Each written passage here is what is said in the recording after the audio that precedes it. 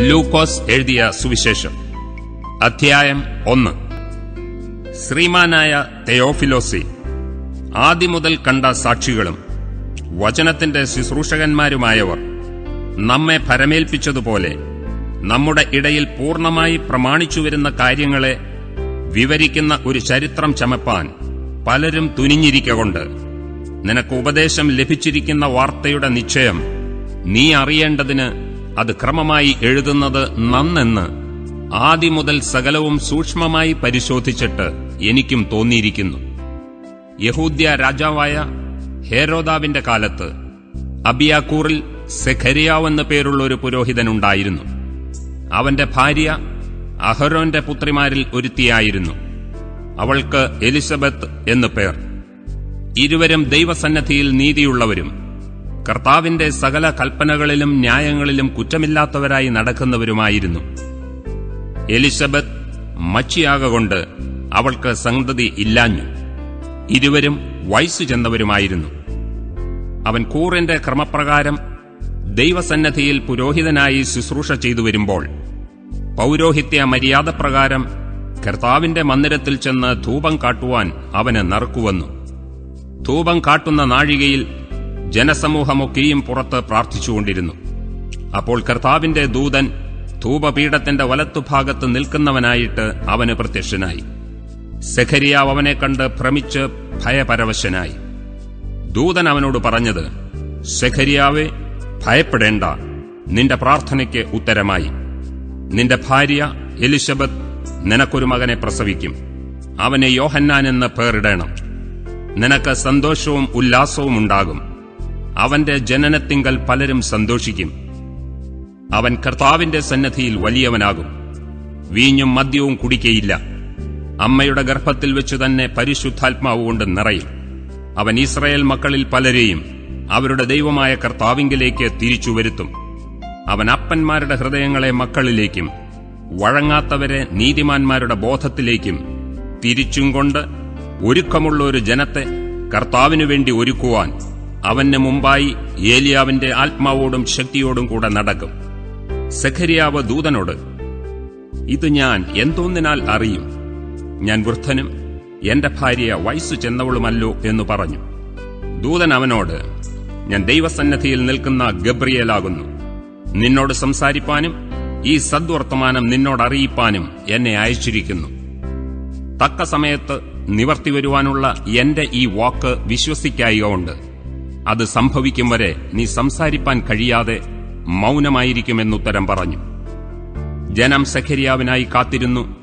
അവൻ മന്ദിരത്തിൽ താമസിച്ചതിനാൽ ആശ്ചര്യപ്പെട്ടു. അവൻ പുറത്തു വന്നാറെ അവരോട് സംസാരിപ്പാൻ കഴിഞ്ഞില്ല. അതിനാൽ അവൻ മന്ദിരത്തിൽ ഒരു ദർശനം കണ്ടു എന്ന് അവർ അറിഞ്ഞു. അവൻ അവർക്ക് ആംഗ്യം കാട്ടി ഊമനായി പാർത്തു. അവന്റെ ശുശ്രൂഷകാലം തികഞ്ഞ ശേഷം അവൻ വീട്ടിലേക്ക് പോയി. ആ നാളുകൾ കഴിഞ്ഞിട്ട് അവന്റെ ഭാര്യ എലിസബത്ത് ഗർഭം ധരിച്ചു.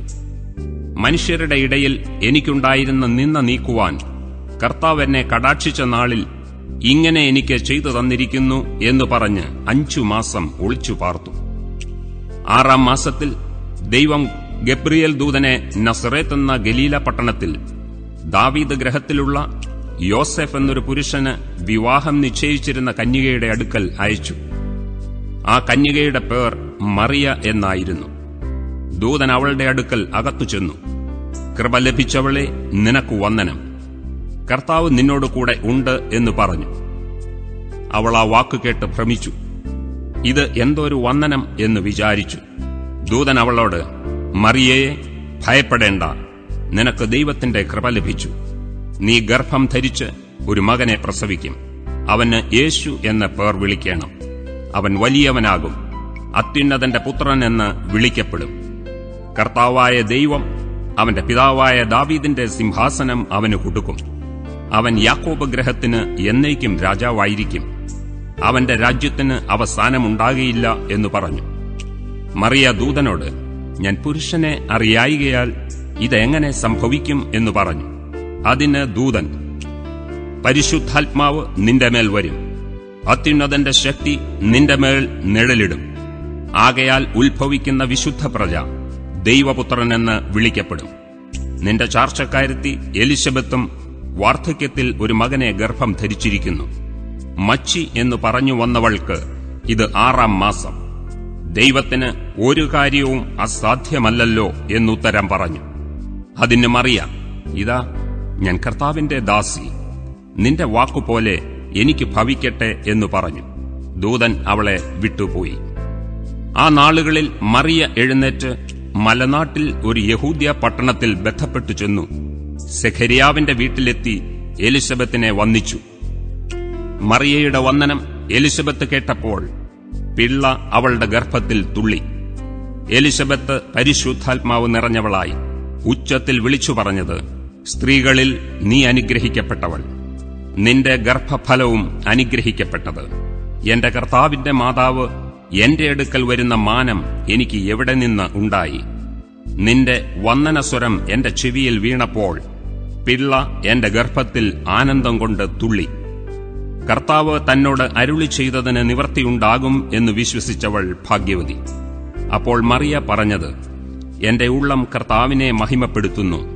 എന്റെ ആത്മാവ് എന്റെ രക്ഷിതാവായ ദൈവത്തിൽ ഉല്ലസിക്കുന്നു. അവൻ തന്റെ ദാസിയുടെ താഴ്ച കടാക്ഷിച്ചിരിക്കുന്നുവല്ലോ. ഇന്നു മുതൽ എല്ലാ തലമുറകളും എന്നെ ഭാഗ്യവതിയെന്ന് വാഴ്ത്തും. ശക്തനായവൻ എനിക്ക് വലിയവ ചെയ്തിരിക്കുന്നു. അവന്റെ നാമം പരിശുദ്ധം തന്നെ. അവനെ ഭയപ്പെടുന്നവർക്ക് അവന്റെ കരുണ തലമുറ തലമുറയോളം ഇരിക്കുന്നു. തന്റെ ഭുജം കൊണ്ട് അവൻ ബലം പ്രവർത്തിച്ചു. ഹൃദയവിചാരത്തിൽ അഹങ്കരിക്കുന്നവരെ ചിതറിച്ചിരിക്കുന്നു. പ്രഭുക്കന്മാരെ സിംഹാസനങ്ങളിൽ നിന്നിറക്കി താണവരെ ഉയർത്തിയിരിക്കുന്നു. വിശന്നിരിക്കുന്നവരെ നന്മകളാൽ നിറച്ചു. സമ്പന്നന്മാരെ വെറുതെ അയച്ചു കളഞ്ഞിരിക്കുന്നു. നമ്മുടെ പിതാക്കന്മാരോട് അരുളി ചെയ്തതുപോലെ അബ്രഹാമിനും അവന്റെ സന്തതിക്കും എന്നേക്കും കരുണ ഓർക്കേണ്ടതിന് തന്റെ ദാസനായ ഇസ്രയേലിനെ തുണച്ചിരിക്കുന്നു. മറിയ ഏകദേശം മൂന്ന് മാസം അവളോടുകൂടെ പാർത്തിട്ട് വീട്ടിലേക്ക് മടങ്ങിപ്പോയി. എലിസബത്തിന് പ്രസവിപ്പാനുള്ള കാലം തികഞ്ഞപ്പോൾ അവൾ ഒരു മകനെ പ്രസവിച്ചു. കർത്താവ് അവൾക്ക് വലിയ കരുണ കാണിച്ചു എന്ന് അയൽക്കാരും ചാർച്ചക്കാരും കേട്ടിട്ട് അവളോടുകൂടെ സന്തോഷിച്ചു. എട്ടാം നാളിൽ അവർ പൈതലിനെ പരിച്ഛേദന ചെയ്യുവാൻ വന്നു. അപ്പന്റെ പേർ പോലെ അവനെ സെഖരിയാവ് എന്ന് പേർ വിളിപ്പാൻ ഭാവിച്ചു. അവന്റെ അമ്മയോ അല്ല അവന് യോഹന്നാൻ എന്ന് പേരിടണം എന്ന് പറഞ്ഞു. അവർ അവളോട് നിന്റെ ചാർച്ചയിൽ ഈ പേരുള്ളവർ ആരും ഇല്ലല്ലോ എന്ന് പറഞ്ഞു. പിന്നെ അവന് എന്തു പേർ വിളിപ്പാൻ വിചാരിക്കുന്നു എന്ന് അപ്പനോട് ആംഗ്യം കാട്ടി ചോദിച്ചു. അവൻ ഒരു എഴുത്തുപലക ചോദിച്ചു. അവന്റെ പേർ യോഹന്നാൻ എന്ന് എഴുതി. എല്ലാവരും ആശ്ചര്യപ്പെട്ടു. ഉടനെ അവന്റെ വായും നാവും തുറന്നു. അവൻ സംസാരിച്ചു ദൈവത്തെ സ്തുതിച്ചു. ചുറ്റും പാർക്കുന്നവർക്കെല്ലാം ഭയമുണ്ടായി. യഹൂദ്യ മലനാട്ടിൽ എങ്ങും ഈ വാർത്തയൊക്കെയും പരന്നു. കേട്ടവർ എല്ലാവരും അത് ഹൃദയത്തിൽ നിക്ഷേപിച്ചു. ഈ പൈതൽ എന്താകുമെന്ന് പറഞ്ഞു. കർത്താവിന്റെ കൈ അവനോടുകൂടെ ഉണ്ടായിരുന്നു. അവന്റെ അപ്പനായ സഖരിയാവ് പരിശുദ്ധാത്മാവ് നിറഞ്ഞവനായി പ്രവചിച്ചു പറഞ്ഞത് ഇസ്രയേലിന്റെ ദൈവമായ കർത്താവ് അനുഗ്രഹിക്കപ്പെട്ടവൻ. അവൻ തന്റെ ജനത്തെ സന്ദർശിച്ച് ഉദ്ധാരണം ചെയ്യുകയും ആദ്യമുതൽ തന്റെ വിശുദ്ധ പ്രവാചകന്മാർ മുഖാന്തരം അരുളി ചെയ്തതുപോലെ നമ്മുടെ ശത്രുക്കളുടെ വശത്തുനിന്നും നമ്മെ പകയ്ക്കുന്ന ഏവരുടെയും കയ്യിൽ നിന്നും നമ്മെ രക്ഷിപ്പാൻ തന്റെ ദാസനായ ദാവീദിന്റെ ഗ്രഹത്തിൽ നമുക്ക് രക്ഷയുടെ കൊമ്പ് ഉയർത്തുകയും ചെയ്തിരിക്കുന്നത് നമ്മുടെ പിതാക്കന്മാരോട് കരുണ പ്രവർത്തിക്കേണ്ടതിനും നമ്മുടെ ശത്രുക്കളുടെ കയ്യിൽ നിന്നും രക്ഷിക്കപ്പെട്ട് നാം ആയുഷ്കാലമൊക്കെയും ഭയം കൂടാതെ തിരുമുമ്പിൽ വിശുദ്ധിയിലും നീതിയിലും തന്നെ ആരാധിപ്പാൻ നമുക്ക് കൃപ നൽകുമെന്ന് അവൻ നമ്മുടെ പിതാവായ അബ്രഹാമിനോട് ചെയ്ത സത്യവും. തന്റെ വിശുദ്ധ നിയമവും ഓർത്തതുകൊണ്ടും ആകുന്നു. നീയോ പൈതലെ അത്യുന്നതന്റെ പ്രവാചകനെന്ന് വിളിക്കപ്പെടും. കർത്താവിന്റെ വഴി ഒരുക്കുവാനും നമ്മുടെ ദൈവത്തിന്റെ ആർദ്രകരുണയാൽ അവന്റെ ജനത്തിന് പാപമോചനത്തിൽ രക്ഷാപരിജ്ഞാനം കൊടുപ്പാനുമായി നീ അവന് മുമ്പായി നടക്കും. ഇരുളിലും മരണ നിഴലിലും ഇരിക്കുന്നവർക്ക് പ്രകാശിച്ച് നമ്മുടെ കാലുകളെ സമാധാന മാർഗത്തിൽ നടത്തേണ്ടതിന് ആ ആർദ്ര കരുണയാൽ ഉയരത്തിൽ നിന്ന് ഉദയം നമ്മെ സന്ദർശിച്ചിരിക്കുന്നു. പൈതൽ വളർന്നു ആത്മാവിൽ ബലപ്പെട്ടു അവൻ ഇസ്രയേലിന് തന്നെത്താൻ കാണിക്കും നാൾ വരെ മരുഭൂമിയിൽ ആയിരുന്നു.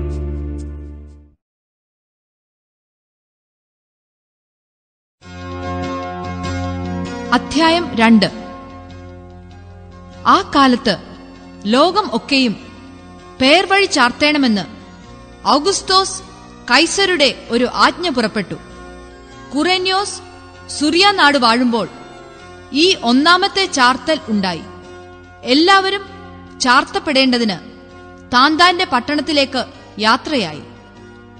അങ്ങനെ യോസേഫും ദാവീദിന്റെ ഗൃഹത്തിലും കുലത്തിലും ഉള്ളവനാകൊണ്ട് തനിക്ക് വിവാഹം നിശ്ചയിച്ചിരുന്ന മറിയ എന്ന ഗർഭിണിയായ ഭാര്യയോടും കൂടെ ചാർത്തപ്പെടേണ്ടതിന് ഗലീലയിലെ നസ്രത്ത് പട്ടണം വിട്ട് യഹൂദ്യയിൽ ബേത്ലഹേം എന്ന ദാവീദിൻ പട്ടണത്തിലേക്ക് പോയി.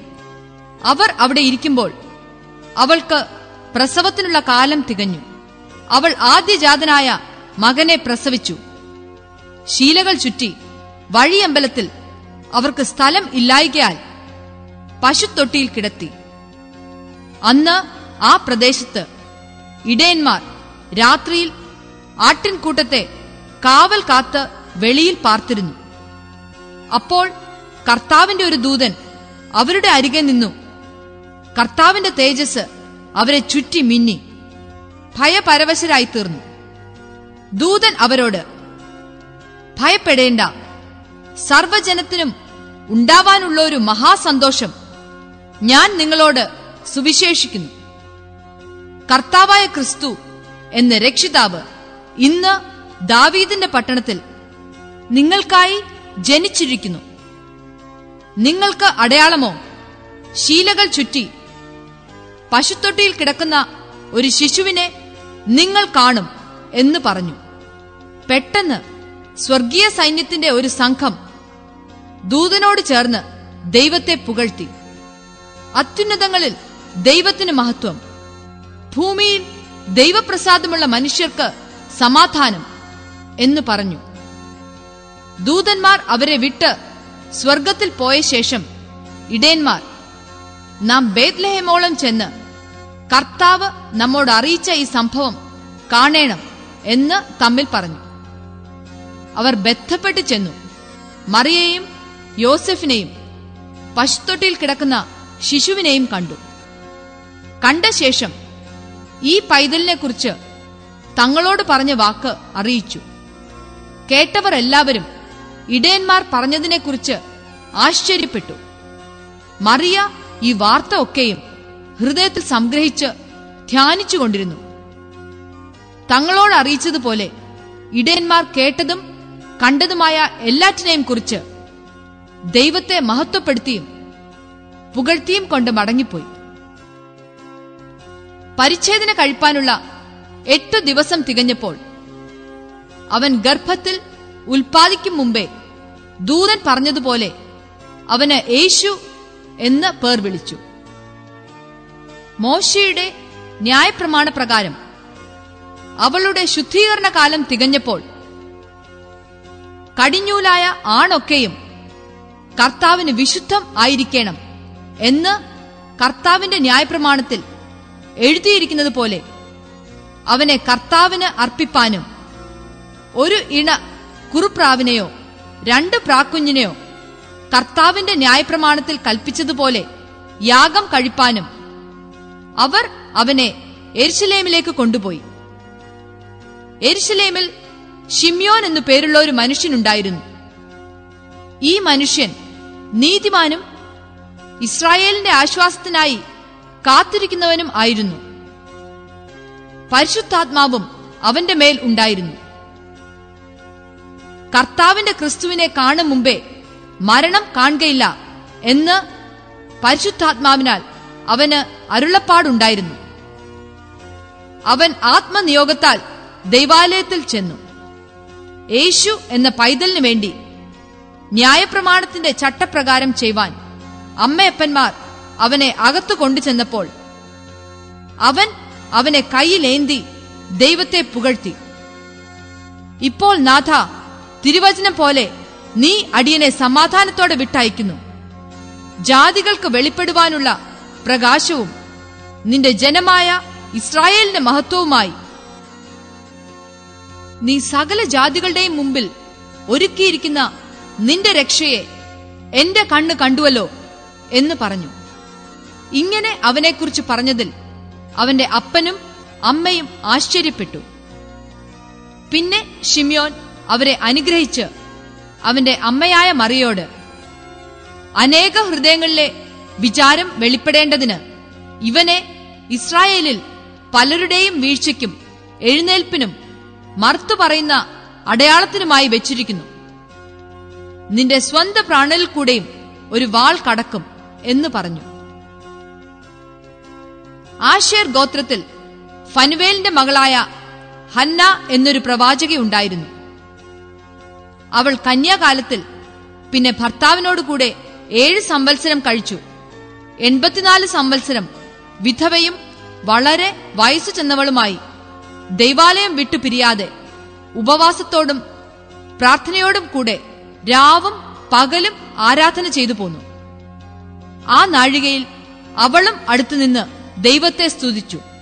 എരിശിലേമിന്റെ വീണ്ടെടുപ്പിനെ കാത്തിരുന്ന എല്ലാവരോടും അവനെക്കുറിച്ച് പ്രസ്താവിച്ചു.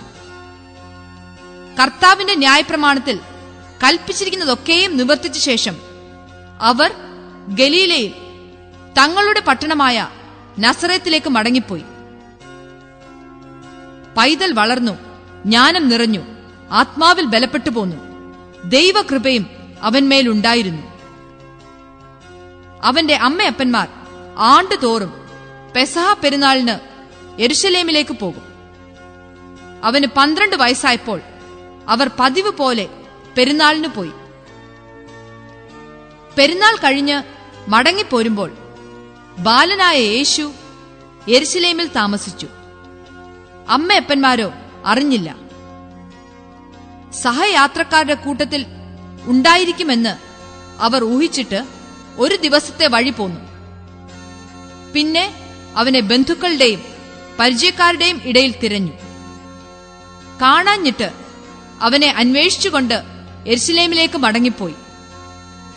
മൂന്ന് നാൾ കഴിഞ്ഞ ശേഷം അവൻ ദൈവാലയത്തിൽ ഉപദേഷ്ടാക്കന്മാരുടെ നടുവിൽ ഇരിക്കുന്നതും അവരുടെ ഉപദേശം കേൾക്കുകയും അവരോട് ചോദിക്കുകയും ചെയ്യുന്നതും കണ്ടു.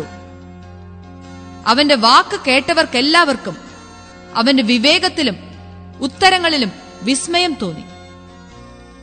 അവനെ കണ്ടിട്ട് അവർ അതിശയിച്ചു. അമ്മ അവനോട് മകനെ ഞങ്ങളോട് ഇങ്ങനെ ചെയ്തതെന്ത്? നിന്റെ അപ്പനും ഞാനും വ്യസനിച്ചുകൊണ്ട് നിന്നെ തിരഞ്ഞു എന്ന് പറഞ്ഞു.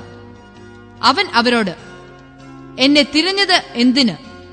എന്റെ പിതാവിനുള്ളതിൽ ഞാൻ ഇരിക്കേണ്ടത് എന്ന് നിങ്ങൾ അറിയുന്നില്ലയോ? എന്ന് പറഞ്ഞു. അവൻ തങ്ങളോട് പറഞ്ഞ വാക്ക് അവർ ഗ്രഹിച്ചില്ല. പിന്നെ അവൻ അവരോട് കൂടെ ഇറങ്ങി നസ്രത്തിൽ വന്ന് അവർക്ക് കീഴടങ്ങിയിരുന്നു. ഈ കാര്യങ്ങളെല്ലാം അവന്റെ അമ്മ ഹൃദയത്തിൽ സംഗ്രഹിച്ചു. യേശുവോ ജ്ഞാനത്തിലും വളർച്ചയിലും ദൈവത്തിന്റെയും മനുഷ്യരുടെയും കൃപയിലും മുതിർന്നു വന്നു.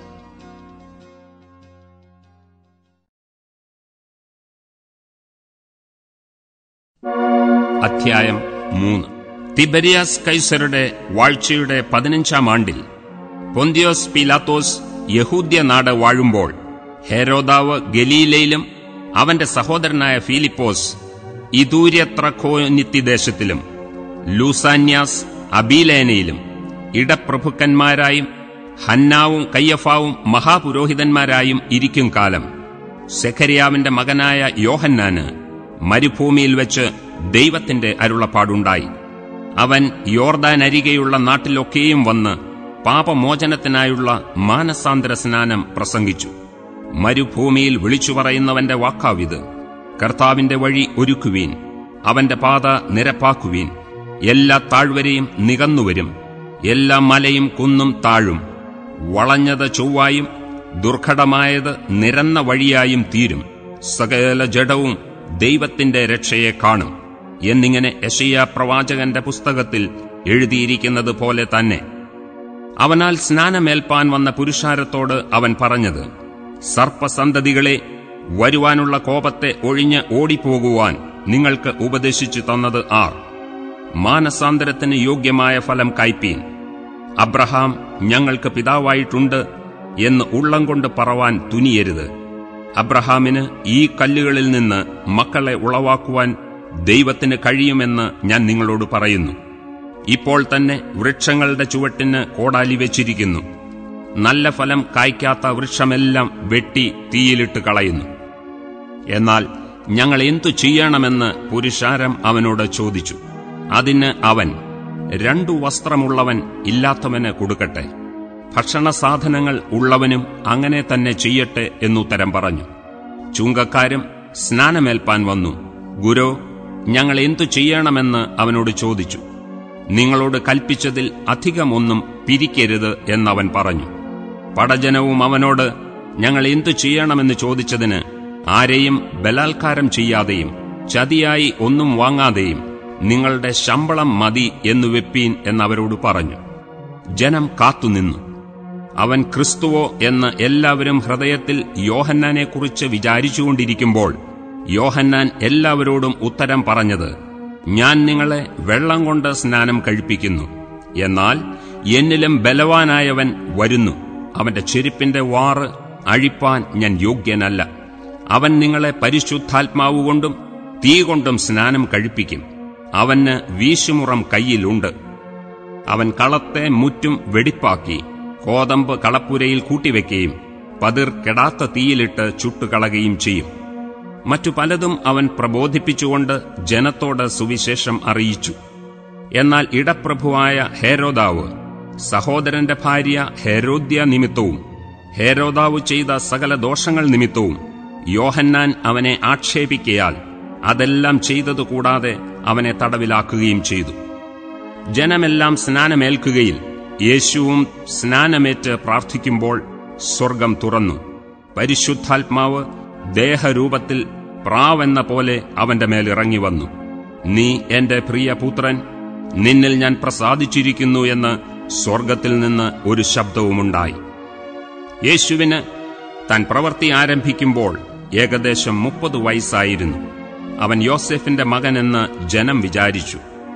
യോസെഫ് ഹേലിയുടെ മകൻ ഹേലി മത്താത്തിന്റെ മകൻ മത്താത്ത് ലേവിയുടെ മകൻ ലേവി മെൽക്കിയുടെ മകൻ മെൽക്കി എന്നായിയുടെ മകൻ എന്നായി യോസെഫിന്റെ മകൻ യോസെഫ് മത്തഥ്യോസിന്റെ മകൻ മത്തഥ്യോസ് ആമോസിന്റെ മകൻ ആമോസ് നാഹൂമിന്റെ മകൻ നാഹൂം എസ്ലിയുടെ മകൻ എസ്ലി നഗായിയുടെ മകൻ നഗായി മയാത്തിന്റെ മകൻ മയാത്ത് മത്തഥ്യോസിന്റെ മകൻ മത്തഥ്യോസ് ഷെമയിയുടെ മകൻ ഷെമയി യോസെഫിന്റെ മകൻ. യോസെഫ് യോദയുടെ മകൻ. യോദ യോഹന്നാന്റെ മകൻ. യോഹന്നാൻ രേസയുടെ മകൻ. രേസ സോരോബാബേലിന്റെ മകൻ. സോരോബാബേൽ ശലഥിയേലിന്റെ മകൻ. ശലഥിയേൽ നേരിയുടെ മകൻ. നേരി മെൽക്കിയുടെ മകൻ. മെൽക്കി അദ്ദിയുടെ മകൻ. അദ്ദി കോസാമിന്റെ മകൻ. കോസാം എൽമാദാബിന്റെ മകൻ. എൽമാദാം ഏരിന്റെ മകൻ. ഏർ യോശുവിന്റെ മകൻ. യോശു ഏലിയേസറിന്റെ മകൻ. ഏലിയേസർ യോരീമിന്റെ മകൻ. യോരീം മത്താത്തിന്റെ മകൻ. മത്താത്ത് ലേവിയുടെ മകൻ. ലേവി ഷിമ്യോന്റെ മകൻ. ഷിമ്യോൻ യഹൂദയുടെ മകൻ. യഹൂദ യോസെഫിന്റെ മകൻ. യോസെഫ് യോനാമിന്റെ മകൻ. യോനാം എല്യാക്കീമിന്റെ മകൻ. എല്യാക്കീം മെല്യാവിന്റെ മകൻ. മെല്യാവ് മെന്നയുടെ മകൻ. മെന്ന മഥത്തയുടെ മകൻ. മഥത്ത നാഥാന്റെ മകൻ. നാഥാൻ ദാവീദിന്റെ മകൻ. ദാവീദ് ഇഷായിയുടെ മകൻ. ഇഷായി ഓബേദിന്റെ മകൻ. ഓബേദ് ബോവസിന്റെ മകൻ. ബോവസ് സൽമോന്റെ മകൻ. സൽമോൻ നഹശോന്റെ മകൻ. നഹശോൻ അമീനാദാബിന്റെ മകൻ. അമീനാദാബ് ആരാമിന്റെ മകൻ. ആരാം യസ്രോന്റെ മകൻ. യസ്രോൻ പാരസിന്റെ മകൻ. പാരസ് യഹൂദയുടെ മകൻ. യഹൂദ യാക്കോബിന്റെ മകൻ യാക്കോബ് ഇസഹാക്കിന്റെ മകൻ ഇസഹാക്ക് അബ്രഹാമിന്റെ മകൻ അബ്രഹാം തേരഹിന്റെ മകൻ തേരഹ് നാഹോരിന്റെ മകൻ നാഹോർ സെരൂഗിന്റെ മകൻ സെരൂഗ് രഘുവിന്റെ മകൻ രഘു ഫാലേഗിന്റെ മകൻ ഫാലേഗ് ഏബേറിന്റെ മകൻ ഏബേർ ഷലാമിന്റെ മകൻ ഷലാം കയീനാന്റെ മകൻ കയീനാൻ അർഫക്സാദിന്റെ മകൻ. അർഫക്സാദ് ഷേമിന്റെ മകൻ. ഷേം നോഹയുടെ മകൻ. നോഹ ലാമേക്കിന്റെ മകൻ.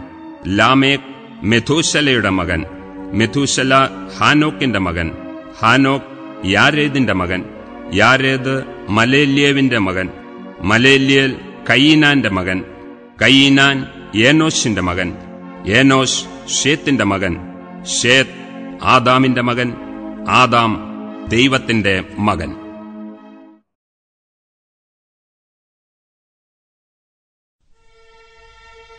അധ്യായം നാല്. യേശു പരിശുദ്ധാത്മാവ് നിറഞ്ഞവനായി യോർദാൻ വിട്ട് മടങ്ങി.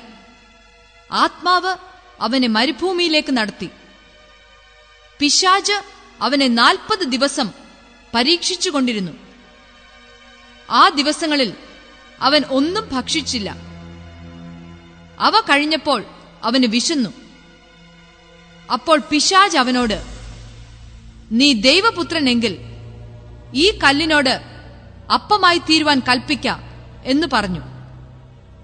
യേശു അവനോട് മനുഷ്യൻ അപ്പം കൊണ്ട് മാത്രമല്ല ജീവിക്കുന്നത് എന്നെഴുതിയിരിക്കുന്നു എന്ന് ഉത്തരം പറഞ്ഞു. പിന്നെ പിശാജ് അവനെ മേലോട്ട് കൂട്ടിക്കൊണ്ടുപോയി ലോകത്തിലെ സകല രാജ്യങ്ങളെയും ക്ഷണനേരത്തിൽ അവനെ കാണിച്ചു. ഈ അധികാരമൊക്കെയും അതിന്റെ മഹത്വവും നിനക്ക് തരാം. അത് എങ്കൽ ഏൽപ്പിച്ചിരിക്കുന്നു. എനിക്ക് മനസ്സുള്ളവന് ഞാൻ കൊടുക്കുന്നു. നീ എന്നെ നമസ്കരിച്ചാൽ അതെല്ലാം നിന്റേതാകും എന്ന് അവനോട് പറഞ്ഞു. യേശു അവനോട് നിന്റെ ദൈവമായ കർത്താവിനെ നമസ്കരിച്ച് അവനെ മാത്രമേ ആരാധിക്കാവൂ എന്ന് എഴുതിയിരിക്കുന്നു എന്ന് ഉത്തരം പറഞ്ഞു. പിന്നെ അവൻ അവനെ എരുശലേമിലേക്ക് കൂട്ടിക്കൊണ്ടുപോയി. ദൈവാലയത്തിന്റെ അഗ്രത്തിന്മേൽ നിർത്തി. അവനോട് നീ ദൈവപുത്രനെങ്കിൽ ഇവിടെ നിന്ന് താഴോട്ട് ചാടുക. നിന്നെ കാപ്പാൻ അവൻ തന്റെ ദൂതന്മാരോട് നിന്നെക്കുറിച്ച് കൽപ്പിക്കുകയും നിന്റെ കാൽ കല്ലിനോട് തട്ടാതെ വണ്ണം. അവർ നിന്നെ കയ്യിൽ താങ്ങിക്കൊള്ളുകയും ചെയ്യും എന്ന് എഴുതിയിരിക്കുന്നുവല്ലോ എന്ന് പറഞ്ഞു. യേശു അവനോട് നിന്റെ ദൈവമായ കർത്താവിനെ പരീക്ഷിക്കരുത് എന്ന് അരുളി ചെയ്തിരിക്കുന്നു എന്നുത്തരം പറഞ്ഞു. അങ്ങനെ പിശാജ് സകല പരീക്ഷയും തികച്ച ശേഷം കുറെ കാലത്തേക്ക് അവനെ വിട്ടുമാറി.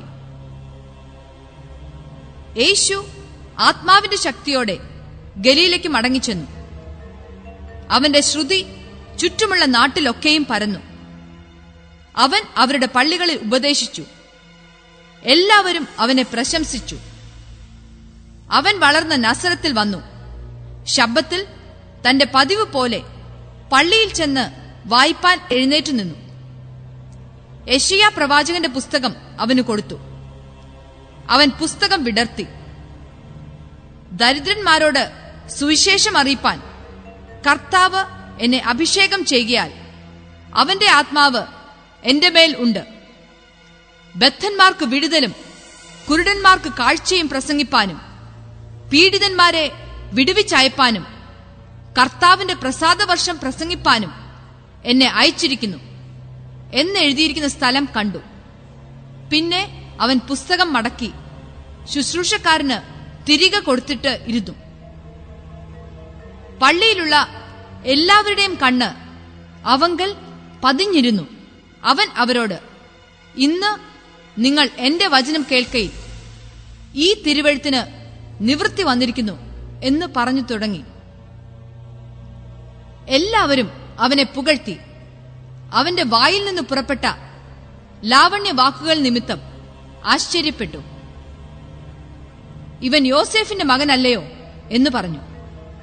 അവൻ അവരോട് വൈദ്യ നിന്നെ തന്നെ സൗഖ്യമാക്കുക എന്നുള്ള പഴഞ്ചൊല്ലും കഫർനഹൂമിൽ ഉണ്ടായി കേട്ടതെല്ലാം ഈ നിന്റെ പിതൃനഗരത്തിലും ചെയ്യുക. എന്നും നിങ്ങൾ എന്നോട് പറയും നിശ്ചയം. ഒരു പ്രവാചകനും തന്റെ പിതൃനഗരത്തിൽ സമ്മതനല്ല എന്ന് ഞാൻ സത്യമായിട്ട് നിങ്ങളോട് പറയുന്നു എന്ന് പറഞ്ഞു.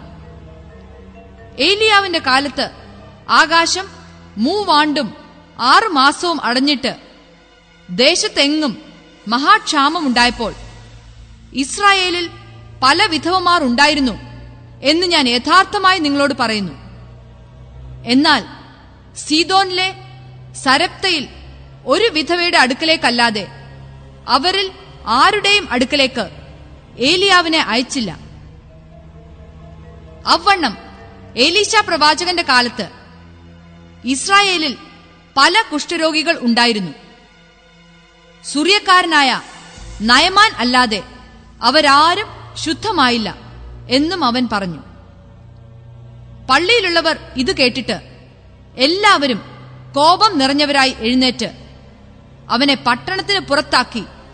അവരുടെ പട്ടണം പണിതിരുന്ന മലയുടെ വക്കോളം കൊണ്ടുപോയി തല കീഴായി തള്ളിയിടുവാൻ ഭാവിച്ചു. അവനോ അവരുടെ നടുവിൽ കൂടി കടന്നുപോയി. അനന്തരം അവൻ ഗലീലയിലെ ഒരു പട്ടണമായ കഫർനഹൂമിൽ ചെന്ന് ശബ്ദത്തിൽ അവരെ ഉപദേശിച്ചു പോന്നു. അവന്റെ വചനം അധികാരത്തോടെ ആകയാൽ അവർ അവന്റെ ഉപദേശത്തിൽ വിസ്മയിച്ചു.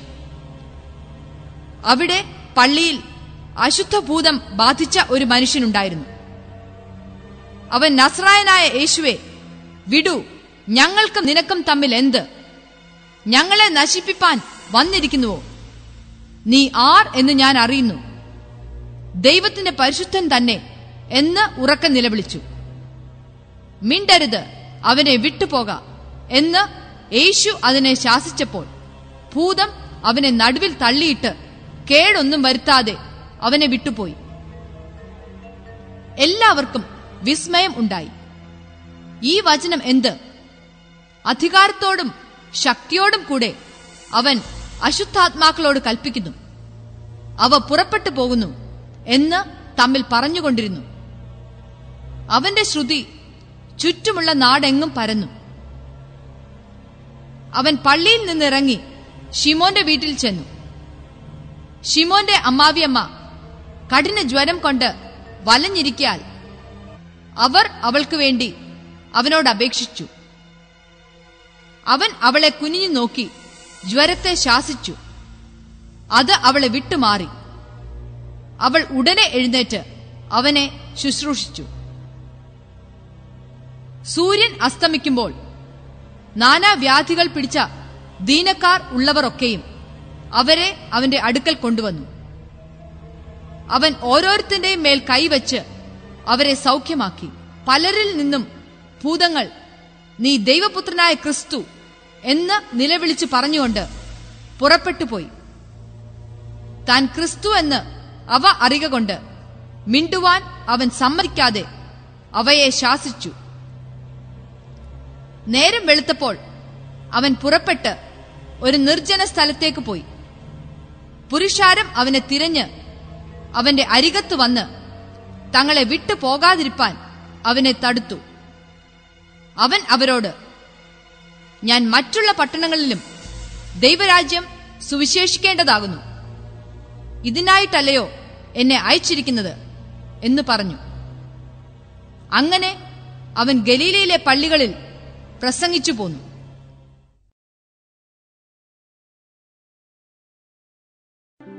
അധ്യായം അഞ്ച്. അവൻ ഗന്നേസരത്ത് തടാകത്തിന്റെ കരയിൽ നിൽക്കുമ്പോൾ പുരുഷാരം ദൈവവചനം കേൾക്കേണ്ടതിന് അവനെ തീക്കിക്കൊണ്ടിരിക്കയിൽ രണ്ടു പടക് കരയ്ക്ക് അടുത്തു നിൽക്കുന്നത് അവൻ കണ്ടു. അവയിൽ നിന്ന് മീൻപിടിക്കാർ ഇറങ്ങി വല കഴുകുകയായിരുന്നു. ആ പടകുകളിൽ ഷീമോനുള്ളതായ ഒന്നിൽ അവൻ കയറി. കരയിൽ നിന്ന് അല്പം നീക്കണം എന്നവനോട് അപേക്ഷിച്ചു. അങ്ങനെ അവൻ പടകിലിരുന്ന് പുരുഷാരത്തെ ഉപദേശിച്ചു. സംസാരിച്ചു തീർന്നപ്പോൾ അവൻ ഷീമോനോട് ആഴത്തിലേക്ക് നീക്കി മീൻപിടുത്തത്തിന് വലയിറക്കുവീൻ എന്ന് പറഞ്ഞു. അതിന് ഷീമോൻ നാഥ ഞങ്ങൾ രാത്രി മുഴുവനും അധ്വാനിച്ചിട്ടും ഒന്നും കിട്ടിയില്ല. എങ്കിലും നിന്റെ വാക്കിന് ഞാൻ വലയിറക്കാം എന്നുത്തരം പറഞ്ഞു. അവർ അങ്ങനെ ചെയ്തപ്പോൾ പെരുത്ത മീൻകൂട്ടം അകപ്പെട്ട് വല കീറാറായി. അവർ മറ്റേ പടകിലുള്ള കൂട്ടാളികൾ വന്ന് സഹായിപ്പാൻ അവരെ മാടി വിളിച്ചു. അവർ വന്ന് പടക് രണ്ടും മുങ്ങുമാറാകുവോളം നിറച്ചു. ഷീമോൻ പത്രോസ് അത് കണ്ടിട്ട് യേശുവിന്റെ കാൽക്കൽ വീണു. കർത്താവെ ഞാൻ പാപിയായ മനുഷ്യനാകൊണ്ട് എന്നെ വിട്ടു പോകണമേ എന്ന് പറഞ്ഞു. അവർക്കുണ്ടായ മീൻപിടുത്തത്തിൽ അവനും അവനോട് കൂടെയുള്ള എല്ലാവർക്കും സംഭ്രമം പിടിച്ചിരുന്നു. ഷീമോന്റെ കൂട്ടാളികളായ യാക്കോബ് യോഹന്നാൻ എന്ന സബേദി മക്കൾക്കും ഔവണ്ണം തന്നെ. യേശു ഷീമോനോട് ഭയപ്പെടേണ്ട ഇന്നു മുതൽ നീ മനുഷ്യരെ പിടിക്കുന്നവനാകും എന്ന് പറഞ്ഞു. പിന്നെ അവർ പടകുകളെ കരയ്ക്കടുപ്പിച്ചിട്ട് സകലവും വിട്ട് അവനെ അനുഗമിച്ചു.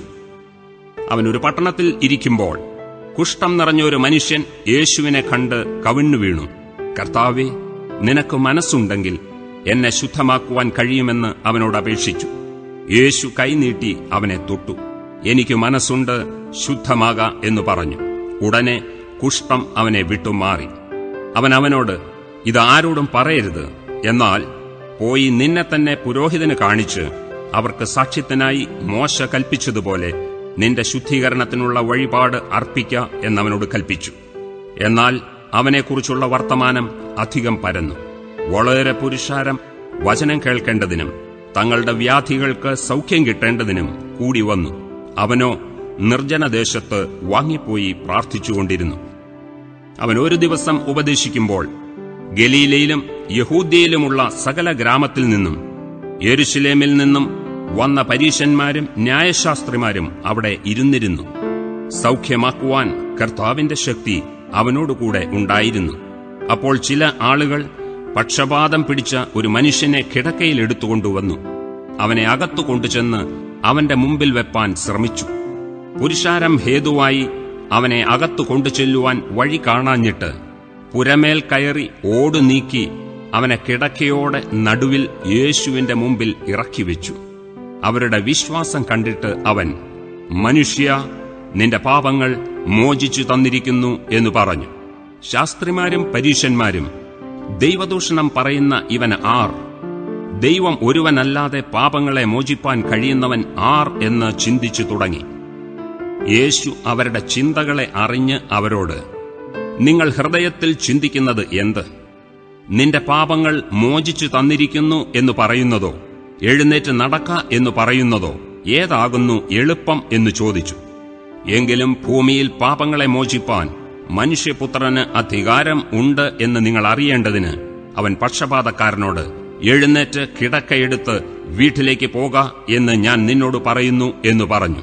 ഉടനെ അവർ കാൺകെ അവൻ എഴുന്നേറ്റു. താൻ കിടന്ന കിടക്കയെടുത്ത് ദൈവത്തെ മഹുത്തീകരിച്ചും കൊണ്ട് വീട്ടിലേക്ക് പോയി. എല്ലാവരും വിസ്മയം പൂണ്ട് ദൈവത്തെ മഹത്വപ്പെടുത്തി ഭയം നിറഞ്ഞവരായി. ഇന്ന് നാം അപൂർവ കാര്യങ്ങളെ കണ്ടു എന്ന് പറഞ്ഞു. അതിന്റെ ശേഷം അവൻ പുറപ്പെട്ട് ലേവി എന്നു പേരുള്ള ഒരു ചുങ്കക്കാരൻ ചുങ്കസ്ഥലത്തിരിക്കുന്നത് കണ്ടു. എന്നെ അനുഗമിക്ക എന്നവനോട് പറഞ്ഞു. അവൻ സകലവും വിട്ടെഴുന്നേറ്റ് അവനെ അനുഗമിച്ചു. ലേവി തന്റെ വീട്ടിൽ അവൻ ഒരു വലിയ വിരുന്ന് ഒരുക്കി. ചുങ്കക്കാരും മറ്റും വലിയൊരു പുരുഷാരം അവരോടുകൂടെ പന്തിയിൽ ഇരുന്നു. പരീശന്മാരും അവരുടെ ശാസ്ത്രിമാരും അവന്റെ ശിഷ്യന്മാരോട് നിങ്ങൾ ചുങ്കക്കാരോടും പാപികളോടും കൂടെ തിന്നുകുടിക്കുന്നത് എന്ത് എന്ന് പറഞ്ഞ് പിറുപിറുത്തു. യേശു അവരോട് ദീനക്കാർക്കല്ലാതെ സൗഖ്യമുള്ളവർക്ക് വൈദ്യനെ കൊണ്ട് ആവശ്യമില്ല. ഞാൻ നീതിമാന്മാരെയല്ല പാപികളെയത്രേ മാനസാന്തരത്തിന് വിളിപ്പാൻ വന്നിരിക്കുന്നത് എന്ന് ഉത്തരം പറഞ്ഞു. അവർ അവനോട് യോഹന്നാന്റെ ശിഷ്യന്മാർ കൂടെ കൂടെ ഉപവസിച്ച് പ്രാർത്ഥന കഴിച്ചു വരുന്നു. പരീശന്മാരുടെ ശിഷ്യന്മാരും അങ്ങനെ തന്നെ ചെയ്യുന്നു. നിന്റെ ശിഷ്യന്മാരോ തിന്നുകയും കുടിക്കുകയും ചെയ്യും എന്നു പറഞ്ഞു. യേശു അവരോട് മണവാളൻ തോഴ്മക്കാരോടുകൂടെ ഉള്ളപ്പോൾ അവരെ ഉപവാസം ചെയ്യിപ്പാൻ കഴിയുമോ? മണവാളൻ അവരെ വിട്ടുപിരിയേണ്ടുന്ന കാലം വരും. അന്ന് ആ കാലത്ത് അവർ ഉപവസിക്കും എന്ന് പറഞ്ഞു. ഒരു ഉപമയും അവരോട് പറഞ്ഞു ആരും കോടി തുണിക്കണ്ടം കീറിയെടുത്ത് പഴയ വസ്ത്രത്തോട് ചേർത്ത് തുന്നുമാറില്ല. തുന്നിയാലോ പുതിയത് കീറുകയും പുതിയ കണ്ടം പഴയതിനോട് ചേരാതിരിക്കുകയും ചെയ്യും. ആരും പുതുവീഞ്ഞ് പഴയ തുരുത്തിയിൽ പകരുമാറില്ല. പകർന്നാൽ പുതുവീഞ്ഞ് തുരുത്തിയെ പൊളിച്ച് ഒഴുകിപ്പോകും. തുരുത്തിയും നശിച്ചുപോകും പുതുവീഞ്ഞ് പുതിയ തുരുത്തിയിൽ അത്രേ പകർന്നു വെക്കേണ്ടത്. പിന്നെ പഴയത് കുടിച്ചിട്ട് ആരും പുതിയത് ഉടനെ ആഗ്രഹിക്കുന്നില്ല. പഴയത് ഏറെ നല്ലത് എന്ന് പറയും.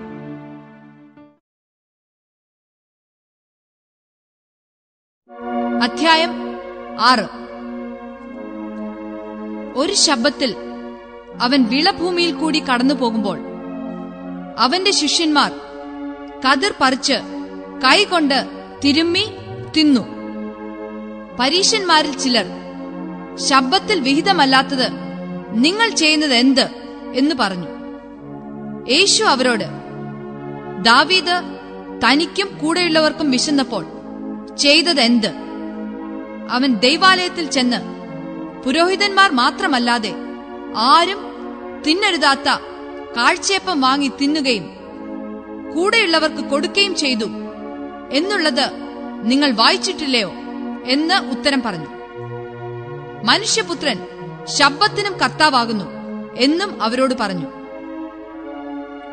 മറ്റൊരു ശബ്ദത്തിൽ അവൻ പള്ളിയിൽ ചെന്ന് ഉപദേശിക്കുമ്പോൾ വലം കൈ വരണ്ടുള്ള ഒരു മനുഷ്യൻ അവിടെ ഉണ്ടായിരുന്നു. ശാസ്ത്രിമാരും പരീശന്മാരും അവനെ കുറ്റം ചുമത്തുവാൻ സംഗതി കിട്ടേണ്ടതിന് അവൻ ശബ്ദത്തിൽ സൗഖ്യമാക്കുമോ എന്ന് നോക്കിക്കൊണ്ടിരുന്നു. അവരുടെ വിചാരം അറിഞ്ഞിട്ട് അവൻ വരണ്ട കൈയുള്ള മനുഷ്യനോട് എഴുന്നേറ്റ് നടുവിൽ നിൽക്ക എന്ന് പറഞ്ഞു. അവൻ എഴുന്നേറ്റ് നിന്നു. യേശു അവരോട് ഞാൻ നിങ്ങളോട് ഒന്ന് ചോദിക്കട്ടെ? ശബ്ദത്തിൽ നന്മ ചെയ്യുകയോ തിന്മ ചെയ്യുകയോ ജീവനെ രക്ഷിക്കുകയോ നശിപ്പിക്കുകയോ ഏത് വിഹിതം എന്ന് പറഞ്ഞു. അവരെ എല്ലാം ചുറ്റും നോക്കിയിട്ട് ആ മനുഷ്യനോട് കൈ നീട്ടുക എന്ന് പറഞ്ഞു. അവൻ അങ്ങനെ ചെയ്തു. അവന്റെ കൈക്ക് സൗഖ്യം വന്നു. അവരോ ഭ്രാന്ത് നിറഞ്ഞവരായി. യേശുവിനെ എന്ത് ചെയ്യേണ്ടു എന്ന് തമ്മിൽ ആലോചന കഴിച്ചു. ആ കാലത്ത് അവൻ പ്രാർത്ഥിക്കേണ്ടതിന് ഒരു മലയിൽ ചെന്ന് ദൈവത്തോടുള്ള പ്രാർത്ഥനയിൽ രാത്രി കഴിച്ചു. നേരം വെളുത്തപ്പോൾ അവൻ ശിഷ്യന്മാരെ അടുക്ക വിളിച്ചു. അവരിൽ പന്ത്രണ്ട് പേരെ തിരഞ്ഞെടുത്തു. അവർക്ക് അപ്പോസ്തൽമാർ എന്നും പേർ വിളിച്ചു. അവർ ആരെന്നാൽ? പത്രോസ് എന്ന് അവൻ പേർ വിളിച്ച ഷീമോൻ അവന്റെ സഹോദരനായ അന്ത്രയാസ് യാക്കോബ് യോഹന്നാൻ ഫിലിപ്പോസ് ബർത്തലോമായി മത്തായി തോമസ് അൽഫായുടെ മകനായ യാക്കോബ് എരിവുകാരനായ ഷീമോൻ യാക്കോബിന്റെ സഹോദരനായ യൂത ദ്രോഹിയായി തീർന്ന ഇസ്കരിയോത്താവ് യൂത എന്നിവർ തന്നെ. അവൻ അവരോട് കൂടെ ഇറങ്ങി സമഭൂമിയിൽ നിന്നു. അവന്റെ ശിഷ്യന്മാരുടെ കൂട്ടവും യഹൂദ്യയിൽ എല്ലായിടത്തു നിന്നും എരുസലേമിൽ നിന്നും സോർ സീതോൻ എന്ന സമുദ്ര തീരങ്ങളിൽ നിന്നും അവന്റെ വചനം കേൾപ്പാനും രോഗശാന്തി കിട്ടുവാനും വന്ന ബഹുപുരുഷാരവും ഉണ്ടായിരുന്നു.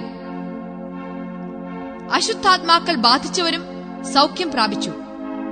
ശക്തി അവനിൽ നിന്ന് പുറപ്പെട്ട് എല്ലാവരെയും സൗഖ്യമാക്കുകൊണ്ട്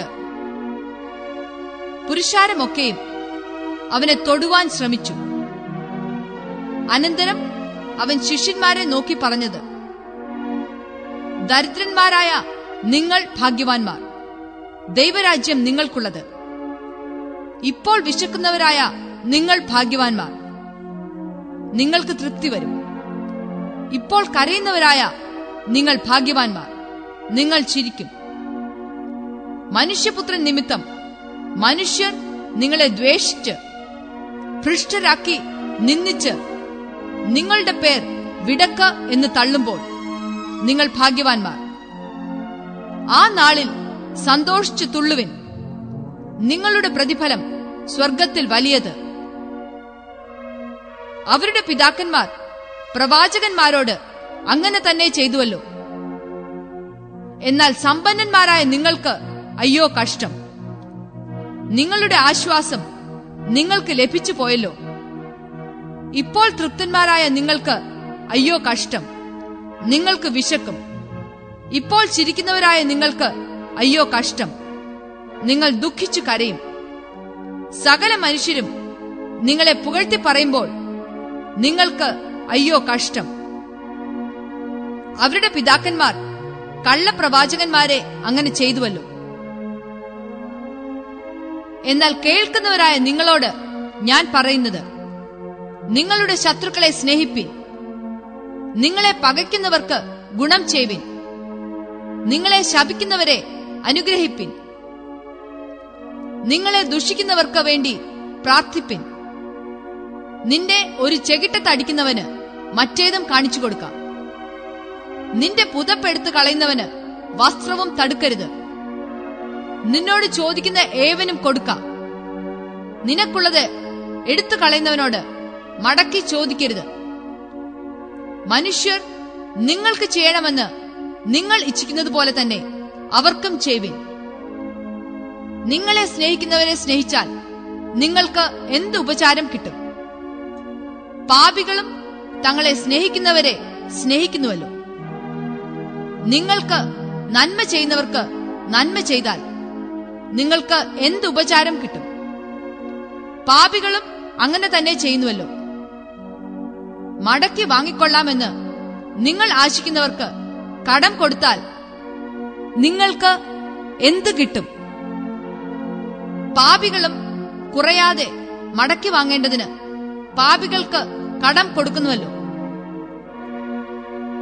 നിങ്ങളോ ശത്രുക്കളെ സ്നേഹിപ്പിൻ. അവർക്ക് നന്മ ചെയ്വിൻ. ഒന്നും പകരം ഇച്ഛിക്കാതെ കടം കൊടുപ്പിൻ. എന്നാൽ നിങ്ങളുടെ പ്രതിഫലം വളരെയാകും. നിങ്ങൾ അത്യുന്നതന്റെ മക്കളാകും. അവൻ നന്ദി കെട്ടവരോടും ദുഷ്ടന്മാരോടും ദയാലുവല്ലോ. അങ്ങനെ നിങ്ങളുടെ പിതാവ് മനസ്സലിവുള്ളവൻ ആകുന്നതുപോലെ നിങ്ങളും മനസ്സലിവുള്ളവർ ആകുവിൻ. വിധിക്കരുത്. എന്നാൽ നിങ്ങളെയും വിധിക്കയില്ല. ശിക്ഷയ്ക്ക് വിധിക്കരുത്. എന്നാൽ നിങ്ങൾക്കും ശിക്ഷാവിധി ഉണ്ടാകയില്ല. വിടുവിൻ. എന്നാൽ നിങ്ങളെയും വിടുവിക്കും. കൊടുപ്പിൻ. എന്നാൽ നിങ്ങൾക്ക് കിട്ടും. അമർത്തി കുലുക്കി കവിയുന്നൊരു നല്ല അളവ് നിങ്ങളുടെ മടിയിൽ തരും. നിങ്ങൾ അളക്കുന്ന അളവിനാൽ നിങ്ങൾക്കും അളന്നു കിട്ടും. അവൻ ഒരു ഉപമയും അവരോട് പറഞ്ഞു കുരുടന് കുരുടനെ വഴി കാട്ടുവാൻ കഴിയുമോ? ഇരുവരും കുഴിയിൽ വീഴുകയില്ലയോ? ശിഷ്യൻ ഗുരുവിന് മീതെയല്ല അഭ്യാസം തികഞ്ഞവനെല്ലാം ഗുരുവിനെ പോലെയാകും. എന്നാൽ നീ സഹോദരന്റെ കണ്ണിലെ കരട് നോക്കുകയും സ്വന്തം കണ്ണിലെ കോൽ വിചാരിക്കാതിരിക്കുകയും ചെയ്യുന്നത് എന്ത്? അല്ല സ്വന്തം കണ്ണിലെ കോൽ നോക്കാതെ. സഹോദര നില്ല്. നിന്റെ കണ്ണിലെ കരട് എടുത്തു കളയട്ടെ എന്ന് സഹോദരനോട് പറവാൻ. നിനക്കെങ്ങനെ കഴിയും? കപടഭക്തിക്കാരാ. മുമ്പേ സ്വന്ത കണ്ണിലെ കോൽ എടുത്തു കളക. എന്നാൽ സഹോദരന്റെ കണ്ണിലെ കരട് എടുത്തു കളവാൻ വെടിപ്പായി കാണുമല്ലോ. ആകാത്ത ഫലം കായ്ക്കുന്ന നല്ല വൃക്ഷമില്ല. നല്ല ഫലം കായ്ക്കുന്ന ആകാത്ത വൃക്ഷവുമില്ല. ഏത് വൃക്ഷത്തെയും ഫലം കൊണ്ട് അറിയാം. മുള്ളിൽ നിന്ന് അത്തിപ്പഴം ശേഖരിക്കുകയും ഞെരിഞ്ഞിലിൽ നിന്ന് മുന്തിരിങ്ങ പറിക്കുകയും ചെയ്യുമാറില്ലല്ലോ. നല്ല മനുഷ്യൻ തന്റെ ഹൃദയത്തിലെ നല്ല നിക്ഷേപത്തിൽ നിന്ന് നല്ലത് പുറപ്പെടുവിക്കുന്നു. ദുഷ്ടൻ ദോഷമായതിൽ നിന്ന് ദോഷം പുറപ്പെടുവിക്കുന്നു. ഹൃദയത്തിൽ നിറഞ്ഞു കവിയുന്നതല്ലോ വായ് പ്രസ്താവിക്കുന്നത്. നിങ്ങൾ എന്നെ കർത്താവേ കർത്താവേ എന്ന് വിളിക്കുകയും ഞാൻ പറയുന്നത് ചെയ്യാതിരിക്കുകയും ചെയ്യുന്നത് എന്ത്? എന്റെ അടുക്കൽ വന്ന് എന്റെ വചനം കേട്ട് ചെയ്യുന്നവനെല്ലാം ഇന്നവനോട് തുല്യനെന്ന് ഞാൻ കാണിച്ചു തരാം. ആഴക്കുഴിച്ച് പാറമേൽ അടിസ്ഥാനമിട്ട് വീട് പണിയുന്ന മനുഷ്യനോട് അവൻ തുല്യൻ. വെള്ളപ്പൊക്കം ഉണ്ടായിട്ട് ഒഴുക്ക് വീട്ടിനോട് അടിച്ചു. എന്നാൽ അത് നല്ലവണ്ണം പണിതിരിക്കൊണ്ട് അത് ഇളകിപ്പോയില്ല. കേട്ടിട്ട് ചെയ്യാത്തവനോ? അടിസ്ഥാനം കൂടാതെ മണ്ണിന്മേൽ വീട് പണിത മനുഷ്യനോട് തുല്യൻ. ഒഴുക്ക് അടിച്ച ഉടനെ അത് വീണു. ആ വീട്ടിന്റെ വീഴ്ച വലിയതുമായിരുന്നു.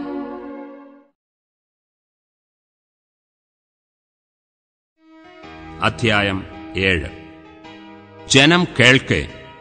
തന്റെ വചനമൊക്കെയും പറഞ്ഞ് തീർന്ന ശേഷം അവൻ കഫർണഭൂമിൽ ചെന്നു. അവിടെ ഒരു ശതാധിപന് പ്രിയനായ ദാസൻ ദീനം പിടിച്ച് മരിപ്പാറായിരുന്നു. അവൻ യേശുവിന്റെ വസ്തുത കേട്ടിട്ട് അവൻ വന്ന് തന്റെ ദാസനെ രക്ഷിക്കേണ്ടതിന് അവനോട് അപേക്ഷിപ്പാൻ യഹൂദന്മാരുടെ മൂപ്പന്മാരെ അവന്റെ അടുക്കൽ അയച്ചു. അവർ യേശുവിന്റെ അടുക്കൽ വന്നു. അവനോട് താൽപ്പര്യമായി അപേക്ഷിച്ചു. നീ അത് ചെയ്തു കൊടുപ്പാൻ അവൻ യോഗ്യൻ. അവൻ നമ്മുടെ ജനത്തെ സ്നേഹിക്കുന്നു. ഞങ്ങൾക്ക് ഒരു പള്ളിയും തീർപ്പിച്ചു തന്നിരിക്കുന്നു എന്ന് പറഞ്ഞു. യേശു അവരോട് കൂടെ പോയി. വീടിനോട് അടുപ്പാറായപ്പോൾ ശതാധിപൻ സ്നേഹിതന്മാരെ അവന്റെ അടുക്കൽ അയച്ചു. കർത്താവെ പ്രയാസപ്പെടേണ്ട. നീ എന്റെ പുരയ്ക്കകത്ത് വരുവാൻ ഞാൻ പോരാത്തവൻ. അതുകൊണ്ട് നിന്റെ അടുക്കൽ വരുവാൻ ഞാൻ യോഗ്യനെന്ന് എനിക്ക് തോന്നിയിട്ടില്ല. ഒരു വാക്ക് കൽപ്പിച്ചാൽ എന്റെ ബാല്യക്കാരന് സൗഖ്യം വരും. ഞാനും അധികാരത്തിന് കീഴ്പ്പെട്ട മനുഷ്യൻ. എന്റെ കീഴിൽ പടയാളികൾ ഉണ്ട്. ഒരുവനോട് പോക എന്ന് പറഞ്ഞാൽ അവൻ പോകുന്നു. മറ്റൊരുവനോട് വരിക എന്ന് പറഞ്ഞാൽ അവൻ വരുന്നു.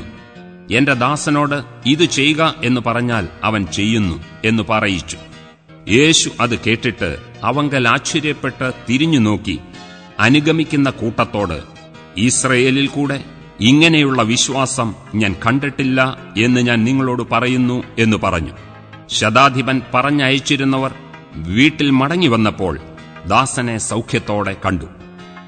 പിറ്റേന്നാൾ അവൻ നയീൻ എന്ന പട്ടണത്തിലേക്ക് പോകുമ്പോൾ അവന്റെ ശിഷ്യന്മാരും വളരെ പുരുഷാരവും കൂടെ പോയി. അവൻ പട്ടണത്തിന്റെ വാതിലോട് അടുത്തപ്പോൾ മരിച്ചുപോയ ഒരുത്തനെ പുറത്തു കൊണ്ടുവരുന്നു. അവൻ അമ്മയ്ക്ക് ഏകജാതനായ മകൻ. അവളോ വിധവയായിരുന്നു. പട്ടണത്തിലെ ഒരു വലിയ പുരുഷാരവും അവളോടുകൂടെ ഉണ്ടായിരുന്നു. അവളെ കണ്ടിട്ട് കർത്താവ് മനസ്സലിഞ്ഞ് അവളോട് കരയേണ്ട എന്നു പറഞ്ഞു. അവൻ അടുത്തു ചെന്ന് മഞ്ചം തൊട്ടു ചുമക്കുന്നവർ നിന്നു ബാല്യക്കാരാ എഴുന്നേൽക്ക എന്ന് ഞാൻ നിന്നോട് പറയുന്നു എന്നവൻ പറഞ്ഞു. മരിച്ചവൻ എഴുന്നേറ്റിരുന്ന് സംസാരിപ്പാൻ തുടങ്ങി. അവൻ അവനെ അമ്മയ്ക്ക് ഏൽപ്പിച്ചു കൊടുത്തു. എല്ലാവർക്കും ഭയം പിടിച്ചു.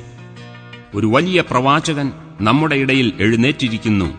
ദൈവം തന്റെ ജനത്തെ സന്ദർശിച്ചിരിക്കുന്നു എന്ന് പറഞ്ഞ് ദൈവത്തെ മഹുദ്ധീകരിച്ചു അവനെക്കുറിച്ചുള്ള ഈ ശ്രുതി യഹൂദിയിലൊക്കെയും ചുറ്റുമുള്ള നാടെങ്ങും പരന്നു. ഇതൊക്കെയും യോഹന്നാന്റെ ശിഷ്യന്മാർ അവനോട് അറിയിച്ചു. എന്നാറെ യോഹന്നാൻ തന്റെ ശിഷ്യന്മാരിൽ രണ്ടുപേരെ വിളിച്ച് കർത്താവിന്റെ അടുക്കൽ അയച്ചു. വരുവാനുള്ളവൻ നീയോ? അല്ല ഞങ്ങൾ മറ്റൊരുത്തനെ കാത്തിരിക്കണമോ എന്ന് പറയിച്ചു. ആ പുരുഷന്മാർ അവന്റെ അടുക്കൽ വന്ന് വരുവാനുള്ളവൻ നീയോ?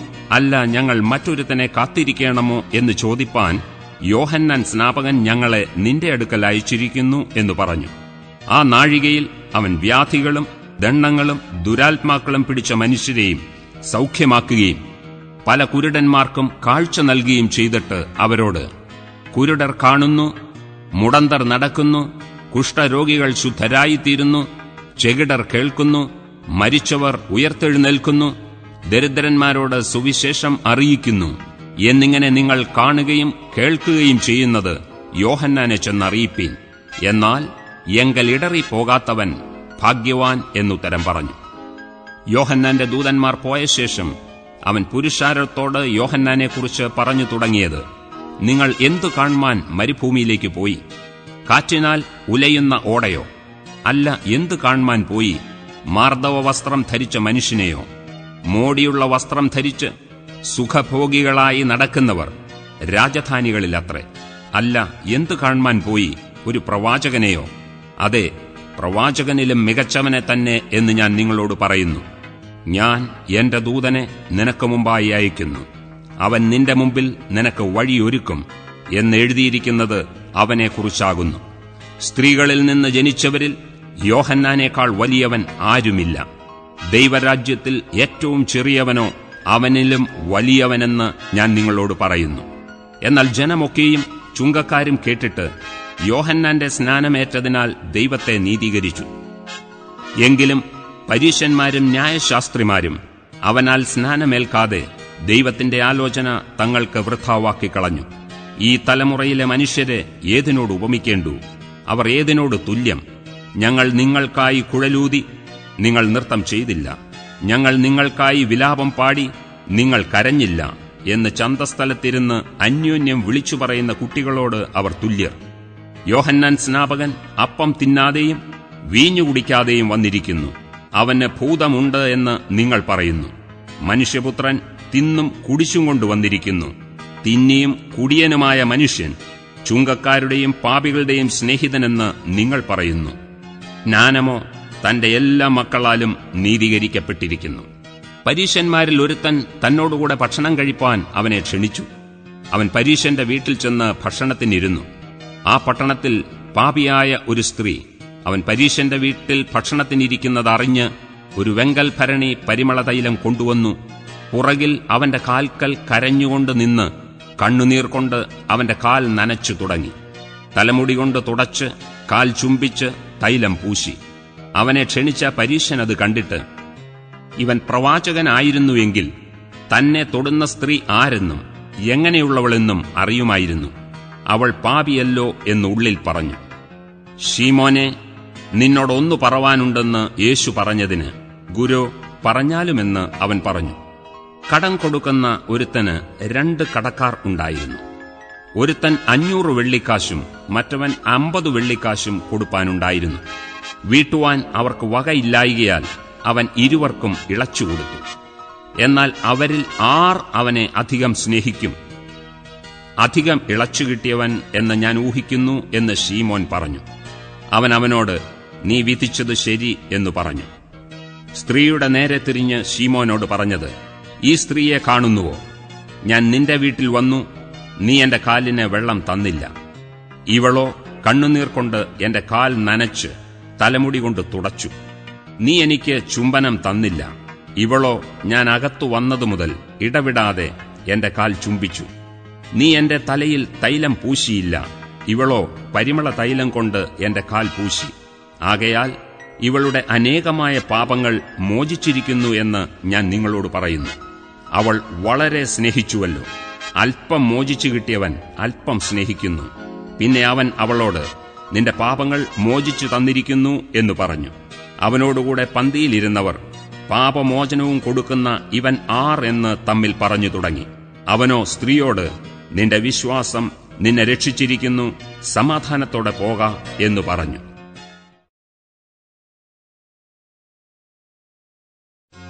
അധ്യായം എട്ട്. അനന്തരം അവൻ ദൈവരാജ്യം പ്രസംഗിച്ചും സുവിശേഷിച്ചും കൊണ്ട് പട്ടണം തോറും സഞ്ചരിച്ചു. അവനോടുകൂടെ പന്തിരുവരും അവൻ ദുരാത്മാക്കളെയും വ്യാധികളെയും നീക്കി സൗഖ്യം വരുത്തിയ ചില സ്ത്രീകളും ഏഴ് ഭൂതങ്ങൾ വിട്ടുപോയ മഗ്ദലക്കാരത്തി മറിയയും ഹേരോദാവിന്റെ കാര്യവിചാരകനായ കൂസയുടെ ഭാര്യ യോഹന്നെയും ശൂശന്നെയും തങ്ങളുടെ വസ്തുവക കൊണ്ട് അവർക്ക് ശുശ്രൂഷ ചെയ്തു പോന്ന മറ്റു പല സ്ത്രീകളും ഉണ്ടായിരുന്നു. പിന്നെ വലിയൊരു പുരുഷാരവും ഓരോ പട്ടണത്തിൽ നിന്ന് അവന്റെ അടുക്കൽ വന്നവരും ഒരുമിച്ച് കൂടിയപ്പോൾ അവൻ ഉപമയായി പറഞ്ഞത് വിതയ്ക്കുന്നവൻ വിത്ത് വിതപ്പാൻ പുറപ്പെട്ടു. വിതയ്ക്കുമ്പോൾ ചിലത് വഴിയരികെ വീണിട്ട് ചവിട്ടിപ്പോകുകയും ആകാശത്തിലെ പറവജാതി അതിനെ തിന്നുകളയുകയും ചെയ്തു. മറ്റു ചിലത് പാറമേൽ വീണ് മുളച്ച് നനവില്ലായികയാൽ ഉണങ്ങിപ്പോയി. മറ്റു ചിലത് മുള്ളിനിടയിൽ വീണു. മുള്ളും കൂടെ മുളച്ച് അതിനെ ഞെരുക്കിക്കളഞ്ഞു മറ്റു ചിലത് നല്ല നിലത്ത് വീണു മുളച്ച് നൂറുമേനി ഫലം കൊടുത്തു.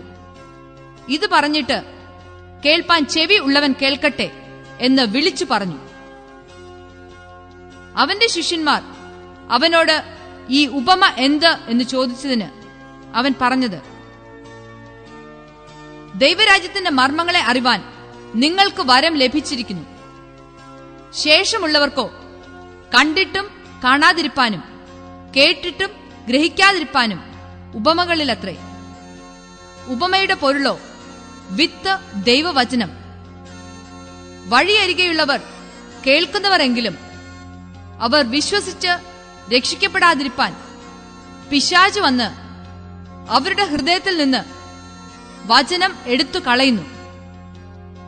പാറമേലുള്ളവരോ കേൾക്കുമ്പോൾ വചനം സന്തോഷത്തോടെ കൈക്കൊള്ളുന്നവരെങ്കിലും അവർക്ക് വേരില്ല.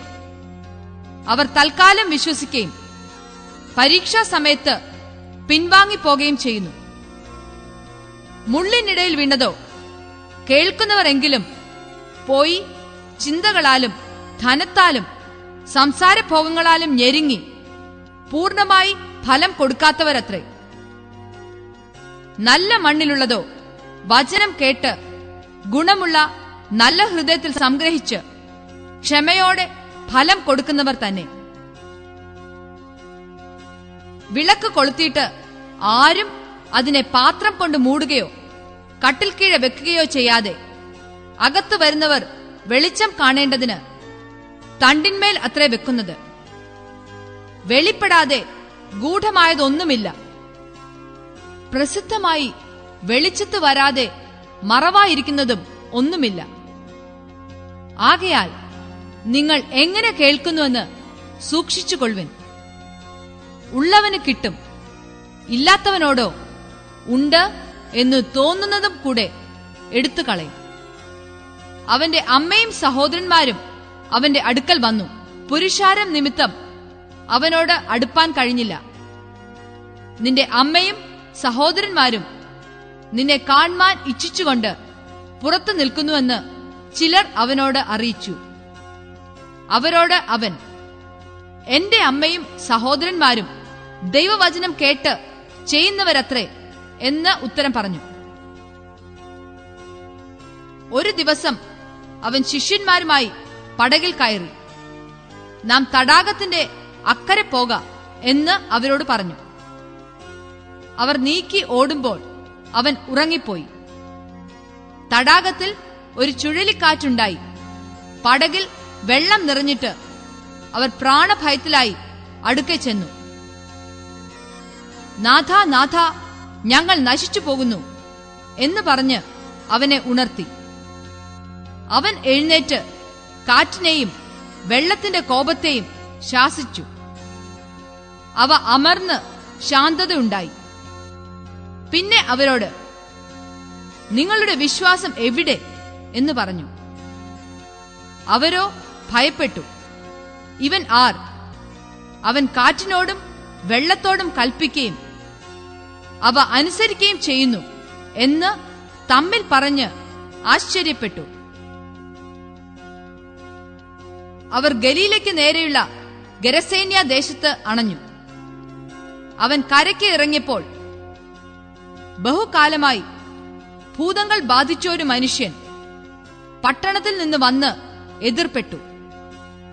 അവൻ ബഹുകാലമായി വസ്ത്രം ധരിക്കാതെയും വീട്ടിൽ പാർക്കാതെയും ശവക്കലറകളിൽ അത്രേ ആയിരുന്നു. അവൻ യേശുവിനെ കണ്ടിട്ട് നിലവിളിച്ച് അവനെ നമസ്കരിച്ചു. യേശുവേ മഹോന്നതനായ ദൈവത്തിന്റെ പുത്ര എനിക്കും നിനക്കും തമ്മിൽ എന്ത്? എന്നെ ഉപദ്രവിക്കരുതേ എന്ന് ഞാൻ അപേക്ഷിക്കുന്നു എന്ന് ഉറക്കെ പറഞ്ഞു. അവൻ അശുദ്ധാത്മാവിനോട് ആ മനുഷ്യനെ വിട്ടുപോകുവാൻ കൽപ്പിച്ചിരുന്നു. അത് വളരെ കാലമായി അവനെ ബാധിച്ചിരുന്നു. അവനെ ചങ്ങലയും വിലങ്ങുമിട്ട് ബന്ധിച്ച് സൂക്ഷിച്ചിരുന്നിട്ടും അവൻ ബന്ധനങ്ങളെ തകർക്കുകയും ഭൂതം അവനെ കാടുകളിലേക്ക് ഓടിക്കുകയും ചെയ്യും. യേശു അവനോട് നിന്റെ പേർ എന്ത്? എന്ന് ചോദിച്ചു. അനേകം ഭൂതങ്ങൾ അവനെ ബാധിച്ചിരുന്നതുകൊണ്ട് ലഗ്യോൻ എന്ന് അവൻ പറഞ്ഞു. പാതാളത്തിലേക്ക് പോകുവാൻ കൽപ്പിക്കരുത് എന്ന് അവ അവനോട് അപേക്ഷിച്ചു. അവിടെ മലയിൽ വലിയൊരു പന്നിക്കൂട്ടം മേഞ്ഞുകൊണ്ടിരുന്നു. അവയിൽ കടപ്പാൻ അനുവാദം തരണമെന്ന് അവനോട് അപേക്ഷിച്ചു. അവൻ അനുവാദം കൊടുത്തു. ഭൂതങ്ങൾ ആ മനുഷ്യനെ വിട്ട് പന്നികളിൽ കടന്നപ്പോൾ കൂട്ടം കടുന്തൂക്കത്തോടെ തടാകത്തിലേക്ക് പാഞ്ഞ് വീർപ്പ് മുട്ടിച്ചത്തു ഈ സംഭവിച്ചത് മേയ്ക്കുന്നവർ കണ്ടിട്ട് ഓടിപ്പോയി പട്ടണത്തിലും നാട്ടിലും അറിയിച്ചു. സംഭവിച്ചത് കാണുവാൻ അവർ പുറപ്പെട്ട് യേശുവിന്റെ അടുക്കൽ വന്നു. ഭൂതങ്ങൾ വിട്ടുപോയ മനുഷ്യൻ വസ്ത്രം ധരിച്ചും സുബോധം പൂണ്ടും യേശുവിന്റെ കാൽക്കൽ ഇരിക്കുന്നത് കണ്ട് ഭയപ്പെട്ടു. ഭൂതഗ്രസ്തന് സൗഖ്യം വന്നതെങ്ങനെ എന്ന് കണ്ടവർ അവരോട് അറിയിച്ചു. ഗരസേന്യ ദേശത്തിലെ ജനസമൂഹം എല്ലാം ഭയപരവശരായി തങ്ങളെ വിട്ടുപോകേണമെന്ന് അവനോട് അപേക്ഷിച്ചു. അങ്ങനെ അവൻ പടക് കയറി മടങ്ങിപ്പോന്നു. ഭൂതങ്ങൾ വിട്ടുപോയ ആൾ അവനോടുകൂടെ ഇരിപ്പാൻ അനുവാദം ചോദിച്ചു. അതിന് അവൻ നീ വീട്ടിൽ മടങ്ങിച്ചെന്ന് ദൈവം നിനക്ക് ചെയ്തതൊക്കെയും അറിയിക്കാം എന്ന് പറഞ്ഞ് അവനെ അയച്ചു. അവൻ പോയി യേശു തനിക്ക് ചെയ്തതൊക്കെയും പട്ടണത്തിൽ എല്ലായിടവും അറിയിച്ചു. യേശു മടങ്ങി വന്നപ്പോൾ പുരുഷാരം അവനെ സന്തോഷത്തോടെ കൈക്കൊണ്ടു. അവർ എല്ലാവരും അവനായിട്ട് കാത്തിരിക്കയായിരുന്നു. അപ്പോൾ പള്ളിപ്രമാണിയായ യായിറോസ് എന്നു പേരുള്ള ഒരു മനുഷ്യൻ വന്ന് യേശുവിന്റെ കാൽക്കൽ വീണു. അവന് ഏകദേശം പന്ത്രണ്ട് വയസ്സുള്ള ഏകജാതയായ ഒരു മകളുണ്ടായിരുന്നു. അവൾ ഭരിപ്പാറായതുകൊണ്ട് തന്റെ വീട്ടിൽ വരേണമെന്ന് അവനോട് അപേക്ഷിച്ചു. അവൻ പോകുമ്പോൾ പുരുഷാരം അവനെ തിക്കിക്കൊണ്ടിരുന്നു. അന്ന് പന്ത്രണ്ട് സംവത്സരമായി രക്തസ്രവമുള്ളവളും മുതൽ എല്ലാം വൈദ്യന്മാർക്ക് കൊടുത്തിട്ടും ആരാലും സൗഖ്യം വരുത്തുവാൻ കഴിയാത്തവളുമായ ഒരു സ്ത്രീ പുറകിൽ അടുത്തു ചെന്ന് അവന്റെ വസ്ത്രത്തിന്റെ തൊങ്ങൽ തൊട്ടു. ഉടനെ അവളുടെ രക്തസ്രവം നിന്നുപോയി. എന്നെ തൊട്ടത് ആർ? എന്ന് യേശു ചോദിച്ചു. എല്ലാവരും ഞാനല്ല ഞാനല്ല എന്ന് പറഞ്ഞപ്പോൾ ഗുരു പുരുഷാരം നിന്നെ തിക്കി തിരക്കുന്നുവെന്ന് പത്രോസും കൂടെയുള്ളവരും പറഞ്ഞു. യേശുവോ ഒരാൾ എന്നെ തൊട്ടു.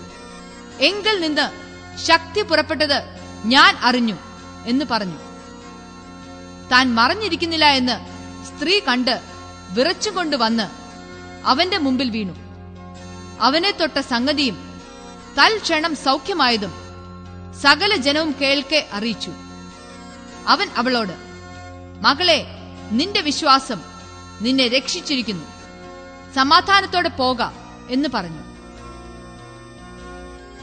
അവൻ സംസാരിച്ചുകൊണ്ടിരിക്കുമ്പോൾ തന്നെ പള്ളിപ്രമാണിയുടെ ഒരാൾ വന്നു. നിന്റെ മകൾ മരിച്ചുപോയി.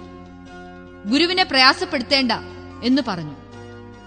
യേശു അത് കേട്ടാറെ ഭയപ്പെടേണ്ട വിശ്വസിക്കുക മാത്രം ചെയ്യുക എന്നാൽ അവൾ രക്ഷപ്പെടും എന്ന് അവനോട് ഉത്തരം പറഞ്ഞു. വീട്ടിലെത്തിയാറെ പത്രോസ് യോഹന്നാൻ യാക്കോബ് എന്നിവരെയും ബാലയുടെ അപ്പനെയും അമ്മയെയും അല്ലാതെ ആരെയും അവൻ തന്നോടുകൂടെ അകത്തു വരുവാൻ സമ്മതിച്ചില്ല. എല്ലാവരും അവളെ ചൊല്ലി കരകയും മുറയിടുകയും ചെയ്യുമ്പോൾ കരയേണ്ട അവൾ മരിച്ചില്ല ഉറങ്ങുന്നത്രേ എന്ന് അവൻ പറഞ്ഞു. അവരോ അവൾ മരിച്ചുപോയി എന്ന് അറിക കൊണ്ട് അവനെ പരിഹസിച്ചു. എന്നാൽ അവൻ അവളുടെ കൈക്ക് പിടിച്ചു. ബാലെ എഴുന്നേൽക്ക എന്ന് അവളോട് ഉറക്ക പറഞ്ഞു. അവളുടെ ആത്മാവ് മടങ്ങി വന്നു. അവൾ ഉടനെ എഴുന്നേറ്റു. അവൾക്ക് ഭക്ഷണം കൊടുപ്പാൻ അവൻ കൽപ്പിച്ചു. അവളുടെ അമ്മയപ്പന്മാർ വിസ്മയിച്ചു. സംഭവിച്ചത് ആരോടും പറയരുതെന്ന് അവൻ അവരോട് കൽപ്പിച്ചു.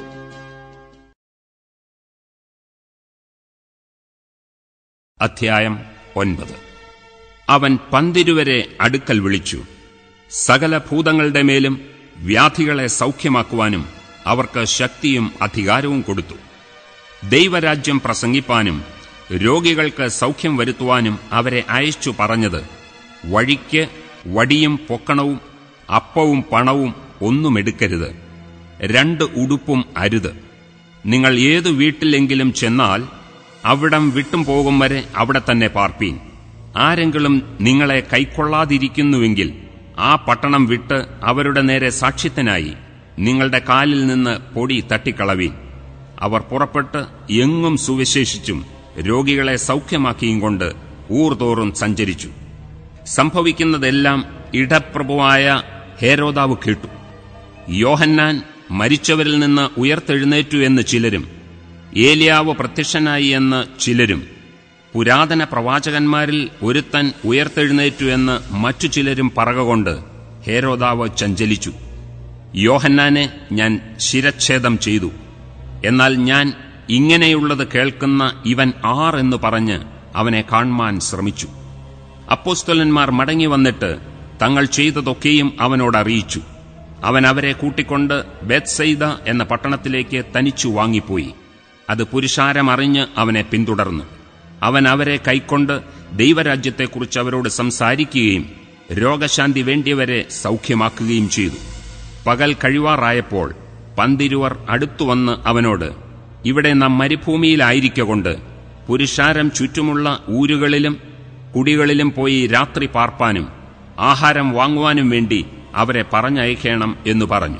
അവൻ അവരോട് നിങ്ങൾ തന്നെ അവർക്ക് ഭക്ഷിപ്പാൻ കൊടുപ്പീൻ എന്ന് പറഞ്ഞതിന് അഞ്ചപ്പവും രണ്ടു മീനുമല്ലാതെ അധികം ഞങ്ങളുടെ പക്കൽ ഇല്ല.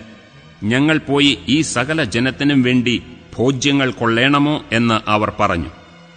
ഏകദേശം അയ്യായിരം പുരുഷന്മാർ ഉണ്ടായിരുന്നു. പിന്നെ അവൻ തന്റെ ശിഷ്യന്മാരോട് അവരെ അമ്പത് വീതം പന്തി പന്തിയായി ഇരുത്തുവീൻ എന്ന് പറഞ്ഞു. അവർ അങ്ങനെ ചെയ്തു എല്ലാവരെയും ഇരുത്തി. അവൻ ആ അഞ്ചപ്പവും രണ്ടു മീനും എടുത്തുകൊണ്ട് സ്വർഗത്തേക്ക് നോക്കി അവയെ അനുഗ്രഹിച്ച് നുറുക്കി പുരുഷാരത്തിന് വിളമ്പുവാൻ ശിഷ്യന്മാരുടെ കയ്യിൽ കൊടുത്തു. എല്ലാവരും തിന്ന് തൃപ്തരായി. ശേഷിച്ച കഷണം പന്ത്രണ്ട് കൊട്ടയെടുത്തു അവൻ തനിച്ച് പ്രാർത്ഥിച്ചുകൊണ്ടിരിക്കുമ്പോൾ ശിഷ്യന്മാർ കൂടെ ഉണ്ടായിരുന്നു. അവൻ അവരോട് പുരുഷാരം എന്നെ ആരെന്ന് പറയുന്നു? എന്ന് ചോദിച്ചു. യോഹന്നാൻ സ്നാപകനെന്നും ചിലർ ഏലിയാവെന്നും മറ്റു ചിലർ പുരാതന പ്രവാചകന്മാരിൽ ഒരുത്തൻ ഉയർത്തെഴുന്നേറ്റു എന്നും പറയുന്നു എന്നവർ ഉത്തരം പറഞ്ഞു. അവൻ അവരോട് എന്നാൽ നിങ്ങൾ എന്നെ ആരെന്ന് പറയുന്നു? എന്ന് ചോദിച്ചതിന് ദൈവത്തിന്റെ ക്രിസ്തു എന്ന് പത്രോസ് ഉത്തരം പറഞ്ഞു. ഇതാരോടും പറയരുതെന്ന് അവൻ അവരോട് അമർച്ചയായിട്ട് കൽപ്പിച്ചു. മനുഷ്യപുത്രൻ പലതും സഹിക്കുകയും മൂപ്പന്മാർ മഹാപുരോഹിതന്മാർ ശാസ്ത്രികൾ എന്നിവർ അവനെ തള്ളിക്കളഞ്ഞ് കൊല്ലുകയും അവൻ മൂന്നാം നാൾ ഉയർത്തെഴുന്നേൽക്കുകയും വേണം എന്നു പറഞ്ഞു. പിന്നെ അവൻ എല്ലാവരോടും പറഞ്ഞത് എന്നെ അനുഗമിപ്പാൻ ഒരുത്തനിച്ഛിച്ചാൽ അവൻ തന്നെത്താൻ നിഷേധിച്ച് നാൾ തോറും തന്റെ ക്രൂശ് എടുത്തും കൊണ്ട് എന്നെ അനുഗമിക്കട്ടെ. ആരെങ്കിലും തന്റെ ജീവനെ രക്ഷിപ്പാൻ ഇച്ഛിച്ചാൽ അതിനെ കളയും എന്റെ നിമിത്തം ആരെങ്കിലും തന്റെ ജീവനെ കളഞ്ഞാലോ അതിനെ രക്ഷിക്കും. ഒരു മനുഷ്യൻ സർവലോകവും നേടിയിട്ട് തന്നെത്താൻ നഷ്ടമാക്കി കളയുകയോ ഛേദം വരുത്തുകയോ ചെയ്താൽ അവൻ എന്തു പ്രയോജനം? ആരെങ്കിലും എന്നെയും എന്റെ വചനങ്ങളെയും കുറിച്ച് നാണിച്ചാൽ അവനെക്കുറിച്ച് മനുഷ്യപുത്രൻ തന്റെയും പിതാവിന്റെയും വിശുദ്ധ ദൂതന്മാരുടെയും മഹത്വത്തിൽ വരുമ്പോൾ നാണിക്കും. എന്നാൽ ദൈവരാജ്യം കാണുവോളം മരണം ആസ്വദിക്കാത്തവർ ചിലർ ഇവിടെ നിൽക്കുന്നവരിലുണ്ട് സത്യം എന്ന് ഞാൻ നിങ്ങളോട് പറയുന്നു. ഈ വാക്കുകളെ പറഞ്ഞിട്ട് ഏകദേശം എട്ടു നാൾ കഴിഞ്ഞപ്പോൾ അവൻ പത്രോസിനെയും യോഹന്നാനെയും യാക്കോബിനെയും കൂട്ടിക്കൊണ്ട് പ്രാർത്ഥിപ്പാൻ മലയിൽ കയറിപ്പോയി. അവൻ പ്രാർത്ഥിക്കുമ്പോൾ മുഖത്തിന്റെ ഭാവം മാറി. ഉടുപ്പ് മിന്നുന്ന വെള്ളയായും തീർന്നു. രണ്ട് പുരുഷന്മാർ അവനോട് സംഭാഷിച്ചു. മോശയും ഏലിയാവും തന്നെ. അവർ തേജസ്സിൽ പ്രത്യക്ഷരായി അവൻ യെരുശലേമിൽ പ്രാപിപ്പാനുള്ള നിര്യാണത്തെക്കുറിച്ച് സംസാരിച്ചു. പത്രോസും കൂടെയുള്ളവരും ഉറക്കത്താൽ ഭാരപ്പെട്ടിരുന്നു. ഉണർന്ന ശേഷം അവന്റെ തേജസ്സിനെയും അവനോടുകൂടെ നിൽക്കുന്ന രണ്ട് പുരുഷന്മാരെയും കണ്ടു. അവർ അവനെ വിട്ടുപിരിയുമ്പോൾ പത്രോസ് യേശുവിനോട് ഗുരു നാം ഇവിടെ ഇരിക്കുന്നത് നല്ലത്. ഞങ്ങൾ മൂന്ന് കുടിൽ ഉണ്ടാക്കട്ടെ. ഒന്ന് നിനക്കും ഒന്ന് മോശയ്ക്കും ഒന്ന് ഏലിയാവിനും എന്ന് താൻ പറയുന്നത് ഇന്നത് എന്ന് അറിയാതെ പറഞ്ഞു. ഇത് പറയുമ്പോൾ ഒരു മേഘം വന്ന് അവരുടെ മേൽ നിഴലിട്ടു. അവർ മേഘത്തിലായപ്പോൾ പേടിച്ചു. മേഘത്തിൽ നിന്ന് ഇവൻ എന്റെ പ്രിയപുത്രൻ ഇവന് ചെവി കൊടുപ്പീൻ എന്നൊരു ശബ്ദമുണ്ടായി. ശബ്ദമുണ്ടായ നേരത്ത് യേശുവിനെ തനിയെ കണ്ടു. അവർ കണ്ടതൊന്നും ആ നാളുകളിൽ ആരോടും അറിയിക്കാതെ മൗനമായിരുന്നു. പിറ്റേനാൾ അവർ മലയിൽ നിന്ന് ഇറങ്ങി വന്നപ്പോൾ ബഹുപുരുഷാരം അവനെ എതിരേറ്റു. കൂട്ടത്തിൽ നിന്ന് ഒരാൾ നിലവിളിച്ചു ഗുരു എന്റെ മകനെ കടാക്ഷിക്കണമെന്ന് ഞാൻ നിന്നോട് അപേക്ഷിക്കുന്നു. അവൻ എനിക്ക് ഏകജാതനാകുന്നു. ഒരാത്മാവ് അവനെ പിടിച്ചിട്ട് അവൻ പൊടുന്നനവെ നിലവിളിക്കുന്നു. അതവനെ നുരപ്പിച്ച് പിടപ്പിക്കുന്നു. പിന്നെ അവനെ ഞെരിച്ചിട്ട് പ്രയാസത്തോടെ വിട്ടുമാറുന്നു. അതിനെ പുറത്താക്കുവാൻ നിന്റെ ശിഷ്യന്മാരോട് അപേക്ഷിച്ചു എങ്കിലും അവർക്ക് കഴിഞ്ഞില്ല എന്ന് പറഞ്ഞു. അതിന് യേശു അവിശ്വാസവും കോട്ടവുമുള്ള തലമുറയെ എത്രത്തോളം ഞാൻ നിങ്ങളോടുകൂടെ ഇരുന്ന് നിങ്ങളെ സഹിക്കും? നിന്റെ മകനെ ഇവിടെ കൊണ്ടുവരിക എന്നുത്തരം പറഞ്ഞു. അവൻ വരുമ്പോൾ തന്നെ ഭൂതം അവനെ തള്ളിയിട്ട് പിടപ്പിച്ചു. യേശു അശുദ്ധാത്മാവിനെ ശാസിച്ച് ബാലനെ സൗഖ്യമാക്കി അപ്പനെ ഏൽപ്പിച്ചു. എല്ലാവരും ദൈവത്തിന്റെ മഹിമയെങ്കിൽ വിസ്മയിച്ചു. യേശു ചെയ്യുന്നതിലൊക്കെയും എല്ലാവരും ആശ്ചര്യപ്പെടുമ്പോൾ അവൻ തന്റെ ശിഷ്യന്മാരോട് നിങ്ങൾ ഈ വാക്ക് ശ്രദ്ധിച്ചു കേട്ടുകൊള്ളുവീൻ മനുഷ്യപുത്രൻ മനുഷ്യരുടെ കയ്യിൽ ഏൽപ്പിക്കപ്പെടുവാൻ പോകുന്നു എന്ന് പറഞ്ഞു. ആ വാക്ക് അവർ ഗ്രഹിച്ചില്ല. അത് തിരിച്ചറിയാതവണ്ണം അവർക്ക് മറഞ്ഞിരുന്നു. ആ വാക്ക് സംബന്ധിച്ച് അവനോട് ചോദിപ്പാൻ അവർ ശങ്കിച്ചു. അവരിൽ വെച്ച് ആർ വലിയവനെന്ന് ഒരു വാദം അവരുടെ ഇടയിൽ നടന്നു. യേശു അവരുടെ ഹൃദയവിചാരം കണ്ട് ഒരു ശിശുവിനെ എടുത്ത് അരികെ നിർത്തി. ഈ ശിശുവിനെ എന്റെ നാമത്തിൽ ആരെങ്കിലും കൈക്കൊണ്ടാൽ എന്നെ കൈക്കൊള്ളുന്നു. എന്നെ കൈക്കൊള്ളുന്നവനോ എന്നെ അയച്ചവനെ കൈക്കൊള്ളുന്നു. നിങ്ങളെല്ലാവരിലും ചെറിയവനായവനത്രേ. വലിയവനാകും എന്ന് അവരോട് പറഞ്ഞു. നാഥ ഒരുത്തൻ നിന്റെ നാമത്തിൽ ഭൂതങ്ങളെ പുറത്താക്കുന്നത് ഞങ്ങൾ കണ്ടു. ഞങ്ങളോടുകൂടെ നിന്നെ അനുഗമിക്കായികയാൽ അവനെ വിരോധിച്ചു എന്ന് യോഹന്നാൻ പറഞ്ഞതിന് യേശു അവനോട് വിരോധിക്കരുത്. നിങ്ങൾക്ക് പ്രതികൂലമല്ലാത്തവൻ നിങ്ങൾക്ക് അനുകൂലമല്ലോ എന്ന് പറഞ്ഞു. അവന്റെ ആരോഹണത്തിനുള്ള കാലം തികയാറായപ്പോൾ അവൻ എരുശിലേമിലേക്ക് യാത്രയാവാൻ മനസ്സുറപ്പിച്ച് തനിക്ക് മുമ്പായി ദൂതന്മാരെ അയച്ചു. അവർ പോയി അവനായി വട്ടം കൂട്ടേണ്ടതിന് ശമര്യക്കാരുടെ ഒരു ഗ്രാമത്തിൽ ചെന്നു. എന്നാൽ അവൻ എരുശിലേമിലേക്ക് പോകുവാൻ ഭാവിച്ചിരിക്കയാൽ അവർ അവനെ കൈക്കൊണ്ടില്ല. അത് അവന്റെ ശിഷ്യന്മാരായ യാക്കോബും യോഹന്നാനും കണ്ടിട്ട് കർത്താവെ ഏലിയാവ് ചെയ്തതുപോലെ ആകാശത്തു നിന്ന് തീ ഇറങ്ങി അവരെ നശിപ്പിപ്പാൻ ഞങ്ങൾ പറയുന്നത് നിനക്ക് സമ്മതമോ എന്ന് ചോദിച്ചു. അവൻ തിരിഞ്ഞ് അവരെ ശാസിച്ചു. നിങ്ങൾ ഏതാത്മാവിന് അധീനരെന്ന് നിങ്ങൾ അറിയുന്നില്ല.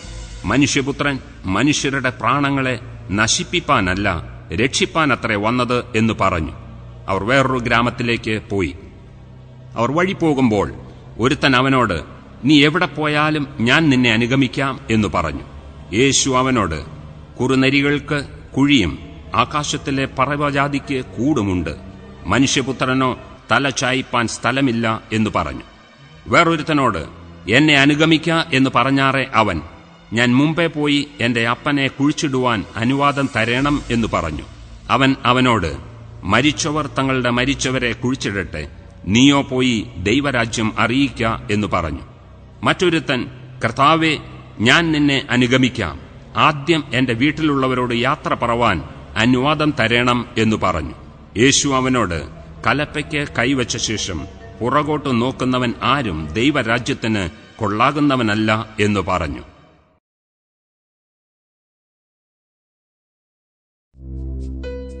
അധ്യായം പത്ത്. അനന്തരം കർത്താവ് വേറെ എഴുപത് പേരെ നിയമിച്ചു. താൻ ചെല്ലുവാനുള്ള ഓരോ പട്ടണത്തിലേക്കും സ്ഥലത്തിലേക്കും അവരെ തനിക്ക് മുമ്പായി ഈരണ്ടായി അയച്ചു. അവരോട് പറഞ്ഞത് കൊയ്ത്ത് വളരെ ഉണ്ട് സത്യം. വേലക്കാരോ ചുരുക്കം. ആകയാൽ കൊയ്ത്തിന്റെ യജമാനോട് തന്റെ കൊയ്ത്തിന് വേലക്കാരെ അയക്കേണ്ടതിന് അപേക്ഷിപ്പിൻ. പോകുവിൻ.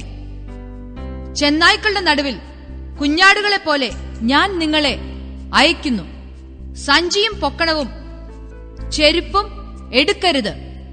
വഴിയിൽ വെച്ച് ആരെയും വന്ദനം ചെയ്യുകയും അരുത്. ഏത് വീട്ടിലെങ്കിലും ചെന്നാൽ ഈ വീട്ടിന് സമാധാനം എന്ന് ആദ്യം പറവിൻ.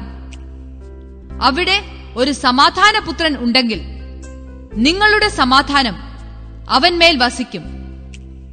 ഇല്ലെന്ന് വരികിലോ നിങ്ങളിലേക്ക് മടങ്ങിപ്പോരും. അവർ തരുന്നത് തിന്നും കുടിച്ചും കൊണ്ട് ആ വീട്ടിൽ തന്നെ പാർപ്പിൻ. വേലക്കാരൻ തന്റെ കൂലിക്ക് യോഗ്യനല്ലോ. വീട്ടിൽ നിന്ന് വീട്ടിലേക്ക് മാറിപ്പോകരുത്. ഏത് പട്ടണത്തിലെങ്കിലും ചെന്നാൽ അവർ നിങ്ങളെ കൈക്കൊള്ളുന്നു എങ്കിൽ നിങ്ങളുടെ മുമ്പിൽ വെക്കുന്നത് ഭക്ഷിപ്പിൻ. അതിലെ രോഗികളെ സൗഖ്യമാക്കി ദൈവരാജ്യം നിങ്ങൾക്ക് സമീപിച്ചു വന്നിരിക്കുന്നുവെന്ന് അവരോട് പറവിൻ. ഏത് പട്ടണത്തിലെങ്കിലും ചെന്നാൽ അവർ നിങ്ങളെ കൈക്കൊള്ളുന്നില്ലെങ്കിൽ അതിന്റെ തെരുക്കളിൽ പോയി നിങ്ങളുടെ പട്ടണത്തിൽ നിന്ന് ഞങ്ങളുടെ കാലിന് പറ്റിയ പൊടിയും ഞങ്ങൾ നിങ്ങൾക്ക് കുടഞ്ഞേച്ചു പോകുന്നു. എന്നാൽ ദൈവരാജ്യം സമീപിച്ചു വന്നിരിക്കുന്നുവെന്ന് അറിഞ്ഞുകൊള്ളുവിൻ എന്ന് പറവിൻ. ആ പട്ടണത്തെക്കാൾ സോതോമ്യർക്ക് ആ നാളിൽ സഹിക്കാവതാകും എന്ന് ഞാൻ നിങ്ങളോട് പറയുന്നു. കോരസീനെ നിനക്കയ്യോ കഷ്ടം. ബേത്സൈദെ നിനക്കയ്യോ കഷ്ടം. നിങ്ങളിൽ നടന്ന വീര്യപ്രവൃത്തികൾ സോരിലും സീതോനിലും നടന്നിരുന്നുവെങ്കിൽ അവർ പണ്ട് തന്നെ രട്ടിലും വെണ്ണീരിലും ഇരുന്ന് മാനസാന്തരപ്പെടുമായിരുന്നു. എന്നാൽ ന്യായവിധിയിൽ നിങ്ങളെക്കാൾ സോരനും സീതോനും സഹിക്കാവതാകും. നീയോ കഫർണഹൂമേ സ്വർഗത്തോളം ഉയർന്നിരിക്കുമോ? നീ പാതാളത്തോളം താണുപോകും. നിങ്ങളുടെ വാക്ക് കേൾക്കുന്നവൻ എന്റെ വാക്കു കേൾക്കുന്നു. നിങ്ങളെ തള്ളുന്നവൻ എന്നെ തള്ളുന്നു. എന്നെ തള്ളുന്നവൻ എന്നെ അയച്ചവനെ തള്ളുന്നു. ആ എഴുപത് പേർ സന്തോഷത്തോടെ മടങ്ങി വന്നു. കർത്താവെ നിന്റെ നാമത്തിൽ ഭൂതങ്ങളും ഞങ്ങൾക്ക് കീഴടങ്ങുന്നു എന്ന് പറഞ്ഞു. അവൻ അവരോട് സാത്താൻ മിന്നൽ പോലെ ആകാശത്തു നിന്ന് വീഴുന്നത് ഞാൻ കണ്ടു. പാമ്പുകളെയും തേളുകളെയും ശത്രുവിന്റെ സകല ബലത്തെയും ചവിട്ടുവാൻ ഞാൻ നിങ്ങൾക്ക് അധികാരം തരുന്നു. ഒന്നും നിങ്ങൾക്ക് ഒരിക്കലും ദോഷം വരുത്തുകയും ഇല്ല. എങ്കിലും ഭൂതങ്ങൾ നിങ്ങൾക്ക് കീഴടങ്ങുന്നതിലല്ല. നിങ്ങളുടെ പേർ സ്വർഗത്തിൽ എഴുതിയിരിക്കുന്നതിൽ അത്രേ സന്തോഷിപ്പിൻ. ആ നാഴികയിൽ അവൻ പരിശുദ്ധാത്മാവിൽ ആനന്ദിച്ചു പറഞ്ഞത് പിതാവേ സ്വർഗത്തിനും ഭൂമിക്കും കർത്താവായുള്ളവേ നീ ഇവ ജ്ഞാനികൾക്കും വിവേകികൾക്കും മറച്ച് ശിശുക്കൾക്ക് വെളിപ്പെടുത്തിയതുകൊണ്ട് ഞാൻ നിന്നെ വാഴ്ത്തുന്നു. അതേ പിതാവേ ഇങ്ങനെ നിനക്ക് പ്രസാദം തോന്നിയല്ലോ. എന്റെ പിതാവ് സകലവും എങ്കൽ ഭരമേൽപ്പിച്ചിരിക്കുന്നു. പുത്രൻ ഇന്നവനെന്ന് പിതാവല്ലാതെ ആരും അറിയുന്നില്ല.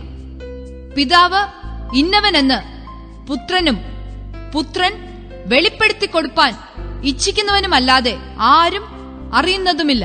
പിന്നെ ശിഷ്യന്മാരുടെ നേരെ തിരിഞ്ഞു. നിങ്ങൾ കാണുന്നതിനെ കാണുന്ന കണ്ണ് ഭാഗ്യമുള്ളത്. നിങ്ങൾ കാണുന്നതിനെ കാൺമാൻ ഏറിയ പ്രവാചകന്മാരും രാജാക്കന്മാരും ഇച്ഛിച്ചിട്ടും കണ്ടില്ല. നിങ്ങൾ കേൾക്കുന്നതിനെ കേൾപ്പാൻ ഇച്ഛിച്ചിട്ടും കേട്ടില്ല എന്ന് ഞാൻ നിങ്ങളോട് പറയുന്നുവെന്ന് പ്രത്യേകം പറഞ്ഞു. അനന്തരം ഒരു ന്യായശാസ്ത്രി എഴുന്നേറ്റ് ഗുരു ഞാൻ നിത്യജീവന് അവകാശിയായി തീരുവാൻ എന്തു ചെയ്യണമെന്ന് അവനെ പരീക്ഷിച്ചു ചോദിച്ചു. അവൻ അവനോട് ന്യായപ്രമാണത്തിൽ എന്തെഴുതിയിരിക്കുന്നു?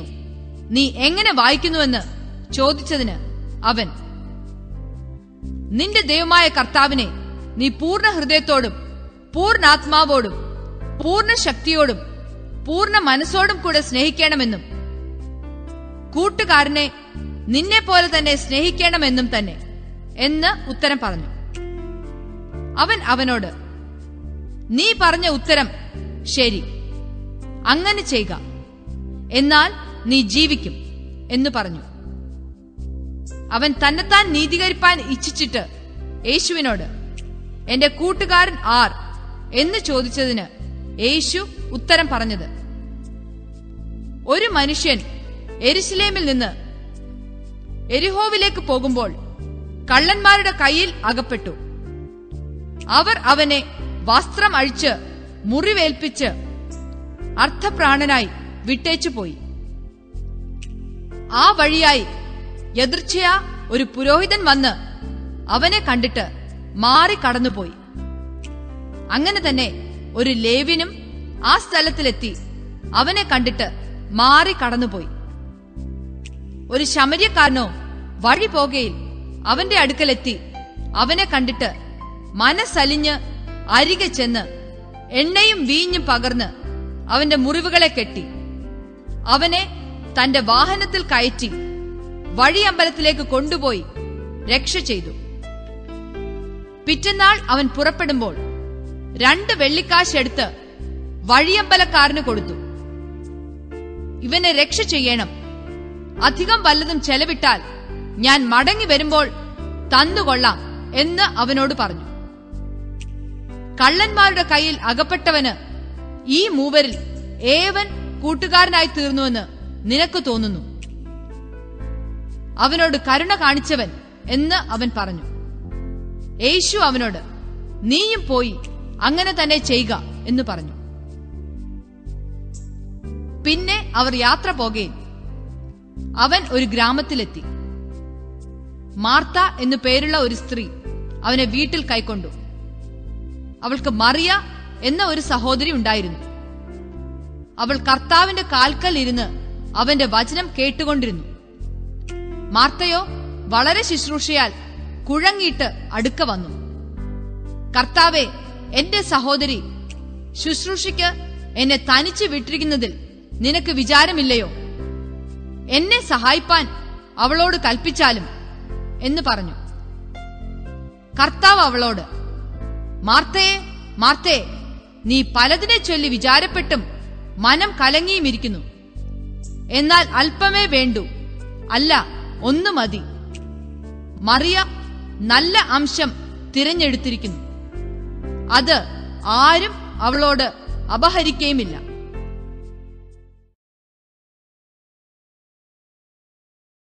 അധ്യായം പതിനൊന്ന്. അവൻ ഒരു സ്ഥലത്ത് പ്രാർത്ഥിച്ചുകൊണ്ടിരുന്നു. തീർന്ന ശേഷം ശിഷ്യന്മാരിൽ ഒരുത്തൻ അവനോട് കർത്താവെ യോഹന്നാൻ തന്റെ ശിഷ്യന്മാരെ പഠിപ്പിച്ചതുപോലെ ഞങ്ങളെയും പ്രാർത്ഥിപ്പാൻ പഠിപ്പിക്കണമേ എന്ന് പറഞ്ഞു. അവൻ അവരോട് പറഞ്ഞത് നിങ്ങൾ പ്രാർത്ഥിക്കുമ്പോൾ ചൊല്ലേണ്ടിയത് സ്വർഗസ്ഥനായ ഞങ്ങളുടെ പിതാവേ നിന്റെ നാമം വിശുദ്ധീകരിക്കപ്പെടണമേ നിന്റെ രാജ്യം വരേണമേ നിന്റെ ഇഷ്ടം സ്വർഗത്തിലെ പോലെ ഭൂമിയിലും ആകേണമേ. ഞങ്ങൾക്ക് ആവശ്യമുള്ള ആഹാരം ദിനം പ്രതി തരേണമേ. ഞങ്ങളുടെ പാപങ്ങളെ ഞങ്ങളോട് ക്ഷമിക്കണമേ. ഞങ്ങൾക്ക് കടംപെട്ടിരിക്കുന്ന ഏവനോടും ഞങ്ങളും ക്ഷമിക്കുന്നു. ഞങ്ങളെ പരീക്ഷയിൽ കടത്തരുതേ. ദുഷ്ടങ്കൽ നിന്ന് ഞങ്ങളെ വിടിവിക്കണമേ. പിന്നെ അവൻ അവരോട് പറഞ്ഞത് നിങ്ങളിൽ ആർക്കെങ്കിലും ഒരു സ്നേഹിതൻ ഉണ്ട് എന്നിരിക്കട്ടെ. അവൻ അർദ്ധരാത്രിക്ക് അവന്റെ അടുക്കൽ ചെന്ന് സ്നേഹിത എനിക്ക് മൂന്നപ്പം വായ്പ തരണം. എന്റെ ഒരു സ്നേഹിതൻ വഴിയാത്രയിൽ എന്റെ അടുക്കൽ വന്നു. അവന് വിളമ്പിക്കൊടുപ്പാൻ എന്റെ പക്കൽ ഏതുമില്ല എന്ന് അവനോട് പറഞ്ഞാൽ എന്നെ പ്രയാസപ്പെടുത്തരുത്. കഥക് അടച്ചിരിക്കുന്നു. പൈതങ്ങളും എന്നോടുകൂടെ കിടക്കുന്നു.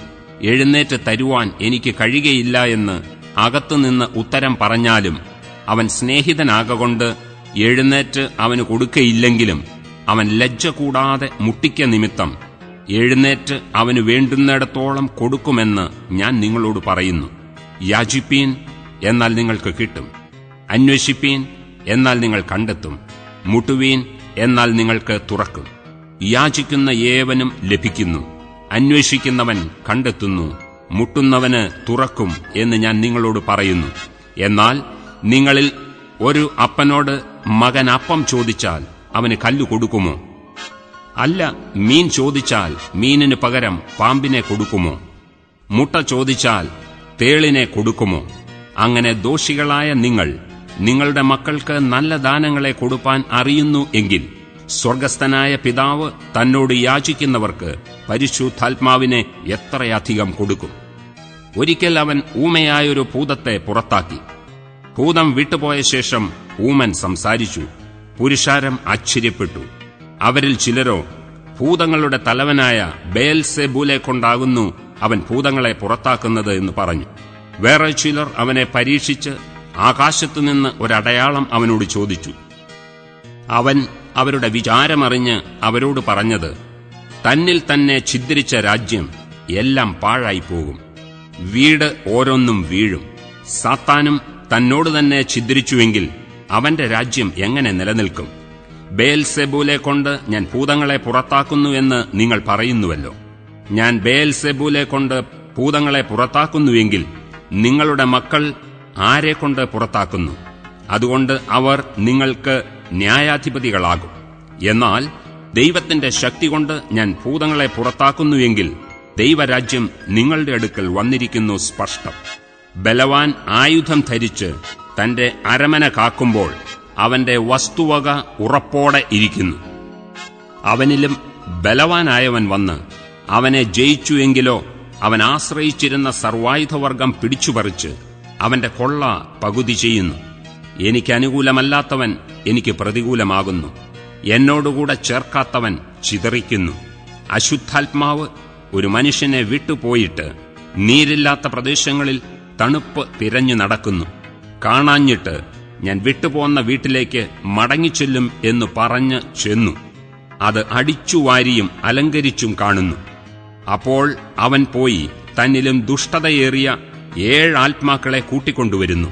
അവയും അതിൽ കടന്നു പാർത്തിട്ട് ആ മനുഷ്യന്റെ പിന്നത്തെ സ്ഥിതി മുമ്പലത്തേതിനേക്കാൾ വല്ലാതെയായി ഭവിക്കും.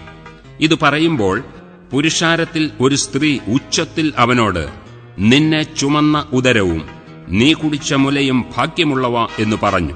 അതിനവൻ അല്ല ദൈവത്തിന്റെ വചനം കേട്ട് പ്രമാണിക്കുന്നവർ അത്രേ ഭാഗ്യവാൻമാർ എന്നു പറഞ്ഞു. പുരുഷാരം തിങ്ങിക്കൂടിയപ്പോൾ അവൻ പറഞ്ഞു തുടങ്ങിയത് ഈ തലമുറ ദോഷമുള്ള തലമുറയാകുന്നു. അത് അടയാളം അന്വേഷിക്കുന്നു. യോനയുടെ അടയാളമല്ലാതെ അതിന് ഒരു അടയാളവും കൊടുക്കയില്ല. യോന നിലവേക്കാർക്ക് അടയാളമായതുപോലെ മനുഷ്യപുത്രൻ ഈ തലമുറയ്ക്കും ആകും. തെക്കേ രാജ്ഞി ന്യായവിധിയിൽ ഈ തലമുറയിലെ ആളുകളോട് ഒന്നിച്ച് ഉയർത്തെഴുന്നേറ്റ് അവരെ കുറ്റം വിധിക്കും. അവൾ ശലോമോന്റെ ജ്ഞാനം കേൾപ്പാൻ ഭൂമിയുടെ അറുതികളിൽ നിന്ന് വന്നുവല്ലോ. ഇവിടെ ഇതാ ശലോമോനിലും വലിയവൻ. നിനവേക്കാർ ന്യായവിധിയിൽ ഈ തലമുറയോട് ഒന്നിച്ചെഴുന്നേറ്റ് അതിനെ കുറ്റം വിധിക്കും. അവർ യോനയുടെ പ്രസംഗം കേട്ട് മാനസാന്തരപ്പെട്ടുവല്ലോ. ഇവിടെ ഇതാ യോനയിലും വലിയവൻ. വിളക്ക് കൊളുത്തിയിട്ട് ആരും നിലവറയിലോ പറയിൻ കീഴിലോ വയ്ക്കാതെ അകത്തു വരുന്നവർ വെളിച്ചം കാണേണ്ടതിന് തണ്ടിന്മേലത്രേ വയ്ക്കുന്നത് ശരീരത്തിന്റെ വിളക്ക് കണ്ണാകുന്നു. കണ്ണ് ചൊവ്വുള്ളതെങ്കിൽ ശരീരം മുഴുവനും പ്രകാശിതമായിരിക്കും. ദോഷമുള്ളതാകിലോ ശരീരവും ഇരുട്ടുള്ളത് തന്നെ. ആകയാൽ നിന്നിലുള്ള വെളിച്ചം ഇരുളാകാതിരിപ്പാൻ നോക്കുക. നിന്റെ ശരീരം അന്ധകാരമുള്ള അംശം ഒട്ടുമില്ലാതെ മുഴുവനും പ്രകാശിതമായിരുന്നാൽ വിളക്ക് തിളക്കം കൊണ്ട് നിന്നെ പ്രകാശിപ്പിക്കും പോലെ അശേഷം പ്രകാശിതമായിരിക്കും. അവൻ സംസാരിക്കുമ്പോൾ തന്നെ ഒരു പരീശൻ തന്നോടുകൂടെ മുത്താഴം കഴിപ്പാൻ അവനെ ക്ഷണിച്ചു. അവനും അകത്തു കടന്ന് ഭക്ഷണത്തിനിരുന്നു. മുത്താഴത്തിന് മുമ്പേ കുളിച്ചില്ല എന്ന് കണ്ടിട്ട് പരീശൻ ആശ്ചര്യപ്പെട്ടു. കർത്താവ് അവനോട് പരീശന്മാരായ നിങ്ങൾ കിണ്ടി കിണ്ണങ്ങളുടെ പുറം വെടിപ്പാക്കുന്നു. നിങ്ങളുടെ ഉള്ളിലോ കവർച്ചയും ദുഷ്ടതയും നിറഞ്ഞിരിക്കുന്നു. മൂഢന്മാരെ പുറമുണ്ടാക്കിയവൻ അല്ലയോ അകവുമുണ്ടാക്കിയത്? അകത്തുള്ളത് ഭിക്ഷയായി കൊടുപ്പീൻ എന്നാൽ സകലവും നിങ്ങൾക്ക് ശുദ്ധമാകും എന്ന് പറഞ്ഞു. പരീശന്മാരായ നിങ്ങൾക്ക് അയ്യോ കഷ്ടം. നിങ്ങൾ തുളസിയിലും അരൂതയിലും എല്ലാ ചീരയിലും പതാരം കൊടുക്കുകയും ന്യായവും ദൈവസ്നേഹവും വിട്ടുകളയുകയും ചെയ്യുന്നു. ഇത് ചെയ്യുകയും അത് ത്യജിക്കാതിരിക്കുകയും വേണം. പരീശന്മാരായ നിങ്ങൾക്ക് അയ്യോ കഷ്ടം. നിങ്ങൾക്ക് പള്ളിയിൽ മുഖ്യാസനവും അങ്ങാടിയിൽ വന്ദനവും പ്രിയമാകുന്നു. നിങ്ങൾക്കയ്യോ കഷ്ടം. നിങ്ങൾ കാണുവാൻ കഴിയാത്ത കല്ലറകളെപ്പോലെ ആകുന്നു. അവയുടെ മീതെ നടക്കുന്ന മനുഷ്യർ അറിയുന്നില്ല. ന്യായശാസ്ത്രിമാരിൽ ഒരുത്തൻ അവനോട് ഗുരു ഇങ്ങനെ പറയുന്നതിനാൽ നീ ഞങ്ങളെയും അപമാനിക്കുന്നു എന്ന് പറഞ്ഞു. അതിനവൻ പറഞ്ഞത് ന്യായശാസ്ത്രിമാരായ നിങ്ങൾക്കും അയ്യോ കഷ്ടം. എടുപ്പാൻ പ്രയാസമുള്ള ചുമടുകളെ നിങ്ങൾ മനുഷ്യരെ കൊണ്ട് ചുമപ്പിക്കുന്നു. നിങ്ങൾ ഒരു വിരൽ കൊണ്ടുപോലും ആ ചുമടുകളെ തൊടുന്നില്ല. നിങ്ങൾ കയ്യോ കഷ്ടം. നിങ്ങൾ പ്രവാചകന്മാരുടെ കല്ലറകളെ പണിയുന്നു. നിങ്ങളുടെ പിതാക്കന്മാർ അവരെ കൊന്നു. അതിനാൽ നിങ്ങളുടെ പിതാക്കന്മാരുടെ പ്രവർത്തികൾക്ക് നിങ്ങൾ സാക്ഷികളായിരിക്കുകയും സമ്മതിക്കുകയും ചെയ്യുന്നു. അവർ അവരെ കൊന്നു. നിങ്ങൾ അവരുടെ കല്ലറകളെ പണിയുന്നു. അതുകൊണ്ട് ദൈവത്തിന്റെ ജ്ഞാനവും പറയുന്നത് ഞാൻ പ്രവാചകന്മാരെയും അപ്പോസ്തലന്മാരെയും അവരുടെ അടുക്കൽ അയക്കുന്നു അവരിൽ ചിലരെ അവർ കൊല്ലുകയും ഉപദ്രവിക്കുകയും ചെയ്യും. ഹാബേലിന്റെ രക്തം തുടങ്ങി. യാഗപീഠത്തിനും ആലയത്തിനും നടുവിൽ വെച്ച് പട്ടുപോയ സെഖരിയാവിന്റെ രക്തം വരെ ലോകസ്ഥാപനം മുതൽ ചൊരിഞ്ഞിരിക്കുന്ന സകല പ്രവാചകന്മാരുടെയും രക്തം ഈ തലമുറയോട് ചോദിപ്പാൻ ഇടവരേണ്ടതിന് തന്നെ. അതെ ഈ തലമുറയോട് അത് ചോദിക്കുമെന്ന് ഞാൻ നിങ്ങളോട് പറയുന്നു. ന്യായശാസ്ത്രിമാരായ നിങ്ങൾക്ക് അയ്യോ കഷ്ടം. നിങ്ങൾ പരിജ്ഞാനത്തിന്റെ താക്കോൽ എടുത്തുകളഞ്ഞു. നിങ്ങൾ തന്നെ കടന്നില്ല കടക്കുന്നവരെ തടുത്തും കളഞ്ഞു. അവൻ അവിടെ വിട്ട് പോകുമ്പോൾ ശാസ്ത്രിമാരും പരീശന്മാരും അവനെ അത്യന്തം വിഷമിപ്പിപ്പാനും അവന്റെ വായിൽ നിന്ന് വല്ലതും പിടിക്കാമോ എന്നുവെച്ച് അവനായി പതിയിരുന്നും കൊണ്ട് പലതിനെയും കുറിച്ച് കുടുക്കു ചോദ്യം ചോദിപ്പാനും തുടങ്ങി.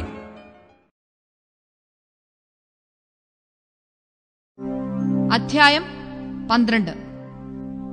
അതിനിടെ പുരുഷാരം തമ്മിൽ ചവിട്ടുവാൻ തക്കവണ്ണം ആയിരം ആയിരമായി തിങ്ങിക്കൂടിയപ്പോൾ അവൻ ആദ്യം ശിഷ്യന്മാരോട് പറഞ്ഞു തുടങ്ങിയത് പരീശന്മാരുടെ പുളിച്ച മാവായ കപടഭക്തി സൂക്ഷിച്ചുകൊള്ളുവിൻ.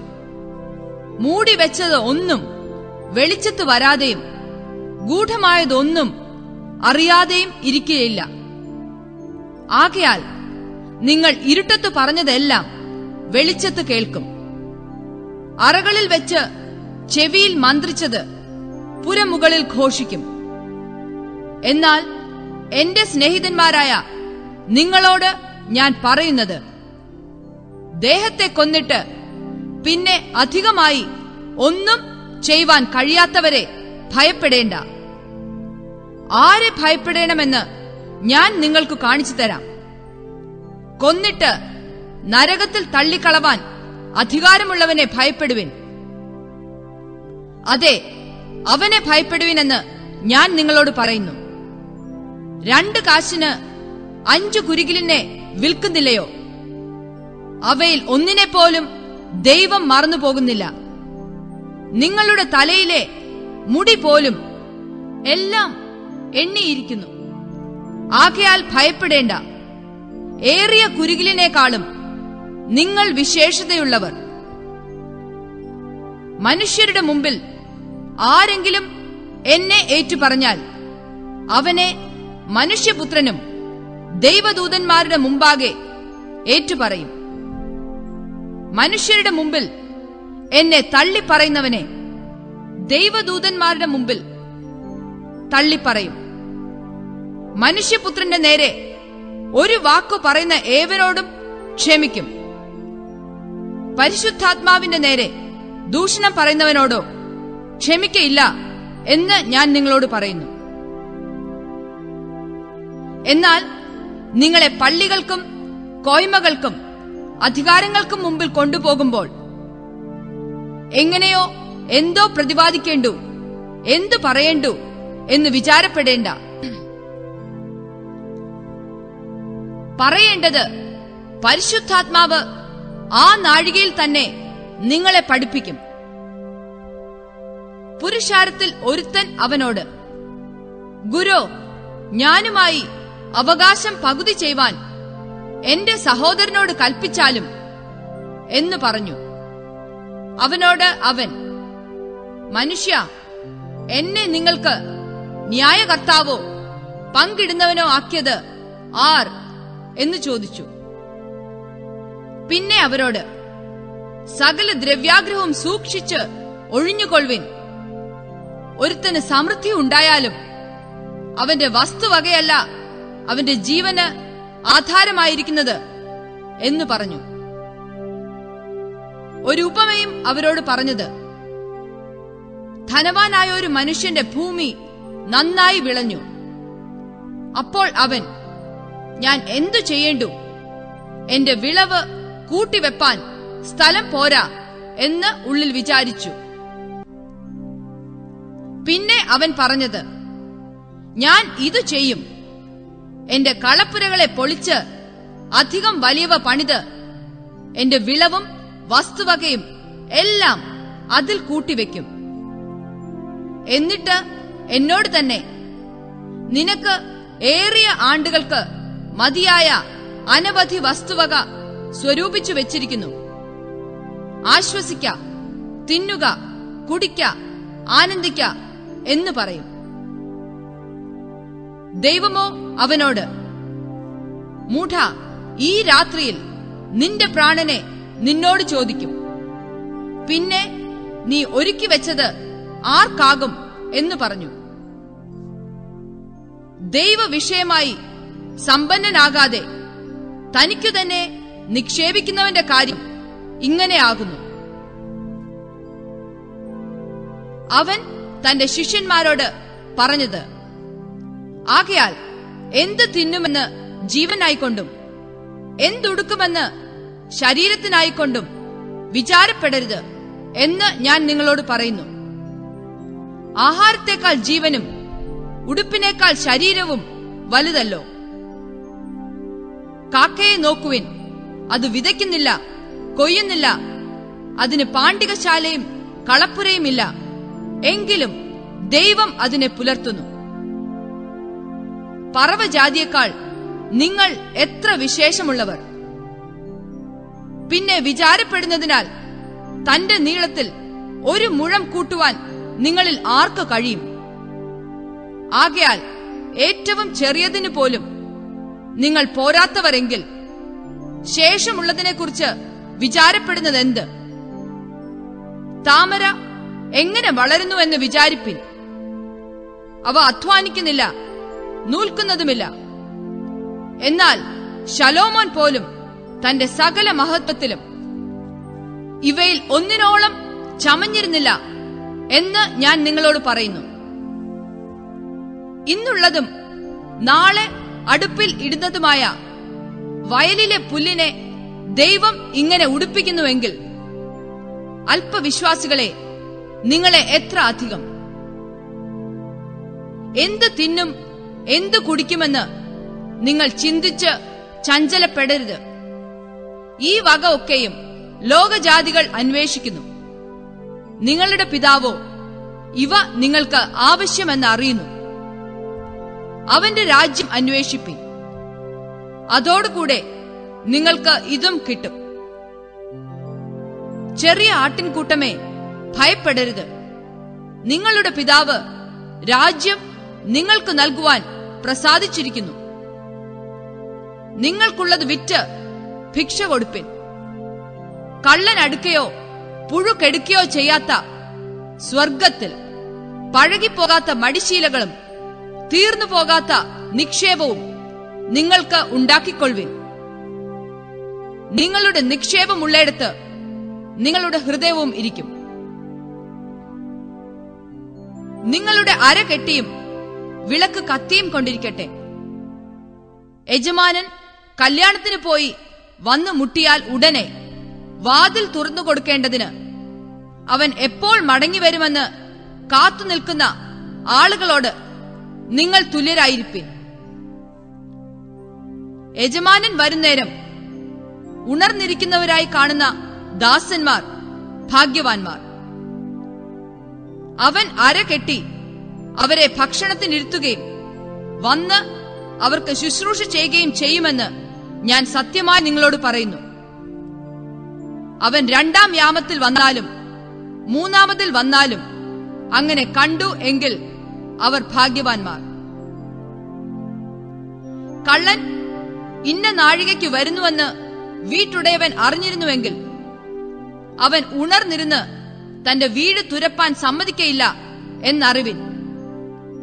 നിനയാത്ത നാഴികയിൽ മനുഷ്യപുത്രൻ വരുന്നതുകൊണ്ട് നിങ്ങളും ഒരുങ്ങിയിരിപ്പിൻ. കർത്താവെ ഈ ഉപമ പറയുന്നത് ഞങ്ങളോടോ എല്ലാവരോടും കൂടെയോ എന്ന് പത്രോസ് ചോദിച്ചതിന് കർത്താവ് പറഞ്ഞത് തക്ക സമയത്ത് ആഹാരവീതം കൊടുക്കേണ്ടതിന് യജമാനൻ തന്റെ വേലക്കാരുടെ മേൽ ആക്കുന്ന വിശ്വസ്തനും ബുദ്ധിമാനുമായ ഗൃഹവിചാരകൻ ആർ. യജമാനൻ വരുമ്പോൾ അങ്ങനെ ചെയ്തു കാണുന്ന ദാസൻ ഭാഗ്യവാൻ. അവൻ തനിക്കുള്ള സകലത്തിനും അവനെ വിചാരകനാക്കി വെക്കും എന്ന് ഞാൻ സത്യമായിട്ട് നിങ്ങളോട് പറയുന്നു. എന്നാൽ ദാസൻ യജമാനൻ താമസിച്ചേ വരികയുള്ളൂ എന്ന് ഹൃദയത്തിൽ പറഞ്ഞ് ബാല്യക്കാരെയും ബാല്യക്കാരത്തികളെയും തല്ലുവാനും തിന്നു കുടിച്ച് മതിപ്പാനും തുടങ്ങിയാൽ അവൻ നോക്കിയിരിക്കാത്ത നാളിലും അറിയാത്ത നാഴികയിലും ആ ദാസന്റെ യജമാനൻ വന്ന് അവനെ ദണ്ണിപ്പിക്കുകയും അവന് അവിശ്വാസികളോടുകൂടെ പങ്ക് കൽപ്പിക്കുകയും ചെയ്യും. യജമാനന്റെ ഇഷ്ടം അറിഞ്ഞിട്ട് ഒരുങ്ങാതെയും അവന്റെ ഇഷ്ടം ചെയ്യാതെയും ഇരിക്കുന്ന ദാസന് വളരെ അടികൊള്ളും. അറിയാതെ കണ്ട് അടിക്ക് യോഗ്യമായത് ചെയ്തവനോ കുറയ അടികൊള്ളും. വളരെ ലഭിച്ചവനോട് വളരെ ആവശ്യപ്പെടും. അധികം ഏറ്റുവാങ്ങിയവനോട് അധികം ചോദിക്കും. ഭൂമിയിൽ തീ ഇടുവാൻ ഞാൻ വന്നിരിക്കുന്നു. അത് ഇപ്പോഴേ കത്തിയെങ്കിൽ കൊള്ളായിരുന്നു എന്നല്ലാതെ ഞാൻ മറ്റെന്ത് ഇച്ഛിക്കേണ്ടു? എങ്കിലും എനിക്ക് ഒരു സ്നാനം ഏൽപ്പാൻ ഉണ്ട്. അത് കഴിയുവോളം ഞാൻ എത്ര ഞെരുങ്ങുന്നു. ഭൂമിയിൽ സമാധാനം നൽകുവാൻ ഞാൻ വന്നിരിക്കുന്നുവെന്ന് തോന്നുന്നുവോ? അല്ലല്ല ഛിദ്രം വരുത്തുവാൻ അത്രേ എന്ന് ഞാൻ നിങ്ങളോട് പറയുന്നു. ഇനിമേൽ ഒരു വീട്ടിൽ ഇരുവരോട് മൂവരും മൂവരോട് ഇരുവരും ഇങ്ങനെ അഞ്ചു പേർ തമ്മിൽ ഛിദ്രിച്ചിരിക്കും. അപ്പൻ മകനോടും മകൻ അപ്പനോടും അമ്മ മകളോടും മകൾ അമ്മയോടും അമ്മാവിയമ്മ മരുമകളോടും മരുമകൾ അമ്മാവിയമ്മയോടും ഛിദ്രിച്ചിരിക്കും. പിന്നെ അവൻ പുരുഷാരത്തോട് പറഞ്ഞത് പടിഞ്ഞാറ് നിന്ന് മേഘം പൊങ്ങുന്നത് കാണുമ്പോൾ പെരുമഴ വരുന്നുവെന്ന് നിങ്ങൾ ഉടനെ പറയുന്നു. അങ്ങനെ സംഭവിക്കുകയും ചെയ്യുന്നു. തെക്കൻ കാറ്റ് ഊതുന്നത് കണ്ടാലോ അത്യുഷ്ണം ഉണ്ടാകുമെന്ന് പറയുന്നു. അത് സംഭവിക്കുകയും ചെയ്യുന്നു. കപടഭക്തിക്കാരെ ഭൂമിയുടെയും ആകാശത്തിന്റെയും ഭാവത്തെ വിവേചിപ്പാൻ നിങ്ങൾക്കറിയാം. എന്നാൽ ഈ കാലത്തെ വിവേചിപ്പാൻ അറിയാത്തത് എങ്ങനെ? ന്യായമായത് എന്തെന്ന് നിങ്ങൾ സ്വയമായി വിധിക്കാത്തതും എന്ത്? പ്രതിയോഗിയോടുകൂടെ അധികാരിയുടെ അടുക്കൽ പോകുമ്പോൾ വഴിയിൽ വെച്ച് അവനോട് നിരന്നു കൊള്ളുവാൻ ശ്രമിക്കാം. അല്ലാഞ്ഞാൽ അവൻ നിന്നെ ന്യായാധിപന്റെ മുമ്പിൽ ഇഴച്ചുകൊണ്ടു പോകുകയും ന്യായാധിപൻ നിന്നെ കോൽക്കാരന്റെ പക്കൽ ഏൽപ്പിക്കുകയും കോൽക്കാരൻ തടവിലാക്കുകയും ചെയ്യും. ഒടുക്കത്തെ കാശു പോലും കൊടുത്തു തീരുവോളം നീ അവിടെ നിന്ന് പുറത്തു വരികയില്ല എന്ന് ഞാൻ നിന്നോട് പറയുന്നു.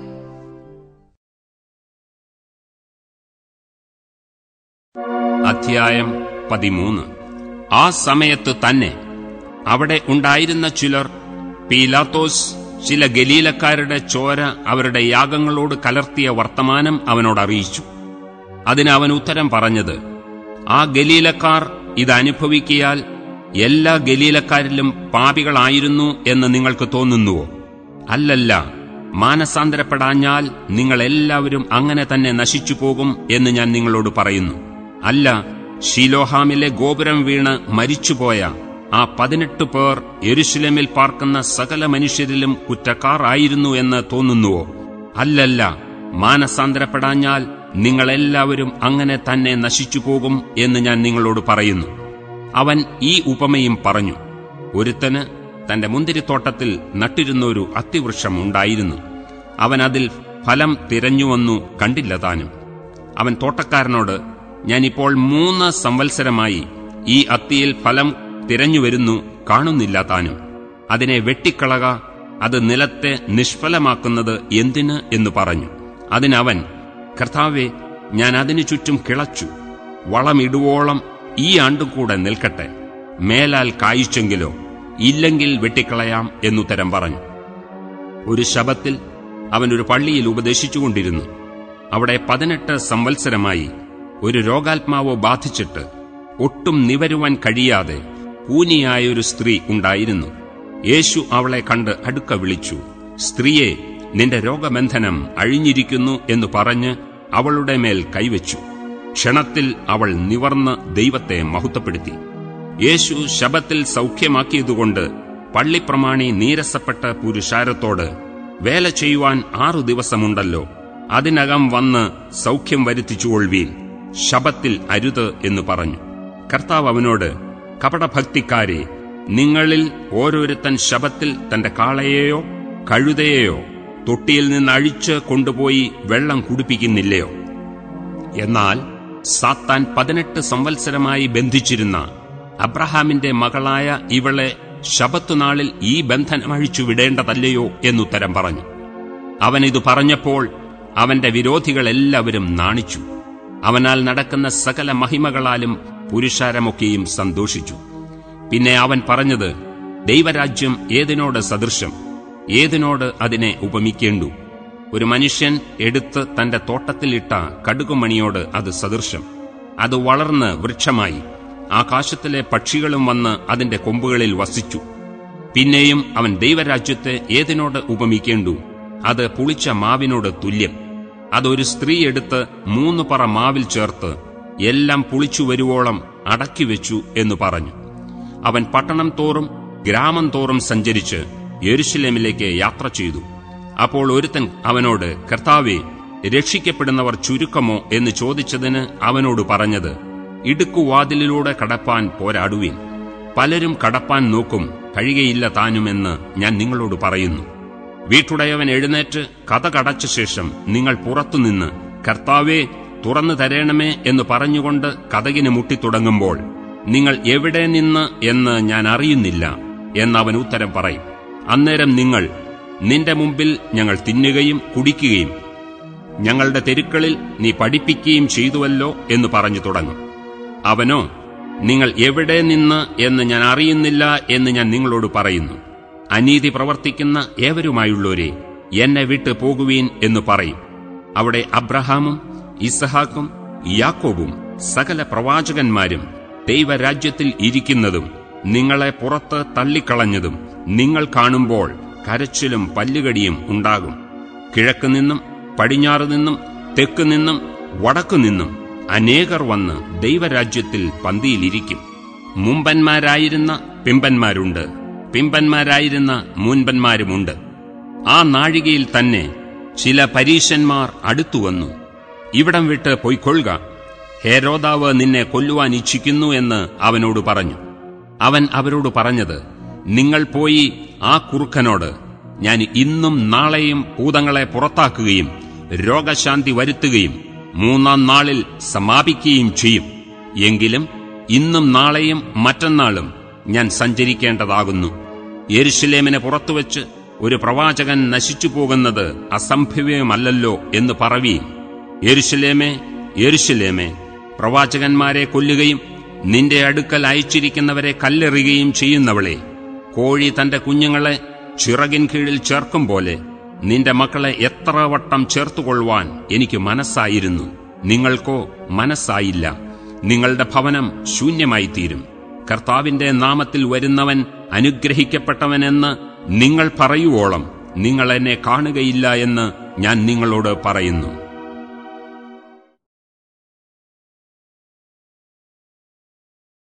അധ്യായം പതിനാല്. പരീക്ഷ പ്രമാണികളിൽ ഒരുത്തന്റെ വീട്ടിൽ അവൻ ഭക്ഷണം കഴിപ്പാൻ ശബ്ദത്തിൽ ചെന്നപ്പോൾ അവർ അവനെ ഒറ്റ നോക്കിക്കൊണ്ടിരുന്നു. മഹോദരമുള്ള ഒരു മനുഷ്യൻ അവന്റെ മുമ്പിൽ ഉണ്ടായിരുന്നു. യേശു ന്യായശാസ്ത്രിമാരോടും പരീശന്മാരോടും ശബ്ദത്തിൽ സൗഖ്യമാക്കുന്നത് വിഹിതമോ അല്ലയോ എന്ന് ചോദിച്ചു. അവരോ മിണ്ടാതിരുന്നു. അവൻ അവനെ തൊട്ട് സൗഖ്യമാക്കി വിട്ടയച്ചു. പിന്നെ അവരോട് നിങ്ങളിൽ ഒരുത്തന്റെ മകനോ കാളയോ ശബ്ബത്ത് നാളിൽ കിണറ്റിൽ വീണാൽ ക്ഷണത്തിൽ വലിച്ചെടുക്കയില്ലയോ? എന്ന് ചോദിച്ചതിന് പ്രത്യുത്തരം പറവാൻ അവർക്ക് കഴിഞ്ഞില്ല.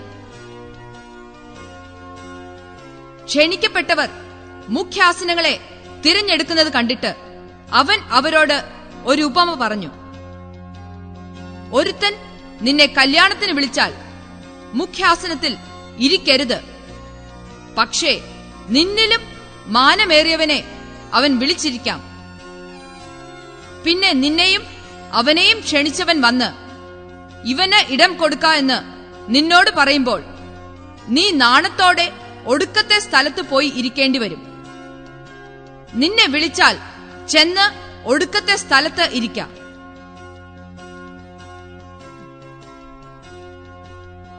നിന്നെ ക്ഷണിച്ചവൻ വരുമ്പോൾ നിന്നോട് സ്നേഹിത മുമ്പോട്ട് വന്നിരിക്ക എന്ന് പറവാൻ ഇടവരട്ടെ. അപ്പോൾ പന്തിയിൽ ഇരിക്കുന്നവരുടെ മുമ്പിൽ നിനക്ക് മാനം ഉണ്ടാകും. തന്നെത്താൻ ഉയർത്തുന്നവനെല്ലാം താഴ്ത്തപ്പെടും. തന്നെത്താൻ താഴ്ത്തുന്നവൻ ഉയർത്തപ്പെടും. തന്നെ ക്ഷണിച്ചവനോട് അവൻ പറഞ്ഞത് നീ ഒരു മുത്താഴമോ അത്താഴമോ കഴിക്കുമ്പോൾ സ്നേഹിതന്മാരെയും സഹോദരന്മാരെയും ചാർച്ചക്കാരെയും സമ്പത്തുള്ള അയൽക്കാരെയും വിളിക്കരുത്. അവർ നിന്നെ അങ്ങോട്ടും വിളിച്ചിട്ട് നിനക്ക് പ്രത്യുപകാരം ചെയ്യും. നീ വിരുന്നു കഴിക്കുമ്പോൾ ദരിദ്രന്മാർ അംഗഹീനന്മാർ മുടന്തന്മാർ കുരുടന്മാർ എന്നിവരെ ക്ഷണിക്കാം. എന്നാൽ നീ ഭാഗ്യവാനാകും. നിനക്ക് പ്രത്യുപകാരം ചെയ്യുവാൻ അവർക്ക് വകയില്ലല്ലോ. നീതിമാന്മാരുടെ പുനരുത്ഥാനത്തിൽ നിനക്ക് പ്രത്യുപകാരം ഉണ്ടാകും. കൂടെ പന്തിയിലിരുന്നവരിൽ ഒരുത്തൻ അത് കേട്ടിട്ട് ദൈവരാജ്യത്തിൽ ഭക്ഷണം കഴിക്കുന്നവൻ ഭാഗ്യവാൻ എന്ന് അവനോട് പറഞ്ഞു. അവനോട് അവൻ പറഞ്ഞത് ഒരു മനുഷ്യൻ വലിയൊരു അത്താഴം ഒരുക്കി പലരെയും ക്ഷണിച്ചു. അത്താഴ സമയത്ത് അവൻ തന്റെ ദാസിനെ അയച്ച് ആ ക്ഷണിച്ചവരോട് എല്ലാം ഒരുങ്ങിയിരിക്കുന്നു വരുവിൻ എന്ന് പറയിച്ചു. എല്ലാവരും ഒരുപോലെ ഒഴി കഴിവ് പറഞ്ഞു തുടങ്ങി. ഒന്നാമത്തവൻ അവനോട് ഞാൻ ഒരു നിലം കൊണ്ടതിനാൽ അത് ചെന്ന് കാണേണ്ടുന്ന ആവശ്യമുണ്ട്.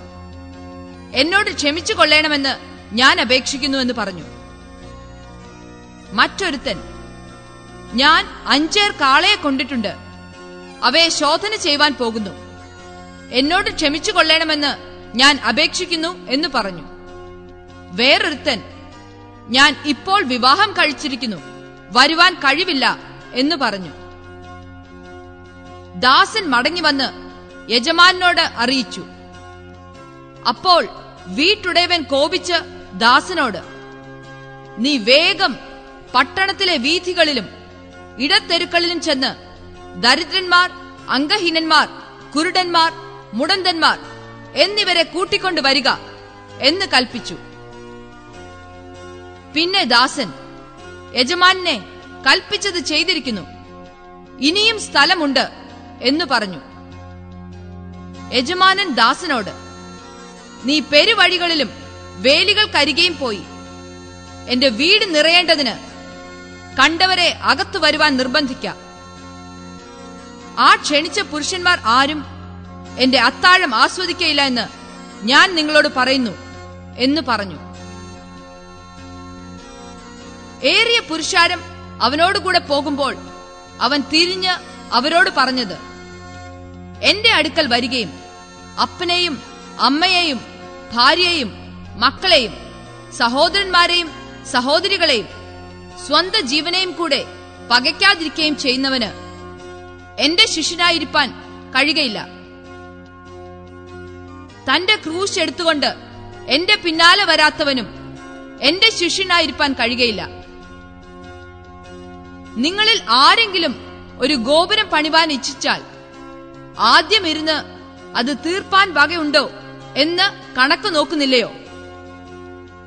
അല്ലെങ്കിൽ അടിസ്ഥാനമിട്ട ശേഷം തീർപ്പാൻ വകയില്ല എന്ന് വന്നേക്കാം. കാണുന്നവരെല്ലാം ഈ മനുഷ്യൻ പണിവാൻ തുടങ്ങി തീർപ്പാനോ വകയില്ല എന്ന് പരിഹസിക്കുമല്ലോ. അല്ല ഒരു രാജാവ് മറ്റൊരു രാജാവിനോട് പട ഏൽപ്പാൻ പുറപ്പെടും മുമ്പേ ഇരുന്ന് ഇരുപതിനായിരവുമായി വരുന്നവനോട് താൻ പതിനായിരവുമായി എതിർപ്പാൻ മതിയോ എന്ന് ആലോചിക്കുന്നില്ലയോ? പോരാ എന്ന് വരികിൽ മറ്റവൻ ദൂരത്തിരിക്കുമ്പോൾ തന്നെ സ്ഥാനാപതികളെ അയച്ച് സമാധാനത്തിനായി അപേക്ഷിക്കുന്നു.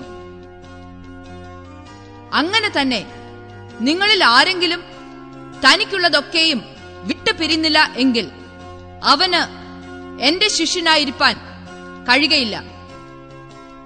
ഉപ്പ് നല്ലത് തന്നെ ഉപ്പ് കാരമില്ലാതെ പോയാൽ എന്തൊന്നുകൊണ്ട് അതിന് രസം വരുത്തം? പിന്നെ നിലത്തിനും വളത്തിനും കൊള്ളുന്നതല്ല. അതിനെ പുറത്ത് കളയും. കേൾപ്പാൻ ചെവിയുള്ളവൻ കേൾക്കട്ടെ.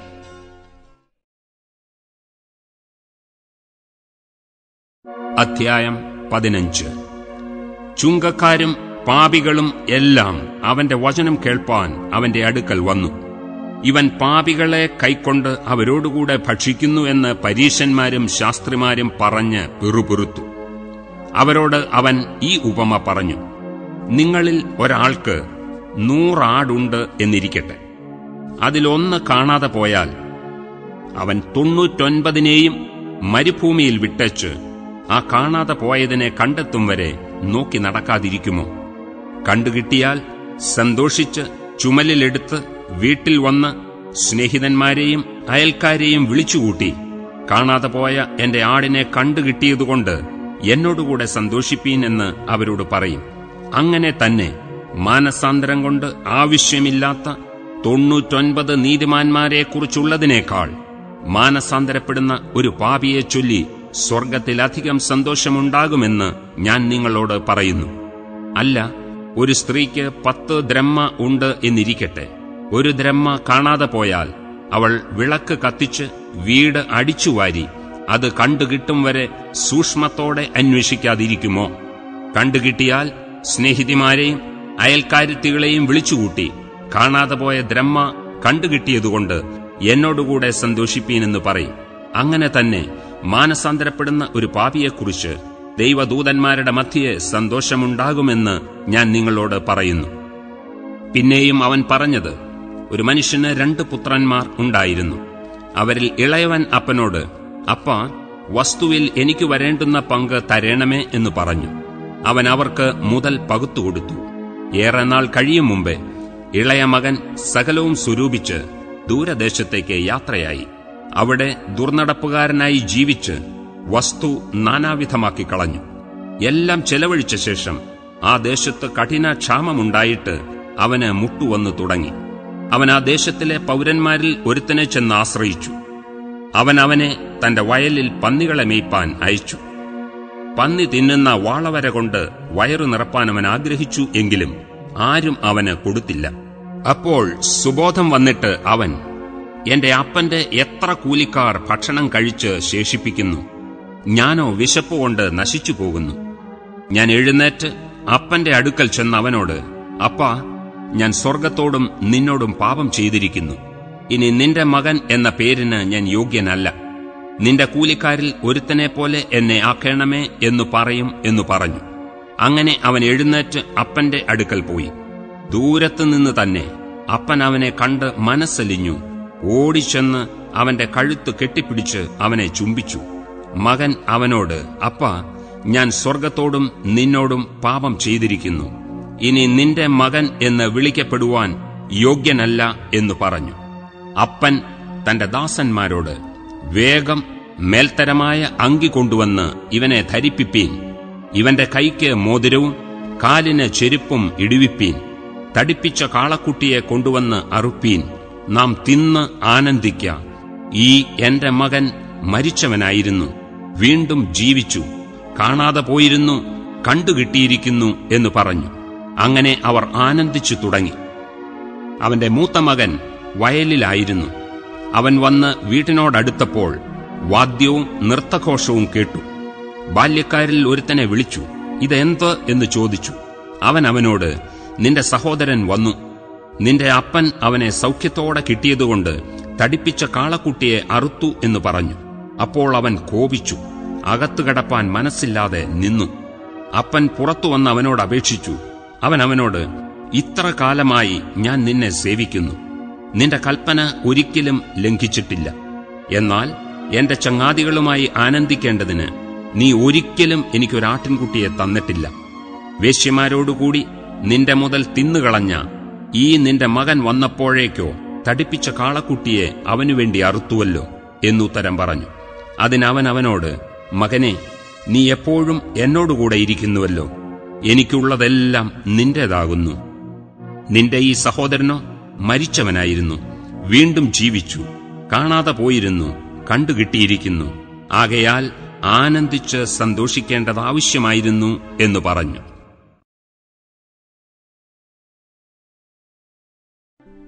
അധ്യായം പതിനാറ്. പിന്നെ അവൻ ശിഷ്യന്മാരോട് പറഞ്ഞത് ധനവാനായൊരു മനുഷ്യന് ഒരു കാര്യവിചാരകൻ ഉണ്ടായിരുന്നു. അവൻ അവന്റെ വസ്തുവക നാനാവിധമാക്കുന്നുവെന്ന് ചിലർ അവനെ കുറ്റം പറഞ്ഞു. അവൻ അവനെ വിളിച്ചു നിന്നെ കൊണ്ട് ഈ കേൾക്കുന്നത് എന്ത്? നിന്റെ കാര്യവിചാരത്തിന്റെ കണക്ക് ഏൽപ്പിച്ചു തരിക. നീ ഇനി കാര്യവിചാരകനായിരിക്കാൻ പാടില്ല എന്ന് പറഞ്ഞു.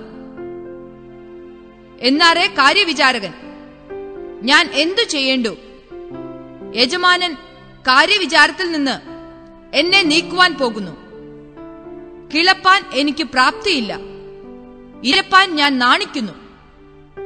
എന്നെ കാര്യവിചാരത്തിൽ നിന്ന് നീക്കിയാൽ അവർ എന്നെ തങ്ങളുടെ വീടുകളിൽ ചേർത്തുകൊള്ളുവാൻ തക്കോണം ഞാൻ ചെയ്യേണ്ടത് എന്ത് എന്ന് എനിക്കറിയാം എന്ന് ഉള്ളുകൊണ്ട് പറഞ്ഞു.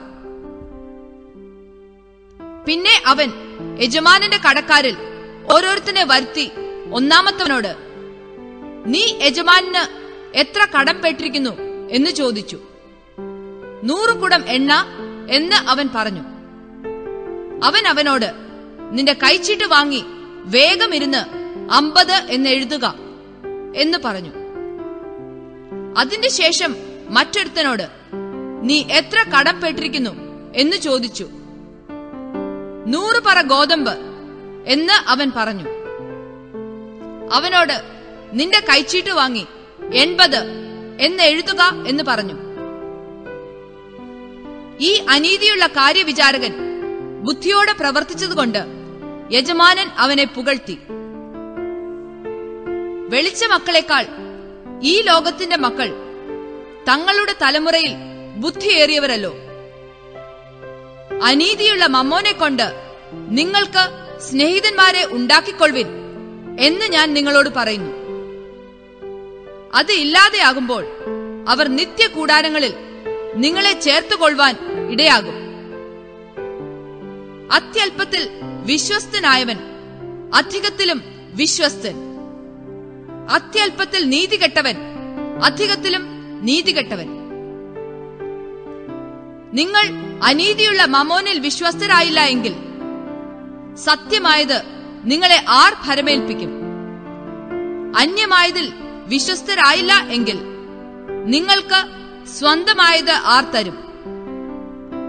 രണ്ട് യജമാന്മാരെ സേവിപ്പാൻ ഒരു ഭൃത്യനും കഴിയുകയില്ല. അവൻ ഒരുവനെ പകച്ച് മറ്റവനെ സ്നേഹിക്കും.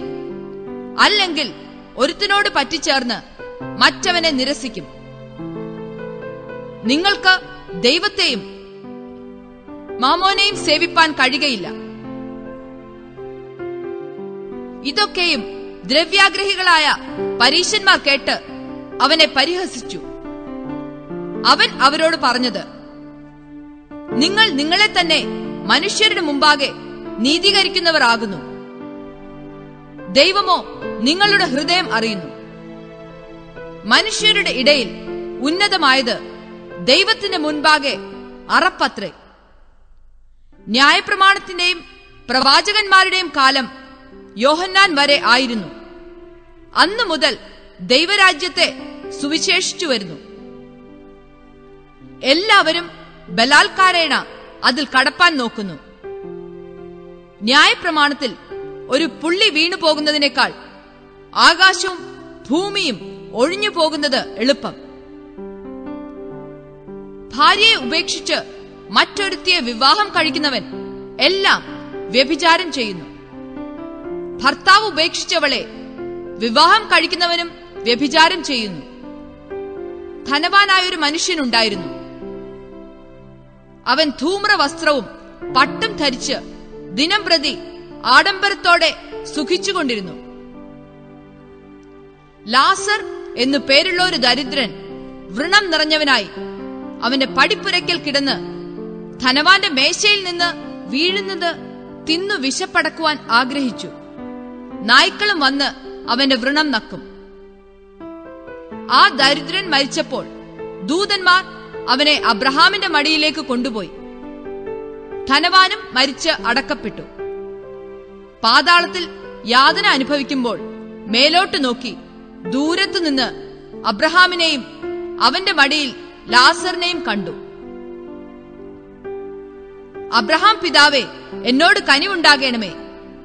ലാസർ വിരലിന്റെ അറ്റം വെള്ളത്തിൽ മുക്കി എന്റെ നാവിനെ തണുപ്പിക്കേണ്ടതിന് അവനെ അയക്കണമേ.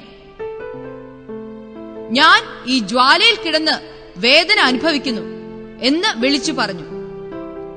അബ്രഹാം മകനെ നിന്റെ ആയുസിൽ നീ നന്മയും. ലാസർ ഔവണ്ണം തിന്മയും പ്രാപിച്ചുവെന്ന് ഓർക്കാം. ഇപ്പോൾ അവൻ ഇവിടെ ആശ്വസിക്കുന്നു. നീയോ വേദന അനുഭവിക്കുന്നു. അത്രയുമല്ല ഞങ്ങൾക്കും നിങ്ങൾക്കും നടുവേ വലിയൊരു പിളർപ്പുണ്ടാക്കിയിരിക്കുന്നു. ഇവിടെ നിന്ന് നിങ്ങളുടെ അടുക്കൽ കടന്നു വരുവാൻ ഇച്ഛിക്കുന്നവർക്ക് കഴിവില്ല. അവിടെ നിന്ന് ഞങ്ങളുടെ അടുക്കൽ കടന്നു വരുവാനും പാടില്ല എന്ന് പറഞ്ഞു. അതിന് അവൻ എന്നാൽ പിതാവേ അവനെ എന്റെ അപ്പന്റെ വീട്ടിൽ അയക്കണമെന്ന് ഞാൻ അപേക്ഷിക്കുന്നു. എനിക്ക് അഞ്ച് സഹോദരന്മാർ ഉണ്ട്. അവരും ഈ യാതനാസ്ഥലത്ത് വരാതിരിപ്പാൻ അവൻ അവരോട് സാക്ഷ്യം പറയട്ടെ എന്ന് പറഞ്ഞു. അബ്രഹാം അവനോട് അവർക്ക് മോശയും പ്രവാചകന്മാരും ഉണ്ടല്ലോ. അവരുടെ വാക്ക് അവർ കേൾക്കട്ടെ. എന്ന് പറഞ്ഞു. അതിന് അവൻ അല്ലല്ല അബ്രഹാം പിതാവേ മരിച്ചവരിൽ നിന്ന് ഒരുത്തൻ എഴുന്നേറ്റ് അവരുടെ അടുക്കൽ ചെന്നുവെങ്കിൽ അവർ മാനസാന്തരപ്പെടും എന്ന് പറഞ്ഞു. അവൻ അവനോട് അവർ മോശയുടെയും പ്രവാചകന്മാരുടെയും വാക്ക് കേൾക്കാഞ്ഞാൽ മരിച്ചവരിൽ നിന്ന് ഒരുത്തൻ എഴുന്നേറ്റ് ചെന്നാലും വിശ്വസിക്കയില്ല എന്ന് പറഞ്ഞു.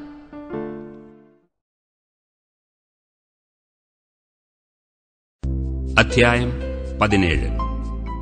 അവൻ തന്റെ ശിഷ്യന്മാരോട് പറഞ്ഞത് ഇടർച്ചകൾ വരാതിരിക്കുന്നത് അസാധ്യം. എങ്കിലും അവ വരുത്തുന്നവന് അയ്യോ കഷ്ടം. അവൻ ഈ ചെറിയവരിൽ ഒരുത്തന് ഇടർച്ച വരുത്തുന്നതിനേക്കാൾ ഒരു തിരികല്ല് അവന്റെ കഴുത്തിൽ കെട്ടി അവനെ കടലിൽ എറിഞ്ഞുകളയുന്നത് അവന് നന്ന്. സൂക്ഷിച്ചുകൊള്ളുവീൻ സഹോദരൻ പിഴച്ചാൽ അവനെ ശാസിക്കാം. അവൻ മാനസാന്തരപ്പെട്ടാൽ അവനോട് ക്ഷമിക്കാം. ദിവസത്തിൽ ഏഴുവട്ടം നിന്നോട് പിഴയ്ക്കുകയും ഏഴുവട്ടം നിന്റെ അടുക്കൽ വന്ന് ഞാൻ മാനസാന്തരപ്പെടുന്നു എന്ന് പറയുകയും ചെയ്താൽ അവനോട് ക്ഷമിക്കാം. അപ്പോസ്വലന്മാർ കർത്താവിനോട് ഞങ്ങൾക്ക് വിശ്വാസം വർദ്ധിപ്പിച്ചു തരണമേ എന്ന് പറഞ്ഞു. അതിന് കർത്താവ് പറഞ്ഞത് നിങ്ങൾക്ക് കടുകുമണിയോളം വിശ്വാസമുണ്ടെങ്കിൽ ഈ കാട്ടത്തിയോട് വേരോടെ പറഞ്ഞ് കടലിൽ നട്ടുപോക എന്ന് പറഞ്ഞാൽ അത് നിങ്ങളെ അനുസരിക്കും. നിങ്ങളിൽ ആർക്കെങ്കിലും ഉഴുകയോ മേയ്ക്കുകയോ ചെയ്യുന്ന ഒരു ദാസൻ ഉണ്ടെന്നിരിക്കട്ടെ.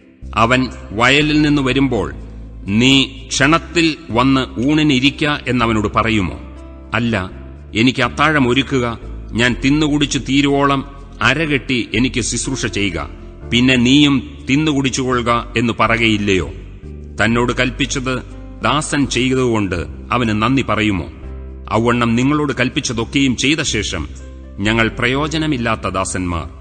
ചെയ്യേണ്ടതേ ചെയ്തിട്ടുള്ളൂ എന്ന് നിങ്ങളും പറവീൻ. അവൻ എരുശലമിലേക്ക് യാത്ര ചെയ്യുകയിൽ ശമരിക്കും ഗലീലയ്ക്കും നടുവിൽ കൂടി കടക്കുമ്പോൾ ഒരു ഗ്രാമത്തിൽ ചെല്ലുന്നേരം കുഷ്ഠരോഗികളായ പത്ത് പുരുഷന്മാർ അവനെ എതിർപ്പെട്ടു. അകലെ നിന്നുകൊണ്ട് യേശു നായക ഞങ്ങളോട് കരുണയുണ്ടാകണമേ എന്ന് ഉറക്കെ പറഞ്ഞു. അവൻ അവരെ കണ്ടിട്ട് നിങ്ങൾ പോയി പുരോഹിതന്മാർക്ക് നിങ്ങളെ തന്നെ കാണിപ്പീൻ എന്ന് പറഞ്ഞു. പോകയിൽ തന്നെ അവർ ശുദ്ധരായി തീർന്നു അവരിൽ ഒരുത്തൻ തനിക്ക് സൗഖ്യം വന്നത് കണ്ട് ഉച്ചത്തിൽ ദൈവത്തെ മഹത്വപ്പെടുത്തിക്കൊണ്ട് മടങ്ങിവന്ന് അവന്റെ കാൽക്കൽ കവണ്ണു വീണ് അവന് നന്ദി പറഞ്ഞു. അവനോ ശമര്യക്കാരനായിരുന്നു. പത്തു പേർ ശുദ്ധരായി തീർന്നില്ലയോ ഒൻപതു പേർ എവിടെ? ഈ അന്യ ജാതിക്കാരനല്ലാതെ ദൈവത്തിന് മഹത്വം കൊടുപ്പാൻ മടങ്ങി വന്നവരായി ആരെയും കാണുന്നില്ലല്ലോ എന്ന് യേശു പറഞ്ഞിട്ട് അവനോട് എഴുന്നേറ്റ് പൊയ്ക്കൊള്ളുക. നിന്റെ വിശ്വാസം നിന്നെ രക്ഷിച്ചിരിക്കുന്നു എന്ന് പറഞ്ഞു. ദൈവരാജ്യം എപ്പോൾ വരുന്നു എന്ന് പരീശന്മാർ ചോദിച്ചതിന് ദൈവരാജ്യം കാണത്തക്കവണ്ണമല്ല വരുന്നത്. ഇതാ ഇവിടെയെന്നും അതാ അവിടെയെന്നും പറയുകയുമില്ല. ദൈവരാജ്യം നിങ്ങളുടെ ഇടയിൽ തന്നെ ഉണ്ടല്ലോ എന്നവൻ ഉത്തരം പറഞ്ഞു. പിന്നെ അവൻ തന്റെ ശിഷ്യന്മാരോട് പറഞ്ഞത് നിങ്ങൾ മനുഷ്യപുത്രന്റെ ഒരു ദിവസം കാണുവാൻ ആഗ്രഹിക്കുന്ന കാലം വരും. കാണുകയില്ല താനും. അന്ന് നിങ്ങളോട് ഇതാ ഇവിടെയെന്നും അതാ അവിടെയെന്നും പറയും. നിങ്ങൾ പോകരുത് പിൻചൊല്ലുകയുമരുത് മിന്നൽ ആകാശത്തിൻ കീഴെ ദിക്കോട് ദിക്കെല്ലാം തിളങ്ങി മിന്നുന്നതുപോലെ മനുഷ്യപുത്രൻ തന്റെ ദിവസത്തിലാകും. എന്നാൽ ആദ്യം അവൻ വളരെ കഷ്ടം അനുഭവിക്കുകയും ഈ തലമുറ അവനെ തള്ളിക്കളയുകയും വേണം. നോഹയുടെ കാലത്ത് സംഭവിച്ചതുപോലെ മനുഷ്യപുത്രന്റെ നാളിലും സംഭവിക്കും. നോഹ പെട്ടകത്തിൽ കടന്ന നാൾ വരെ അവർ തിന്നും കുടിച്ചും വിവാഹം കഴിച്ചും വിവാഹത്തിന് കൊടുത്തും പോന്നു. ജലപ്രളയം വന്നു അവരെ എല്ലാവരെയും മുടിച്ചു കളഞ്ഞു. ലോത്തിന്റെ കാലത്ത് സംഭവിച്ചതുപോലെ തന്നെ അവർ തിന്നും കുടിച്ചും കൊണ്ടും വിറ്റും നട്ടും പണിതും പോന്നു. എന്നാൽ ലോത്ത് സ്വതവും വിട്ട നാളിൽ ആകാശത്തു നിന്ന് തീയും ഗന്ധകവും പെയ്ത് എല്ലാവരെയും മുടിച്ചു കളഞ്ഞു. മനുഷ്യപുത്രൻ വെളിപ്പെടുന്ന നാളിൽ ഔവണ്ണം തന്നെയാകും. അന്ന് വീട്ടിന്മേൽ ഇരിക്കുന്നവൻ വീട്ടിനകത്തുള്ള സാധനമെടുപ്പാൻ ഇറങ്ങിപ്പോകരുത്. അവണ്ണം വയലിലിരിക്കുന്നവനും പിന്നോക്കം തിരിയരുത്. ലോത്തിന്റെ ഭാര്യയെ ഓർത്തുകൊള്ളുവീൻ. തന്റെ ജീവനെ നേടുവാൻ നോക്കുന്നവനെല്ലാം അതിനെ കളയും. അതിനെ കളയുന്നവനെല്ലാം അതിനെ രക്ഷിക്കും. ആ രാത്രിയിൽ രണ്ടു പേർ ഒരു കിടക്കമേലായിരിക്കും. ഒരുത്തനെ കൈക്കൊള്ളും മറ്റവനെ ഉപേക്ഷിക്കും. രണ്ടുപേർ ഒന്നിച്ച് പൊടിച്ചുകൊണ്ടിരിക്കും. ഒരുത്തിയെ കൈക്കൊള്ളും മറ്റവളെ ഉപേക്ഷിക്കും. രണ്ടുപേർ വയലിൽ ഇരിക്കും. ഒരുത്തനെ കൈക്കൊള്ളും മറ്റവനെ ഉപേക്ഷിക്കും എന്ന് ഞാൻ നിങ്ങളോട് പറയുന്നു. അവർ അവനോട് കർത്താവെ എവിടെയെന്ന് ചോദിച്ചതിന് ശവം ഉള്ളിടത്ത് കഴുക്കൾ കൂടുമെന്ന് അവൻ പറഞ്ഞു. അധ്യായം പതിനെട്ട്. മടുത്തുപോകാതെ എപ്പോഴും പ്രാർത്ഥിക്കണമെന്നുള്ളതിന് അവൻ അവരോട് ഒരു ഉപമ പറഞ്ഞത് ദൈവത്തെ ഭയവും മനുഷ്യനെ ശങ്കയുമില്ലാത്ത ഒരു ന്യായാധിപൻ ഒരു പട്ടണത്തിൽ ഉണ്ടായിരുന്നു. ആ പട്ടണത്തിൽ ഒരു വിധവയും ഉണ്ടായിരുന്നു. അവൾ അവന്റെ അടുക്കൽ ചെന്നു. എന്റെ പ്രതിയോഗിയോട് പ്രതിക്രിയ നടത്തി രക്ഷിക്കണമേ എന്ന് പറഞ്ഞു.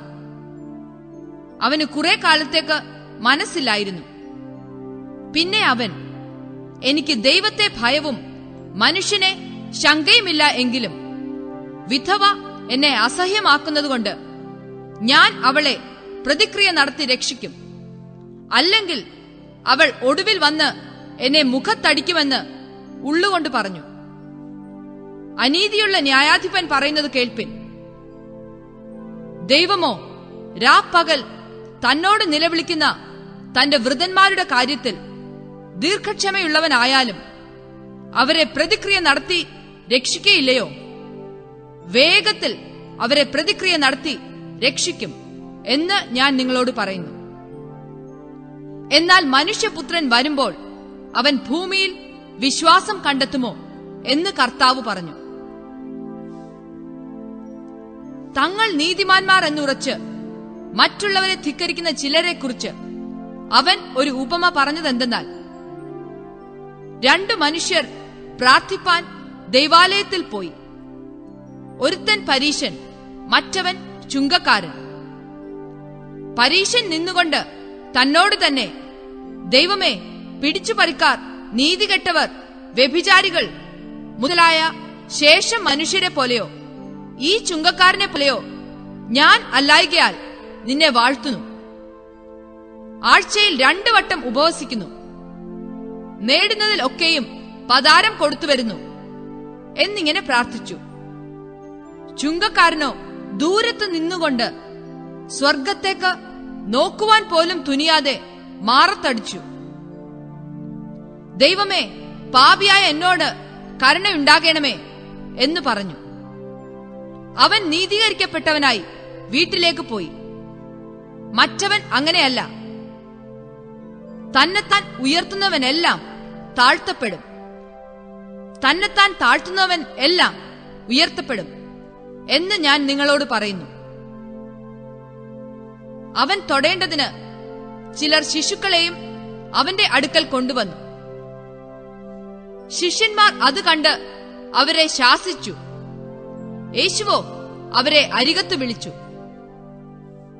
പൈതങ്ങളെ എന്റെ അടുക്കൽ വരുവാൻ വിടുവിൻ. അവരെ തടുക്കരുത്. ദൈവരാജ്യം ഇങ്ങനെയുള്ളവരുടേതാകുന്നു. ദൈവരാജ്യത്തെ ശിശു എന്ന പോലെ കൈക്കൊള്ളാത്തവൻ ആരും ഒരു നാളും അതിൽ കടക്കയില്ല എന്ന് ഞാൻ സത്യമായിട്ട് നിങ്ങളോട് പറയുന്നു എന്ന് പറഞ്ഞു. ഒരു പ്രമാണി അവനോട് നല്ല ഗുരു ഞാൻ നിത്യജീവനെ അവകാശമാക്കേണ്ടതിന് എന്ത് ചെയ്യണം? എന്ന് ചോദിച്ചു. അതിന് യേശു എന്നെ നല്ലവനെന്ന് പറയുന്നത് എന്ത് ദൈവം ഒരുവനല്ലാതെ നല്ലവൻ ആരും ഇല്ല. വ്യഭിചാരം ചെയ്യരുത് കുല ചെയ്യരുത് മോഷ്ടിക്കരുത് കള്ളസാക്ഷ്യം പറയരുത്. നിന്റെ അപ്പനെയും അമ്മയെയും ബഹുമാനിക്ക. എന്നീ കൽപ്പനകളെ നീ അറിയുന്നുവല്ലോ എന്ന് പറഞ്ഞു. ഇവ ഒക്കെയും ഞാൻ ചെറുപ്പം മുതൽ കാത്തുകൊണ്ടിരിക്കുന്നു. എന്ന് അവൻ പറഞ്ഞത് കേട്ടിട്ട് യേശു ഇനി ഒരു കുറവ് നിനക്കുണ്ട്. നിനക്കുള്ളതൊക്കെയും വിറ്റ് ദരിദ്രന്മാർക്ക് പകുത്തു കൊടുക്കാം. എന്നാൽ സ്വർഗത്തിൽ നിനക്ക് നിക്ഷേപം ഉണ്ടാകും. പിന്നെ വന്ന് എന്നെ അനുഗമിക്ക എന്ന് പറഞ്ഞു. അവൻ എത്രയും ധനവാനാകൊണ്ട് ഇത് കേട്ടിട്ട് അതിദുഃഖിതനായി തീർന്നു യേശു അവനെ കണ്ടിട്ട് സമ്പത്തുള്ളവർ ദൈവരാജ്യത്തിൽ കടക്കുന്നത് എത്ര പ്രയാസം. ധനവാൻ ദൈവരാജ്യത്തിൽ കടക്കുന്നതിനേക്കാൾ ഒട്ടകം സൂചിക്കുഴയുടെ കടക്കുന്നത് എളുപ്പം എന്ന് പറഞ്ഞു. ഇത് കേട്ടവർ എന്നാൽ രക്ഷിക്കപ്പെടുവാൻ ആർക്കു കഴിയും എന്ന് പറഞ്ഞു. അതിന് അവൻ മനുഷ്യരാൽ അസാധ്യമായത് ദൈവത്താൽ സാധ്യമാകുന്നു എന്ന് പറഞ്ഞു. ഇതാ ഞങ്ങൾ സ്വന്തമായത് വിട്ട് നിന്നെ അനുഗമിച്ചിരിക്കുന്നുവെന്ന് പത്രോസ് പറഞ്ഞു. യേശു അവരോട് ദൈവരാജ്യം നിമിത്തം വീടോ ഭാര്യയെയോ സഹോദരന്മാരെയോ അമ്മയപ്പന്മാരെയോ മക്കളെയോ വിട്ടുകളഞ്ഞിട്ട് ഈ കാലത്തിൽ തന്നെ പല മടങ്ങായും വരുവാനുള്ള ലോകത്തിൽ നിത്യജീവനെയും പ്രാപിക്കാത്തവൻ ആരും ഇല്ല എന്ന് ഞാൻ സത്യമായിട്ട് നിങ്ങളോട് പറയുന്നു എന്ന് പറഞ്ഞു. അനന്തരം അവൻ പന്തിരുവരെ കൂട്ടിക്കൊണ്ട് അവരോട് ഇതാ നാം എരുശലേമിലേക്ക് പോകുന്നു. മനുഷ്യപുത്രനെ കുറിച്ച് പ്രവാചകന്മാർ എഴുതിയിരിക്കുന്നത് എല്ലാം നിവൃത്തിയാകും. അവനെ ജാതികൾക്ക് ഏൽപ്പിച്ചു കൊടുക്കുകയും അവർ അവനെ പരിഹസിച്ച് അവമാനിച്ച് തുപ്പി തല്ലിയിട്ട് കൊല്ലുകയും മൂന്നാം നാൾ അവൻ ഉയർത്തെഴുന്നേൽക്കുകയും ചെയ്യും എന്ന് പറഞ്ഞു. അവരോ ഇതൊന്നും ഗ്രഹിച്ചില്ല. ഈ വാക്ക് അവർക്ക് മറവായിരുന്നു. പറഞ്ഞത് അവർ തിരിച്ചറിഞ്ഞതുമില്ല. അവൻ എരിഹോവിനടുത്തപ്പോൾ ഒരു കുരുടൻ ഇരന്നുകൊണ്ട് വഴിയരികെ ഇരുന്നിരുന്നു. പുരുഷാരം കടന്നു പോകുന്നത് കേട്ട് ഇതെന്ത് എന്ന് അവൻ ചോദിച്ചു. നസറായനായ യേശു കടന്നു പോകുന്നു എന്ന് അവർ അവനോട് അറിയിച്ചു. അപ്പോൾ അവൻ യേശുവേ ദാവീദ് പുത്ര എന്നോട് കരുണ തോന്നേണമേ എന്ന് നിലവിളിച്ചു. മുൻ നടക്കുന്നവർ അവനെ മിണ്ടാതിരിപ്പാൻ ശാസിച്ചു. അവനോ ദാവീദ് പുത്ര എന്നോട് കരുണ തോന്നേണമേ എന്ന് ഏറ്റവും അധികം നിലവിളിച്ചു. യേശു നിന്നു. അവനെ തന്റെ അടുക്കൽ കൊണ്ടുവരുവാൻ കൽപ്പിച്ചു. അവൻ അടുക്ക വന്നപ്പോൾ ഞാൻ നിനക്ക് എന്തു ചെയ്യണം? എന്ന് ചോദിച്ചു. കർത്താവെ എനിക്ക് കാഴ്ച കിട്ടേണം എന്ന് അവൻ പറഞ്ഞു. യേശു അവനോട് കാഴ്ച പ്രാപിക്ക. നിന്റെ വിശ്വാസം നിന്നെ രക്ഷിച്ചിരിക്കുന്നു എന്ന് പറഞ്ഞു. ക്ഷണത്തിൽ അവൻ കാഴ്ച പ്രാപിച്ച് ദൈവത്തെ മഹത്വീകരിച്ചും കൊണ്ട് അവനെ അനുഗമിച്ചു. ജനം എല്ലാം കണ്ടിട്ട് ദൈവത്തിന് പുകഴ്ച കൊടുത്തു.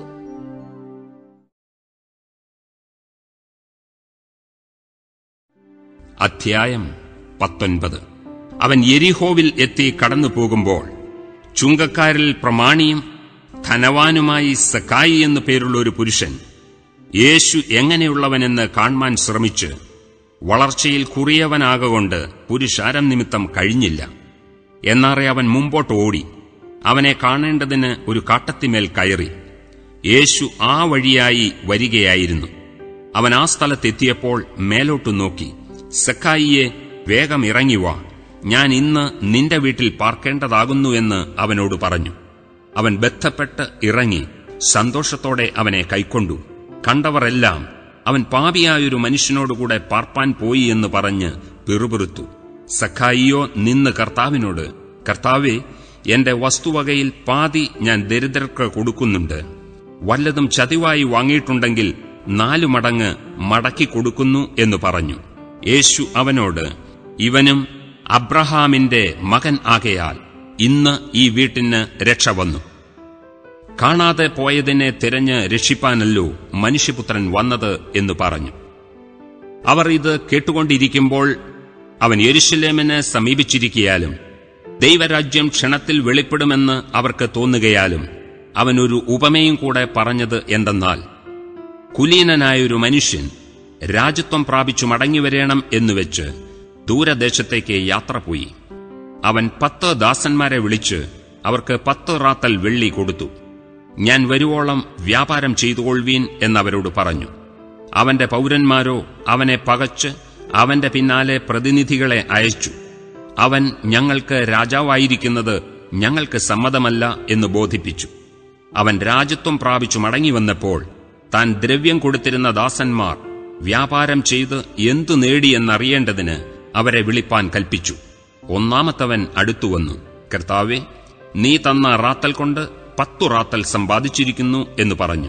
അവൻ അവനോട് നന്ന് നല്ല ദാസനെ നീ അത്യൽപ്പത്തിൽ വിശ്വസ്തനായതുകൊണ്ട് പത്തു പട്ടണത്തിന് അധികാരമുള്ളവനായിരിക്ക എന്ന് കൽപ്പിച്ചു. രണ്ടാമത്തവൻ വന്നു കർത്താവെ നീ തന്ന റാത്തൽ കൊണ്ട് അഞ്ചു റാത്തൽ സമ്പാദിച്ചിരിക്കുന്നു എന്ന് പറഞ്ഞു.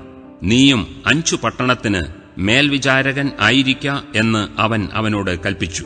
മറ്റൊരുവൻ വന്ന് കർത്താവെ ഇതാ നിന്റെ റാത്തൽ. ഞാൻ അത് ഒരു ഉറുമാലിൽ കെട്ടിവെച്ചിരുന്നു. നീ വയ്ക്കാത്തത് എടുക്കുകയും വിതയ്ക്കാത്തത് കൊയ്യുകയും ചെയ്യുന്ന കഠിന മനുഷ്യനാകൊണ്ട് ഞാൻ നിന്നെ ഭയപ്പെട്ടു എന്ന് പറഞ്ഞു. അവൻ അവനോട് ദുഷ്ടദാസനെ നിന്റെ വായിൽ നിന്ന് തന്നെ ഞാൻ നിന്നെ ന്യായം വിധിക്കും. ഞാൻ വയ്ക്കാത്തത് എടുക്കുകയും വിതയ്ക്കാത്തത് കൊയ്യുകയും ചെയ്യുന്ന കഠിന മനുഷ്യൻ എന്ന് നീ അറിഞ്ഞുവല്ലോ. ഞാൻ വന്ന് എന്റെ ദ്രവ്യം പലിശയോടുകൂടെ വാങ്ങിക്കൊള്ളേണ്ടതിന് അത് നാണ്യപീഠത്തിൽ ഏൽപ്പിക്കാഞ്ഞത് എന്ത്? പിന്നെ അവൻ അരികെ നിൽക്കുന്നവരോട് ആ റാത്തൽ അവന്റെ പക്കൽ നിന്നെടുത്ത് പത്ത് റാത്തൽ ഉള്ളവന് കൊടുപ്പീൻ എന്ന് പറഞ്ഞു. കർത്താവെ അവന് പത്ത് റാത്തൽ ഉണ്ടല്ലോ എന്നവർ പറഞ്ഞു. ഉള്ളവന് ഏവനും കൊടുക്കും ഇല്ലാത്തവനോട് ഉള്ളതും കൂടെ എടുത്തു കളയുമെന്ന് ഞാൻ നിങ്ങളോട് പറയുന്നു. എന്നാൽ ഞാൻ തങ്ങൾക്ക് രാജാവായിരിക്കുന്നത് സമ്മതമില്ലാത്ത ശത്രുക്കളായവരെ ഇവിടെ കൊണ്ടുവന്ന് എന്റെ മുമ്പിൽ വെച്ച് കൊന്നുകളവീൻ എന്നവൻ കൽപ്പിച്ചു. ഇത് പറഞ്ഞിട്ട് അവൻ മുമ്പായി നടന്നുകൊണ്ട് യേരുശലേമിലേക്ക് യാത്ര ചെയ്തു. അവൻ ഒലിവ് മലയരികെ ബേത്ഫാഗയ്ക്കും ബേഥാന്യയ്ക്കും സമീപിച്ചപ്പോൾ ശിഷ്യന്മാരിൽ രണ്ടുപേരെ അയച്ചു. നിങ്ങൾക്ക് എതിരെയുള്ള ഗ്രാമത്തിൽ ചെല്ലുവീൻ. അതിൽ കടക്കുമ്പോൾ ആരും ഒരിക്കലും കയറിയിട്ടില്ലാത്ത ഒരു കഴുതക്കുട്ടിയെ കെട്ടിയിരിക്കുന്നത് കാണും. അതിനെ അഴിച്ചുകൊണ്ടുവരുവീൻ. അതിനെ അഴിക്കുന്നത് എന്ത് എന്ന് ആരെങ്കിലും നിങ്ങളോട് ചോദിച്ചാൽ കർത്താവിന് ഇതിനെക്കൊണ്ട് ആവശ്യമുണ്ട് എന്ന് പറവീൻ എന്ന് പറഞ്ഞു. അയക്കപ്പെട്ടവർ പോയി തങ്ങളോട് പറഞ്ഞതുപോലെ കണ്ടു. കഴുതക്കുട്ടിയെ അഴിക്കുമ്പോൾ അതിന്റെ ഉടയവർ കഴുതക്കുട്ടിയെ അഴിക്കുന്നത് എന്ത് എന്ന് ചോദിച്ചതിന് കർത്താവിന് ഇതിനെക്കൊണ്ട് ആവശ്യമുണ്ട് എന്നവർ പറഞ്ഞു. അതിനെ യേശുവിന്റെ അടുക്കൽ കൊണ്ടുവന്നു. തങ്ങളുടെ വസ്ത്രം കഴുതക്കുട്ടിമേലിട്ടു യേശുവിനെ കയറ്റി. അവൻ പോകുമ്പോൾ അവർ തങ്ങളുടെ വസ്ത്രം വഴിയിൽ വിരിച്ചു. അവൻ ഒലിവുമലയുടെ ഇറക്കത്തിന് അടുത്തപ്പോൾ ശിഷ്യന്മാരുടെ കൂട്ടമെല്ലാം തങ്ങൾ കണ്ട സകല വീര്യപ്രവർത്തികളെയും കുറിച്ച് സന്തോഷിച്ച് അത്യുച്ചത്തിൽ ദൈവത്തെ പുകഴ്ത്തി. കർത്താവിന്റെ നാമത്തിൽ വരുന്ന രാജാവ് വാഴ്ത്തപ്പെട്ടവൻ സ്വർഗത്തിൽ സമാധാനവും അത്യുന്നതങ്ങളിൽ മഹത്വവും എന്നു പറഞ്ഞു. പുരുഷാരത്തിൽ ചില പരീശന്മാരോ അവനോട് ഗുരു നിന്റെ ശിഷ്യന്മാരെ വിലക്കുക എന്നു പറഞ്ഞു. അതിന് അവൻ ഇവർ മിണ്ടാതിരുന്നാൽ കല്ലുകൾ ആർത്തുവിളിക്കും എന്ന് ഞാൻ നിങ്ങളോട് പറയുന്നു എന്നുത്തരം പറഞ്ഞു. അവൻ നഗരത്തിന് സമീപിച്ചപ്പോൾ അതിനെ കണ്ട് അതിനെക്കുറിച്ച് കരഞ്ഞു. ഈ നാളിൽ നിന്റെ സമാധാനത്തിനുള്ളത് നീയും അറിഞ്ഞുവെങ്കിൽ കൊള്ളായിരുന്നു. ഇപ്പോഴോ അത് നിന്റെ കണ്ണിന് മറഞ്ഞിരിക്കുന്നു. നിന്റെ സന്ദർശനകാലം നീ അറിയാഞ്ഞതുകൊണ്ട് നിന്റെ ശത്രുക്കൾ നിനക്ക് ചുറ്റും വാടകോരി നിന്നെ വളഞ്ഞ് നാലു പുറത്തും ഞെരുക്കി നിന്നെയും നിന്നിലുള്ള നിന്റെ മക്കളെയും നിലത്ത് തള്ളിയിട്ട് നിങ്ങൾ കല്ലിന്മേൽ കല്ല് ശേഷിപ്പിക്കാതിരിക്കുന്ന കാലം നിനക്കു വരും. പിന്നെ അവൻ ദേവാലയത്തിൽ ചെന്ന് വിൽക്കുന്നവരെ പുറത്താക്കി തുടങ്ങി. എന്റെ ആലയം പ്രാർത്ഥനാലയമാകുമെന്ന് എഴുതിയിരിക്കുന്നു. നിങ്ങളോ അതിനെ കള്ളന്മാരുടെ ഗുഹയാക്കി തീർത്തു എന്ന് അവരോട് പറഞ്ഞു. അവൻ ദിവസേന ദേവാലയത്തിൽ ഉപദേശിച്ചു പോന്നു. എന്നാൽ മഹാപുരോഹിതന്മാരും ശാസ്ത്രിമാരും ജനത്തിൽ പ്രധാനികളായവരും അവനെ നശിപ്പിപ്പാൻ തക്കം നോക്കി എങ്കിലും ജനം എല്ലാം അവന്റെ വചനം കേട്ട് രഞ്ജിച്ചിരിക്കിയാൽ എന്തു ചെയ്യേണ്ടു എന്ന് അവർ അറിഞ്ഞില്ല.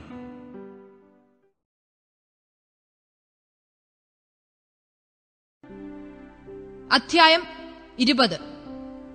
ആ ദിവസങ്ങളിൽ ഒന്നിൽ അവൻ ദൈവാലയത്തിൽ ജനത്തോട് ഉപദേശിച്ച് സുവിശേഷം അറിയിക്കുമ്പോൾ മഹാപുരോഹിതന്മാരും ശാസ്ത്രിമാരും മൂപ്പന്മാരുമായി അടുത്തുവന്ന് അവനോട് നീ എന്ത് അധികാരം കൊണ്ട് ഇത് ചെയ്യുന്നു? ഈ അധികാരം നിനക്ക് തന്നത് ആർ? ഞങ്ങളോട് പറക എന്ന് പറഞ്ഞു. അതിന് ഉത്തരമായി അവൻ ഞാനും നിങ്ങളോട് ഒരു വാക്ക് ചോദിക്കും. അത് എന്നോട് പറവിൻ. യോഹന്നാന്റെ സ്നാനം സ്വർഗത്തിൽ നിന്നോ മനുഷ്യരിൽ നിന്നോ ഉണ്ടായത് എന്ന് ചോദിച്ചു. അവർ തമ്മിൽ നിരൂപിച്ചു. സ്വർഗത്തിൽ നിന്ന് എന്ന് പറഞ്ഞാൽ പിന്നെ നിങ്ങൾ അവനെ വിശ്വസിക്കാഞ്ഞത് എന്ത് എന്ന് അവൻ ചോദിക്കും. മനുഷ്യരിൽ നിന്ന് എന്ന് പറഞ്ഞാലോ? ജനമൊക്കെയും യോഹന്നാൻ ഒരു പ്രവാചകൻ എന്ന് ഉറച്ചിരിക്കൊണ്ട് നമ്മെ കല്ലെറിയും എന്ന് പറഞ്ഞിട്ട് എവിടെ നിന്നോ ഞങ്ങൾ അറിയുന്നില്ല എന്ന് ഉത്തരം പറഞ്ഞു. യേശു അവരോട് എന്നാൽ ഞാൻ ഇത് ചെയ്യുന്നത് ഇന്ന അധികാരം കൊണ്ടാകുന്നു എന്നുള്ളത് ഞാനും നിങ്ങളോട് പറയുന്നില്ല എന്ന് പറഞ്ഞു. അനന്തരം അവൻ ജനത്തോട് ഉപമ പറഞ്ഞത് എന്തെന്നാൽ ഒരു മനുഷ്യൻ ഒരു മുന്തിരിത്തോട്ടം നട്ടുണ്ടാക്കി കുടിയാന്മാരെ പാട്ടത്തിന് ഏൽപ്പിച്ചിട്ട് ഏറിയ കാലം പരദേശത്ത് പോയി പാർത്തു. സമയമായപ്പോൾ കുടിയാന്മാരോട് തോട്ടത്തിന്റെ അനുഭവം വാങ്ങേണ്ടതിന് അവരുടെ അടുക്കൽ ഒരു ദാസനെ അയച്ചു. അവനെ കുടിയാന്മാർ തല്ലി വെറുതെ അയച്ചു കളഞ്ഞു. അവൻ മറ്റൊരു ദാസനെ പറഞ്ഞയച്ചു. അവനെയും അവർ തല്ലി അപമാനിച്ചു. വെറുതെ അയച്ചു കളഞ്ഞു. അവൻ മൂന്നാമതൊരുത്തനെ പറഞ്ഞയച്ചു. അവർ അവനെയും മുറിവേൽപ്പിച്ച് പുറത്താക്കി കളഞ്ഞു. അപ്പോൾ മുന്തിരിത്തോട്ടത്തിന്റെ ഉടമസ്ഥൻ ഞാൻ എന്തു ചെയ്യേണ്ടു? എന്റെ പ്രിയപുത്രനെ അയക്കും പക്ഷേ അവർ അവനെ ശങ്കിക്കും എന്ന് പറഞ്ഞു. കുടിയാന്മാർ അവനെ കണ്ടിട്ട് ഇവൻ അവകാശി. അവകാശം നമുക്കാകേണ്ടതിന് നാം അവനെ കൊന്നുകളക എന്ന് തമ്മിൽ ആലോചിച്ചു പറഞ്ഞു. അവർ അവനെ തോട്ടത്തിൽ നിന്ന് പുറത്താക്കി കൊന്നുകളഞ്ഞു. എന്നാൽ തോട്ടത്തിന്റെ ഉടമസ്ഥൻ അവരോട് എന്തു ചെയ്യും? അവൻ വന്ന് ആ കുടിയാന്മാരെ നിഗ്രഹിച്ച് തോട്ടം അന്യന്മാർക്ക് ഏൽപ്പിച്ചു കൊടുക്കും.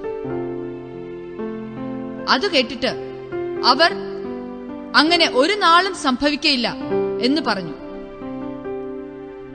അവനോ അവരെ നോക്കി. എന്നാൽ വീട് പണയുന്നവർ തള്ളിക്കളഞ്ഞ കല്ല് മൂലക്കല്ലായി തീർന്നു എന്നെഴുതിയിരിക്കുന്നത് എന്ത് ആ കല്ലിന്മേൽ വീഴുന്ന ഏവനും തകർന്നു പോകും. അത് ആരുടെ മേലെങ്കിലും വീണാൽ അവനെ ധൂളിപ്പിക്കും എന്ന് പറഞ്ഞു. ഈ ഉപമ തങ്ങളെക്കുറിച്ച് പറഞ്ഞുവെന്ന് ശാസ്ത്രിമാരും മഹാപുരോഹിതന്മാരും ഗ്രഹിച്ചിട്ട് ആ നാഴികയിൽ തന്നെ അവന്റെ മേൽ കൈവെപ്പാൻ നോക്കി എങ്കിലും ജനത്തെ ഭയപ്പെട്ടു. പിന്നെ അവർ അവനെ നാടുവാഴിയുടെ അധീനതയിലും അധികാരത്തിലും ഏൽപ്പിപ്പാൻ തക്കവണ്ണം അവനെ വാക്കിൽ പിടിക്കേണ്ടതിന് തക്കം നോക്കി നീതിമാന്മാർ എന്ന് നടിക്കുന്ന ഒറ്റുകാരെ അയച്ചു. അവർ അവനോട് ഗുരു നീ നേർ പറഞ്ഞ് ഉപദേശിക്കുകയും മുഖപക്ഷം നോക്കാതെ ദൈവത്തിന്റെ വഴി യഥാർത്ഥമായി പഠിപ്പിക്കുകയും ചെയ്യുന്നുവെന്ന് ഞങ്ങൾ അറിയുന്നു. നാം കൈസർക്ക് കരം കൊടുക്കുന്നത് വിഹിതമോ അല്ലയോ? എന്ന് ചോദിച്ചു. അവരുടെ ഉപായം ഗ്രഹിച്ചിട്ട് അവൻ അവരോട് ഒരു വെള്ളിക്കാശ് കാണിപ്പിൻ. അതിനുള്ള സ്വരൂപവും മേലെഴുത്തും ആരുടേത് എന്ന് ചോദിച്ചതിന്. കൈസരുടേത് എന്ന് അവർ പറഞ്ഞു. എന്നാൽ കൈസർക്കുള്ളത് കൈസർക്കും ദൈവത്തിനുള്ളത് ദൈവത്തിനും കൊടുപ്പിൻ എന്ന് അവൻ അവരോട് പറഞ്ഞു. അങ്ങനെ അവർ ജനത്തിന്റെ മുമ്പിൽ വെച്ച് അവനെ വാക്കിൽ പിടിപ്പാൻ കഴിയാതെ അവന്റെ ഉത്തരത്തിൽ ആശ്ചര്യപ്പെട്ട് മിണ്ടാതിരുന്നു. പുനരുത്ഥാനം ഇല്ല എന്ന് പറയുന്ന സദൂക്യരിൽ ചിലർ അടുത്തുവന്ന് അവനോട് ചോദിച്ചത് ഗുരു ഒരുത്തന്റെ സഹോദരൻ വിവാഹം കഴിച്ചിട്ട് മക്കളില്ലാതെ മരിച്ചുപോയാൽ അവന്റെ സഹോദരൻ അവന്റെ ഭാര്യയെ പരിഗ്രഹിച്ച് സഹോദരന് സന്തതിയെ ജനിപ്പിക്കണമെന്ന് മോശ എഴുതിയിരിക്കുന്നു. എന്നാൽ ഏഴ് സഹോദരന്മാർ ഉണ്ടായിരുന്നു. അവരിൽ ഒന്നാമത്തവൻ ഒരു സ്ത്രീയെ വിവാഹം കഴിച്ചു. മക്കളില്ലാതെ മരിച്ചുപോയി. രണ്ടാമത്തവനും മൂന്നാമത്തവനും അവളെ പരിഗ്രഹിച്ചു. അവണ്ണം ഏഴു പേരും ചെയ്തു മക്കളില്ലാതെ മരിച്ചുപോയി. ഒടുവിൽ സ്ത്രീയും മരിച്ചു. എന്നാൽ പുനരുത്ഥാനത്തിൽ അവൾ ഏവരിൽ അവന് ഭാര്യയാകും. ഏഴുവർക്കും ഭാര്യയായിരുന്നുവല്ലോ. അതിന് യേശു ഉത്തരം പറഞ്ഞത് ഈ ലോകത്തിന്റെ മക്കൾ വിവാഹം കഴിക്കുകയും വിവാഹത്തിന് കൊടുക്കുകയും ചെയ്യുന്നു. എങ്കിലും ആ ലോകത്തിനും മരിച്ചവരിൽ നിന്നുള്ള പുനരുത്ഥാനത്തിനും യോഗ്യരായവർ വിവാഹം കഴിക്കുകയുമില്ല വിവാഹത്തിന് കൊടുക്കപ്പെടുകയുമില്ല. അവർക്ക് ഇനി മരിപ്പാനും കഴിയുകയില്ല. അവൻ പുനരുത്ഥാന പുത്രന്മാരാകയാൽ ദൈവദൂത തുല്യരും ദൈവപുത്രന്മാരും ആകുന്നു. മരിച്ചവർ ഉയർത്തെഴുന്നേൽക്കുന്നു എന്നതോ? മോശയും മുൾപ്പടർപ്പ് ഭാഗത്ത് കർത്താവിനെ അബ്രഹാമിന്റെ ദൈവവും ഇസഹാക്കിന്റെ ദൈവവും യാക്കോബിന്റെ ദൈവവും എന്ന് പറയുന്നതിനാൽ സൂചിപ്പിച്ചിരിക്കുന്നു. ദൈവമോ മരിച്ചവരുടെ ദൈവമല്ല. ജീവനുള്ളവരുടെ ദൈവമത്രേ. എല്ലാവരും അവന് ജീവിച്ചിരിക്കുന്നുവല്ലോ. അതിന് ചില ശാസ്ത്രിമാർ ഗുരു നീ പറഞ്ഞത് ശരി എന്ന് ഉത്തരം പറഞ്ഞു. പിന്നെ അവനോട് ഒന്നും ചോദിപ്പാൻ അവർ തുനിഞ്ഞതുമില്ല.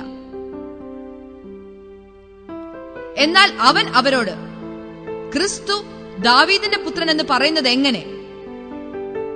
കർത്താവ് എന്റെ കർത്താവിനോട് ഞാൻ നിന്റെ ശത്രുക്കളെ നിന്റെ പാദപീഠമാക്കുവോളം എന്റെ വലത്തുഭാഗത്തിരിക്ക എന്ന് അരുളി ചെയ്തു. എന്ന് സങ്കീർത്തന പുസ്തകത്തിൽ ദാവീദ് തന്നെ പറയുന്നുവല്ലോ. ദാവീദ് അവനെ കർത്താവ് എന്ന് വിളിക്കുന്നു. പിന്നെ അവന്റെ പുത്രൻ ആകുന്നത് എങ്ങനെ എന്ന് ചോദിച്ചു. എന്നാൽ ജനമൊക്കെയും കേൾക്കെ അവൻ തന്റെ ശിഷ്യന്മാരോട് നിലയങ്കികളോടെ നടപ്പാൻ ഇച്ഛിക്കുകയും അങ്ങാടിയിൽ വന്ദനവും പള്ളിയിൽ മുഖ്യാസനവും അത്താഴത്തിൽ പ്രധാന സ്ഥലവും പ്രിയപ്പെടുകയും ചെയ്യുന്ന ശാസ്ത്രിമാരെ സൂക്ഷിച്ചുകൊള്ളുവിൻ അവർ വിധവമാരുടെ വീടുകളെ വിഴുങ്ങുകയും ഉപായരൂപേണ ദീർഘമായി പ്രാർത്ഥിക്കുകയും ചെയ്യുന്നു. അവർക്ക് ഏറ്റവും വലിയ ശിക്ഷാവിധി വരും.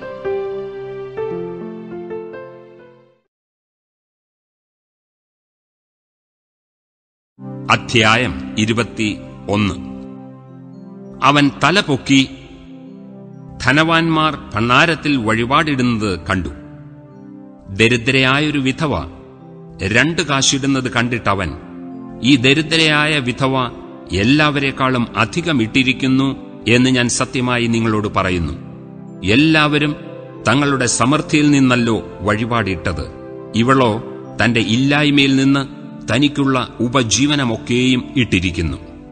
ചിലർ ദൈവാലയത്തെക്കുറിച്ച് അത് മനോഹരമായ കല്ലുകളാലും വഴിപാടുകളാലും അലങ്കരിക്കപ്പെട്ടിരിക്കുന്നു എന്ന് പറഞ്ഞപ്പോൾ ഈ കാണുന്നതിൽ ഇടിഞ്ഞു പോകാതെ കല്ല് കല്ലിന്മേൽ ശേഷിക്കാത്ത കാലം വരും എന്നവൻ പറഞ്ഞു ഗുരു അതെപ്പോൾ ഉണ്ടാകും?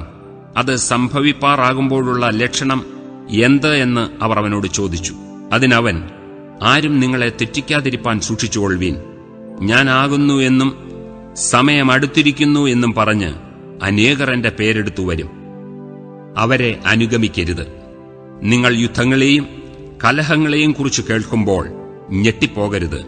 അതാദ്യം സംഭവിക്കേണ്ടത് തന്നെ അവസാനം ഉടനെ അല്ല താനും എന്ന് പറഞ്ഞു. പിന്നെ അവൻ അവരോട് പറഞ്ഞത് ജാതി ജാതിയോടും രാജ്യം രാജ്യത്തോടും എതിർക്കും. വലിയ ഭൂകമ്പവും ക്ഷാമവും മഹാവ്യാധികളും അവിടെവിടെ ഉണ്ടാകും. ഭയങ്കര കാഴ്ചകളും ആകാശത്തിൽ മഹാലക്ഷ്യങ്ങളും ഉണ്ടാകും. ഇത് എല്ലാറ്റിനും മുമ്പേ എന്റെ നാമം നിമിത്തം അവർ നിങ്ങളുടെ മേൽ കൈവച്ച് രാജാക്കന്മാരുടെയും നാടുവാഴികളുടെയും മുമ്പിൽ കൊണ്ടുപോയി ഉപദ്രവിക്കുകയും പള്ളികളിലും തടവുകളിലും ഏൽപ്പിക്കുകയും ചെയ്യും. അത് നിങ്ങൾക്ക് സാക്ഷ്യം പറവാൻ തരമാകും. ആകയാൽ പ്രതിവാദിപ്പാൻ മുമ്പുകൂട്ടി വിചാരിക്കാതിരിക്കേണ്ടതിന് മനസ്സിൽ ഉറച്ചുകൊള്ളുവീൻ. നിങ്ങളുടെ എതിരികൾക്ക് ആർക്കും ചെറുപ്പാനോ എതിർ പറവാനോ കഴിയാത്ത വാക്കും ജ്ഞാനവും ഞാൻ നിങ്ങൾക്ക് തരും. എന്നാൽ അമ്മയപ്പന്മാരും സഹോദരന്മാരും ചാർച്ചക്കാരും ചങ്ങാതികളും നിങ്ങളെ ഏൽപ്പിച്ചു കൊടുക്കുകയും നിങ്ങളിൽ ചിലരെ കൊല്ലിക്കുകയും ചെയ്യും. എന്റെ നാമനിമിത്തം എല്ലാവരും നിങ്ങളെ പകയ്ക്കും. നിങ്ങളുടെ തലയിലെ ഒരു രോമം പോലും നശിച്ചു പോകയില്ല താനും. നിങ്ങൾ ക്ഷമ കൊണ്ട് നിങ്ങളുടെ പ്രാണനെ നേടും. സൈന്യങ്ങൾ യരുഷലേമിനെ വളഞ്ഞിരിക്കുന്നത് കാണുമ്പോൾ അതിന്റെ ശൂന്യകാലം അടുത്തിരിക്കുന്നു എന്ന് അറിഞ്ഞുകൊള്ളുവീൻ അന്ന് യഹൂദ്യയിലുള്ളവർ മലകളിലേക്ക് ഓടിപ്പോകട്ടെ. അതിന്റെ നടുവിലുള്ളവർ പുറപ്പെട്ടു പോകട്ടെ. നാട്ടുപുറങ്ങളിലുള്ളവർ അതിൽ കടക്കരുത്. എഴുതിയിരിക്കുന്നതെല്ലാം നിവർത്തിയാകേണ്ടതിന് ആ നാളുകൾ പ്രതികാരകാലം ആകുന്നു. ആ കാലത്ത് ഗർഭിണികൾക്കും മുല കുടിപ്പിക്കുന്നവർക്കും അയ്യോ കഷ്ടം. ദേശത്ത് വലിയ ഞെരുക്കവും ഈ ജനത്തിന്മേൽ ക്രോധവും ഉണ്ടാകും. അവർ വാളിന്റെ വായ്ത്തലയാൽ വീഴുകയും അവരെ സകല ജാതികളിലേക്കും ബദ്ധരായി കൊണ്ടുപോകുകയും ജാതികളുടെ കാലം തികയുവോളം ജാതികൾ എരുശലേം ചവിട്ടിക്കളയുകയും ചെയ്യും. സൂര്യനിലും ചന്ദ്രനിലും നക്ഷത്രങ്ങളിലും ലക്ഷ്യങ്ങൾ ഉണ്ടാകും. കടലിന്റെയും ഓളത്തിന്റെയും മുഴക്കം നിമിത്തം ഭൂമിയിലെ ജാതികൾക്ക് നിരാശയോടുകൂടിയ പരിഭ്രമം ഉണ്ടാകും. ആകാശത്തിന്റെ ശക്തികൾ ഇളകിപ്പോകുന്നതിനാൽ ഭൂലോകത്തിന് എന്ത് ഭവിപ്പാൻ പോകുന്നു എന്ന് പേടിച്ചും നോക്കിപ്പാർത്തും കൊണ്ട് മനുഷ്യർ നിർജീവന്മാർ ആകും. അപ്പോൾ മനുഷ്യപുത്രൻ ശക്തിയോടും മഹാതേജസ്സോടും കൂടെ മേഘത്തിൽ വരുന്നത് അവർ കാണും. ഇത് സംഭവിച്ചു തുടങ്ങുമ്പോൾ നിങ്ങളുടെ വീണ്ടെടുപ്പ് അടുത്തു വരുന്നതുകൊണ്ട് നിവർന്ന് തല ഒരു ഉപമയും അവരോട് പറഞ്ഞത് അത്തി മുതലായ സകല വൃക്ഷങ്ങളെയും നോക്കുവിൻ. അവ തളിർക്കുന്നത് നിങ്ങൾ കാണുമ്പോൾ വേനൽ അടുത്തിരിക്കുന്നു എന്ന് സ്വതവേ അറിയുന്നുവല്ലോ. ഔവണ്ണം തന്നെ ഇത് സംഭവിക്കുന്നത് കാണുമ്പോൾ ദൈവരാജ്യം അടുത്തിരിക്കുന്നു എന്ന് ഗ്രഹിപ്പീൻ. സകലവും സംഭവിക്കുവോളം ഈ തലമുറ ഒഴിഞ്ഞു പോകയില്ല എന്ന് ഞാൻ സത്യമായിട്ട് നിങ്ങളോട് പറയുന്നു. ആകാശവും ഭൂമിയും ഒഴിഞ്ഞു പോകും. എന്റെ വചനങ്ങളോ ഒഴിഞ്ഞു പോകയില്ല. നിങ്ങളുടെ ഹൃദയം അതിഭക്ഷണത്താലും മദ്യപാനത്താലും ഉപജീവന ചിന്തകളാലും ഭാരപ്പെട്ടിട്ട് ആ ദിവസം നിങ്ങൾക്ക് പെട്ടെന്ന് കണി പോലെ വരാതിരിപ്പാൻ സൂക്ഷിച്ചുകൊള്ളുവീൻ. അത് സർവഭൂതലത്തിലും വസിക്കുന്ന ഏവർക്കും വരും. ആകയാൽ ഈ സംഭവിപ്പാനുള്ള എല്ലാറ്റിനും ഒഴിഞ്ഞു പോകുവാനും മനുഷ്യപുത്രന്റെ മുമ്പിൽ നിൽപ്പാനും നിങ്ങൾ പ്രാപ്തരാകേണ്ടതിന് സദാകാലവും ഉണർന്നും പ്രാർത്ഥിച്ചും കൊണ്ടിരിപ്പീൻ. അവൻ ദിവസേന പകൽ ദൈവാലയത്തിൽ ഉപദേശിച്ചു പോന്നു. രാത്രി ഒലിവുമലയിൽ പോയി പാർക്കും. ജനമെല്ലാം അവന്റെ വചനം കേൾക്കേണ്ടതിന് അതികാലത്ത് ദൈവാലയത്തിൽ അവന്റെ അടുക്കൽ ചൊല്ലും.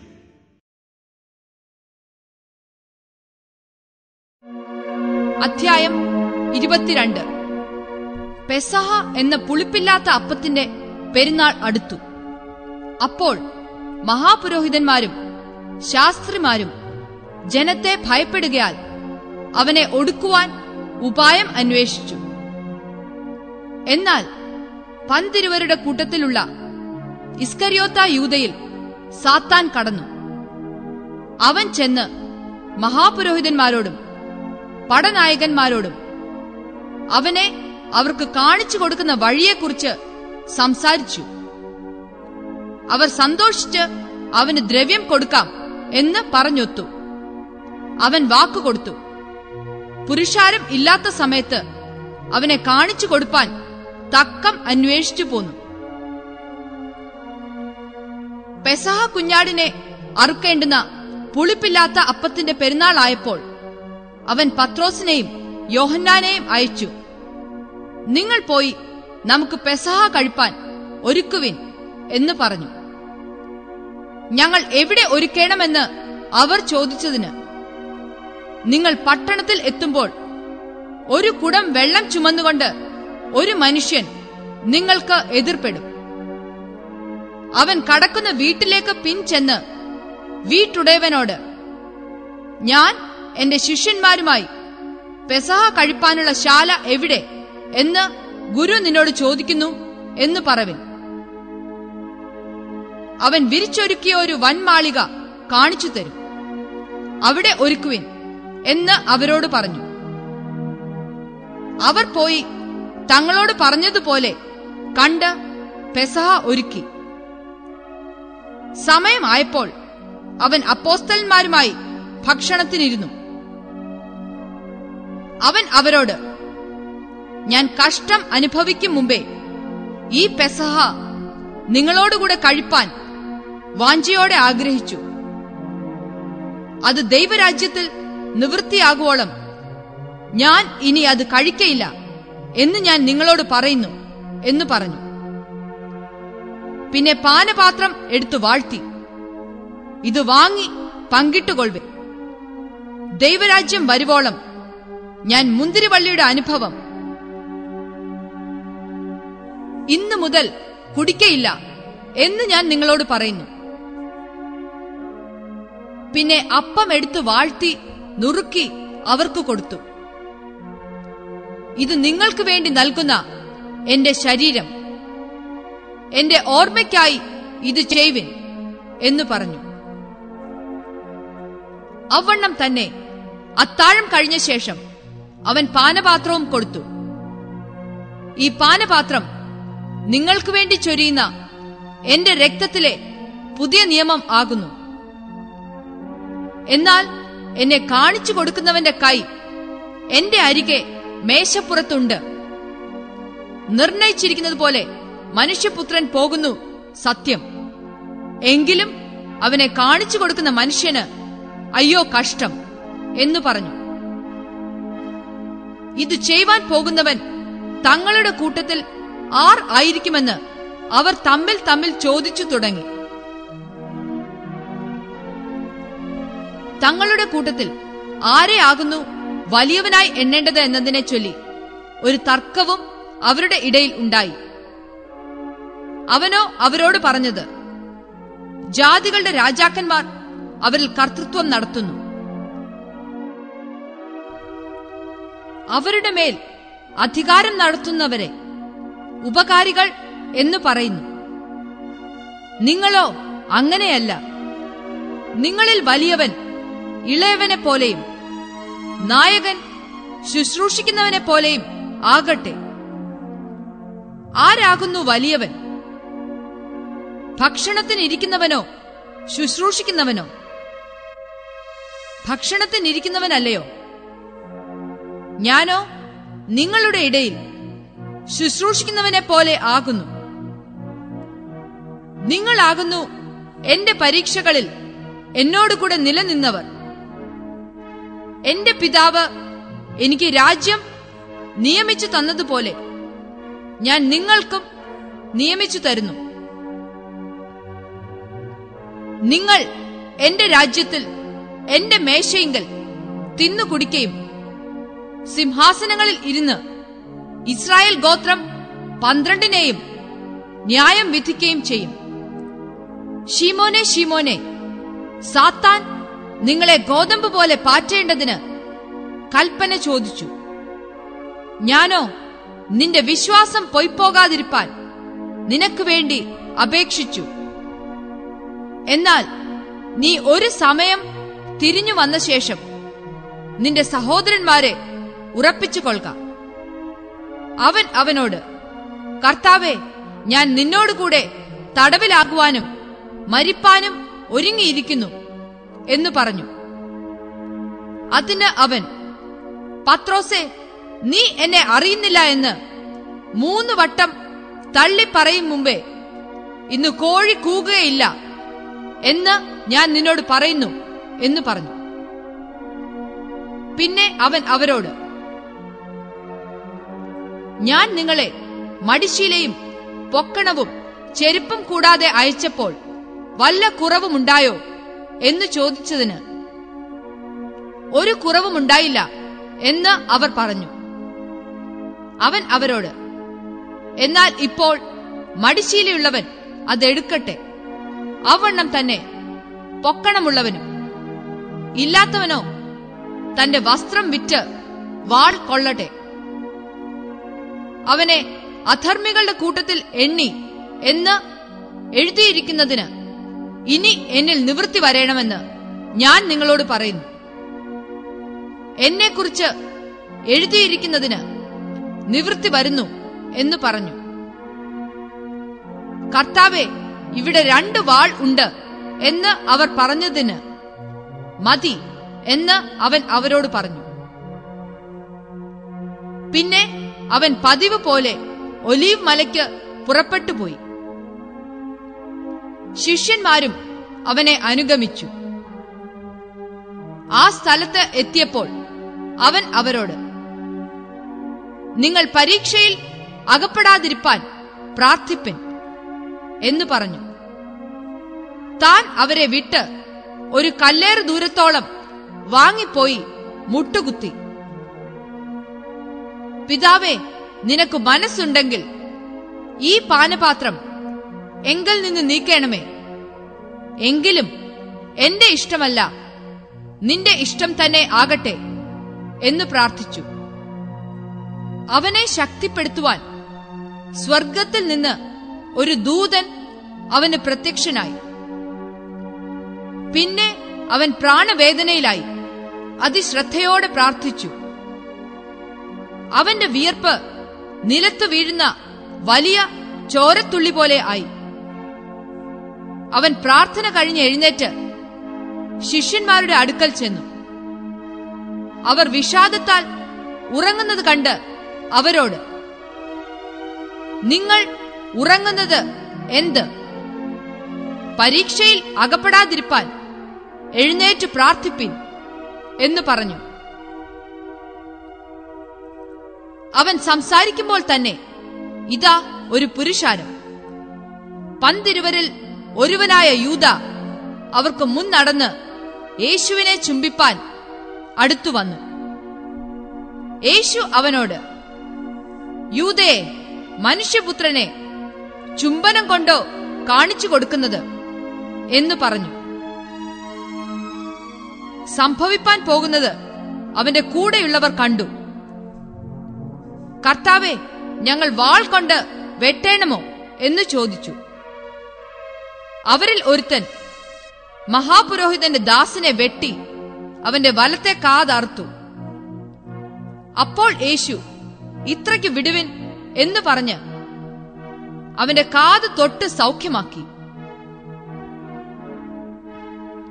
യേശു തന്റെ നേരെ വന്ന മഹാപുരോഹിതന്മാരോടും ദൈവാലയത്തിലെ പടനായകന്മാരോടും മൂപ്പന്മാരോടും ഒരു കള്ളന്റെ നേരെ എന്ന പോലെ നിങ്ങൾ വാളും വടിയുമായി പുറപ്പെട്ടു വന്നുവോ? ഞാൻ ദിവസേന ദൈവാലയത്തിൽ നിങ്ങളോടുകൂടെ ഇരുന്നിട്ടും എന്റെ നേരെ കൈ ഓങ്ങിയില്ല. എന്നാൽ ഇത് നിങ്ങളുടെ നാഴികയും ഇരുളിന്റെ അധികാരവുമാകുന്നു എന്ന് പറഞ്ഞു. അവർ അവനെ പിടിച്ച് മഹാപുരോഹിതന്റെ വീട്ടിൽ കൊണ്ടുപോയി. പത്രോസും അകലം വിട്ട് പിൻചെന്നു അവർ നടുമുറ്റത്തിന്റെ മധ്യേ തീ കത്തിച്ച് ഒന്നിച്ചിരുന്നപ്പോൾ പത്രോസും അവരുടെ ഇടയിൽ ഇരുന്നു. അവൻ തീവെട്ടത്തിനടുക്കെ ഇരിക്കുന്നത് ഒരു ബാല്യക്കാരത്തി കണ്ട് അവനെ ഉറ്റുനോക്കി. ഇവനും അവനോടുകൂടെ ആയിരുന്നു എന്നു പറഞ്ഞു. അവനോ? സ്ത്രീയെ ഞാൻ അവനെ അറിയുന്നില്ല എന്ന് തള്ളി പറഞ്ഞു കുറഞ്ഞോന്ന് കഴിഞ്ഞിട്ട് മറ്റൊരുവൻ അവനെ കണ്ടു. നീയും അവരുടെ കൂട്ടത്തിലുള്ളവൻ എന്ന് പറഞ്ഞു. പത്രോസോ മനുഷ്യ ഞാൻ അല്ല എന്ന് പറഞ്ഞു. ഏകദേശം ഒരു മണിനേരം കഴിഞ്ഞാറെ വേറൊരുവൻ. ഇവനും അവനോടുകൂടെ ആയിരുന്നു സത്യം. ഇവൻ ഗലീലക്കാരനല്ലോ എന്ന് നിഷ്കർഷിച്ചു പറഞ്ഞു. മനുഷ്യ നീ പറയുന്നത് എനിക്ക് തിരിയുന്നില്ല എന്ന് പത്രോസ് പറഞ്ഞു. അവൻ സംസാരിക്കുമ്പോൾ തന്നെ പെട്ടെന്ന് കോഴി കൂകി. അപ്പോൾ കർത്താവ് തിരിഞ്ഞ് പത്രോസിനെ ഒന്ന് നോക്കി. ഇന്ന് കോഴി കൂകും മുമ്പേ നീ മൂന്ന് വട്ടം എന്നെ തള്ളി പറയുമെന്ന് കർത്താവ് തന്നോട് പറഞ്ഞ വാക്ക് പത്രോസ് ഓർത്തു. പുറത്തിറങ്ങി അതിദുഃഖത്തോടെ കരഞ്ഞു. യേശുവിനെ പിടിച്ചവർ അവനെ പരിഹസിച്ച് കണ്ണുകെട്ടി തല്ലി. പ്രവചിക്ക നിന്നെ അടിച്ചവൻ ആർ? എന്ന് ചോദിച്ചു. മറ്റു പലതും അവനെ ദുഷിച്ചു പറഞ്ഞു. നേരം വെളുത്തപ്പോൾ ജനത്തിന്റെ മൂപ്പന്മാരായ മഹാപുരോഹിതന്മാരും ശാസ്ത്രിമാരും വന്നുകൂടി. അവനെ ന്യായാധിപ സംഘത്തിൽ വരുത്തി. നീ ക്രിസ്തു എങ്കിൽ ഞങ്ങളോട് പറക എന്ന് പറഞ്ഞു. അവൻ അവരോട് ഞാൻ നിങ്ങളോട് പറഞ്ഞാൽ നിങ്ങൾ വിശ്വസിക്കയില്ല. ഞാൻ ചോദിച്ചാൽ ഉത്തരം പറയുകയുമില്ല എന്നാൽ ഇന്നു മുതൽ മനുഷ്യപുത്രൻ ദൈവശക്തിയുടെ വലത്തുഭാഗത്ത് ഇരിക്കും എന്ന് പറഞ്ഞു. എന്നാൽ നീ ദൈവപുത്രൻ തന്നെയോ എന്ന് എല്ലാവരും ചോദിച്ചതിന് നിങ്ങൾ പറയുന്നത് ശരി ഞാൻ ആകുന്നു എന്ന് അവൻ പറഞ്ഞു. അപ്പോൾ അവർ ഇനി സാക്ഷ്യം കൊണ്ട് നമുക്ക് എന്താവശ്യം? നാം തന്നെ അവന്റെ വാമൊഴി കേട്ടുവല്ലോ എന്ന് പറഞ്ഞു.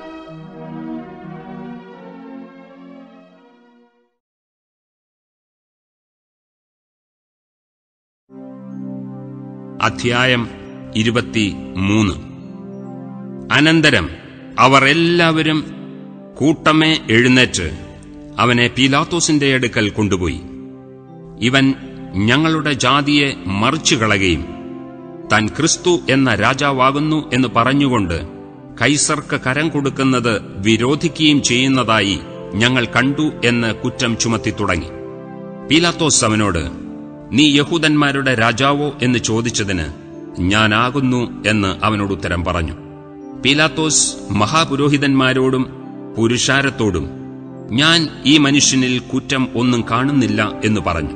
അതിനവർ അവൻ ഗലീലയിൽ തുടങ്ങി യഹൂദയിലെങ്ങും ഇവിടത്തോളവും പഠിപ്പിച്ച് ജനത്തെ കലഹിപ്പിക്കുന്നു എന്ന് നിഷ്കർഷിച്ചു പറഞ്ഞു. ഇത് കേട്ടിട്ട് ഈ മനുഷ്യൻ ഗലീലക്കാരനോ എന്ന് പീലാത്തോസ് ചോദിച്ചു. ഹേരോദാവിന്റെ അധികാരത്തിൽ ഉൾപ്പെട്ടവൻ എന്നറിഞ്ഞിട്ട് അന്ന് യെരുശലേമിൽ വന്നു പാർക്കുന്ന ഹേരോദാവിന്റെ അടുക്കൽ അവനെ അയച്ചു. ഹേരോദാവ് യേശുവിനെ കണ്ടിട്ട് അത്യന്തം സന്തോഷിച്ചു. അവനെക്കുറിച്ച് കേട്ടിരുന്നതുകൊണ്ട് അവനെ കാണുവാൻ വളരെ കാലമായി ഇച്ഛിച്ചു. അവൻ വല്ല അടയാളവും ചെയ്യുന്നത് കാണാം എന്ന് ആശിച്ചിരുന്നു. ഏറിയൊന്ന് ചോദിച്ചിട്ടും അവൻ അവനോട് ഉത്തരമൊന്നും പറഞ്ഞില്ല. മഹാപുരോഹിതന്മാരും ശാസ്ത്രിമാരും കഠിനമായി അവനെ കുറ്റം ചുമത്തിക്കൊണ്ട് നിന്നു. ഹേരോദാവ് തന്റെ പടയാളികളുമായി അവനെ പരിഹസിച്ച് നിസാരനാക്കി ശുഭ്രവസ്ത്രം ധരിപ്പിച്ച് പീലാത്തോസിന്റെ അടുക്കൽ മടക്കി അയച്ചു. അന്ന് ഹേരോദാവും പീലാത്തോസും തമ്മിൽ സ്നേഹിതന്മാരായി തീർന്നു. മുമ്പേ അവർ തമ്മിൽ വൈരമായിരുന്നു. പീലാത്തോസ് മഹാപുരോഹിതന്മാരെയും പ്രമാണികളെയും ജനത്തെയും വിളിച്ചുകൂട്ടി. അവരോട് ഈ മനുഷ്യൻ ജനത്തെ മത്സരിപ്പിക്കുന്നു എന്ന് പറഞ്ഞ് നിങ്ങൾ അവനെ എന്റെ അടുക്കൽ കൊണ്ടുവന്നുവല്ലോ. ഞാനോ നിങ്ങളുടെ മുമ്പാകെ വിസ്തരിച്ചിട്ടും നിങ്ങൾ ചുമത്തിയ കുറ്റം ഒന്നും ഇവനിൽ കണ്ടില്ല. ഹേരോദാവും കണ്ടില്ല. അവൻ അവനെ നമ്മുടെ അടുക്കൽ മടക്കി അയച്ചുവല്ലോ. ഇവൻ മരണയോഗ്യമായത് ഒന്നും പ്രവർത്തിച്ചിട്ടില്ല സ്പഷ്ടം. അതുകൊണ്ട് ഞാൻ അവനെ അടിപ്പിച്ച് വിട്ടയക്കും എന്ന് പറഞ്ഞു. ഇവനെ നീക്കിക്കളക ബറബാസിനെ വിട്ടുതരിക എന്ന് എല്ലാവരും കൂടെ നിലവിളിച്ചു. ഉത്സവം തോറും ഒരുത്തനെ വിട്ടുകൊടുക്കുക പതിവായിരുന്നു. അവനോ നഗരത്തിലുണ്ടായ ഒരു കലഹവും കുലയും ഹേതുവായി തടവിലായവനായിരുന്നു. പീലാത്തോസ് യേശുവിനെ വിടുവിപ്പാൻ ഇച്ഛിച്ചിട്ട് പിന്നെയും അവരോട് വിളിച്ചു പറഞ്ഞു അവരോ അവനെ ക്രൂശിക്ക ക്രൂശിക്ക എന്ന് എതിരെ നിലവിളിച്ചു. അവൻ മൂന്നാമതും അവരോട് അവൻ ചെയ്ത ദോഷം എന്ത്? മരണയോഗ്യമായതൊന്നും അവനിൽ കണ്ടില്ല. അതുകൊണ്ട് ഞാൻ അവനെ അടിപ്പിച്ച് വിട്ടയക്കും എന്ന് പറഞ്ഞു. അവരോ അവനെ ക്രൂശിക്കേണ്ടതിന് ഉറക്കെ മുട്ടിച്ച് ചോദിച്ചു. അവരുടെ നിലവിളി ഫലിച്ചു. അവരുടെ അപേക്ഷ പോലെ ആകട്ടെ എന്ന് പീലാത്തോസ് വിധിച്ചു.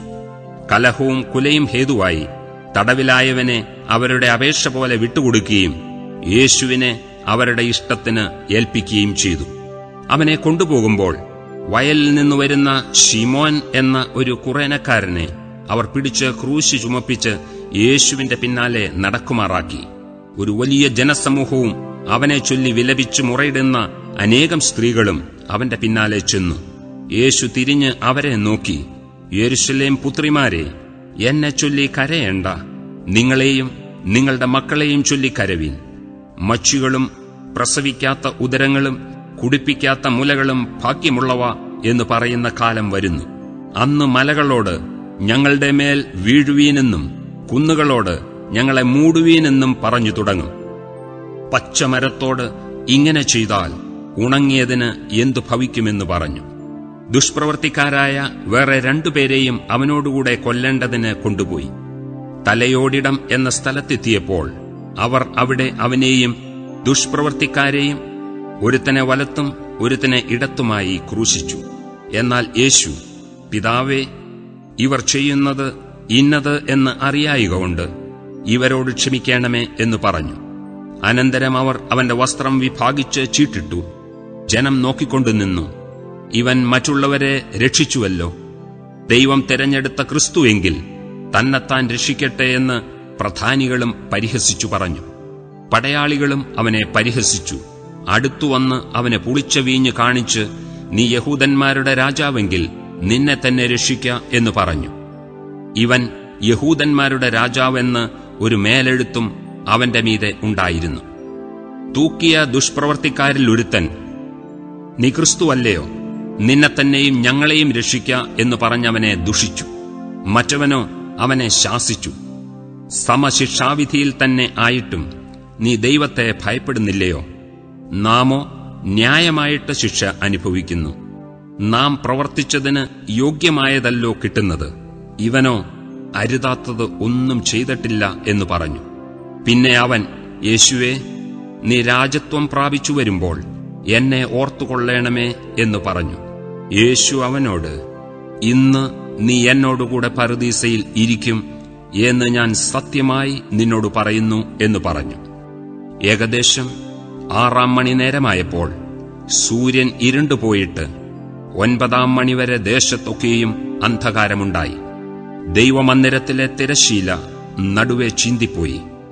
യേശു അത്യുച്ചത്തിൽ പിതാവേ ഞാൻ എന്റെ ആത്മാവിനെ തൃക്കൈയിൽ ഏൽപ്പിക്കുന്നു എന്ന് നിലവിളിച്ചു പറഞ്ഞു. ഇത് പറഞ്ഞിട്ട് പ്രാണനെ വിട്ടു. ഈ സംഭവിച്ചത് ശതാധിപൻ കണ്ടിട്ട് ഈ മനുഷ്യൻ വാസ്തവമായി നീതിമാനായിരുന്നു എന്നു പറഞ്ഞ ദൈവത്തെ മഹത്വപ്പെടുത്തി. കാൺമാൻ കൂടി വന്ന പുരുഷാരമൊക്കെയും സംഭവിച്ചത് കണ്ടിട്ട് മാറത്തടിച്ചുകൊണ്ട് മടങ്ങിപ്പോയി. അവന്റെ പരിചയക്കാർ എല്ലാവരും ഗലീലയിൽ നിന്ന് അവനെ അനുഗമിച്ച സ്ത്രീകളും ഇത് നോക്കിക്കൊണ്ട് ദൂരത്ത് നിന്നു. അരിമത്യ എന്നൊരു യഹൂദ്യ പട്ടണക്കാരനായി നല്ലവനും നീതിമാനും ദൈവരാജ്യത്തെ കാത്തിരുന്നവനുമായ യോസെഫ് എന്നൊരു മന്ത്രി അവൻ അവരുടെ ആലോചനയ്ക്കും പ്രവർത്തിക്കും അനുകൂലമല്ലായിരുന്നു. പീലാത്തോസിന്റെ അടുക്കൽ ചെന്ന് യേശുവിന്റെ ശരീരം ചോദിച്ചു. ഇത് ഇറക്കി ഒരു ശീലയിൽ പൊതിഞ്ഞ് പാറയിൽ വെട്ടിയിരുന്നതും ആരെയും ഒരിക്കലും വെച്ചിട്ടില്ലാത്തതുമായ കല്ലറയിൽ വെച്ചു. അന്ന് ഒരുക്കനാൾ ആയിരുന്നു. ശബത്തും ആരംഭിച്ചു. ഗലീലയിൽ നിന്ന് അവനോടുകൂടെ പോന്ന സ്ത്രീകളും പിന്നാലെ ചെന്ന് കല്ലറയും അവന്റെ ശരീരം വെച്ച വിധവും കണ്ടിട്ട് മടങ്ങിപ്പോയി. സുഗന്ധവർഗവും പരിമള തൈലവും ഒരുക്കി കൽപ്പനയനുസരിച്ച് ശബത്തിൽ സ്വസ്ഥമായിരുന്നു.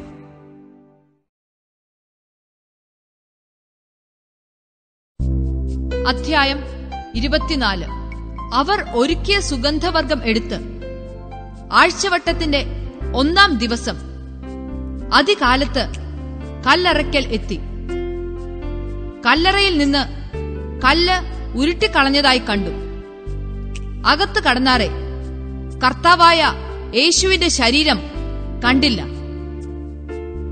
അതിനെക്കുറിച്ച് അവർ ചഞ്ചലിച്ചിരിക്കുമ്പോൾ മിന്നുന്ന വസ്ത്രം ധരിച്ച രണ്ട് പുരുഷന്മാർ അരികെ നിൽക്കുന്നത് കണ്ടു. ഭയപ്പെട്ട് മുഖം കുനിച്ചു നിൽക്കുമ്പോൾ അവർ അവരോട് നിങ്ങൾ ജീവനുള്ളവനെ മരിച്ചവരുടെ ഇടയിൽ അന്വേഷിക്കുന്നത് എന്ത്?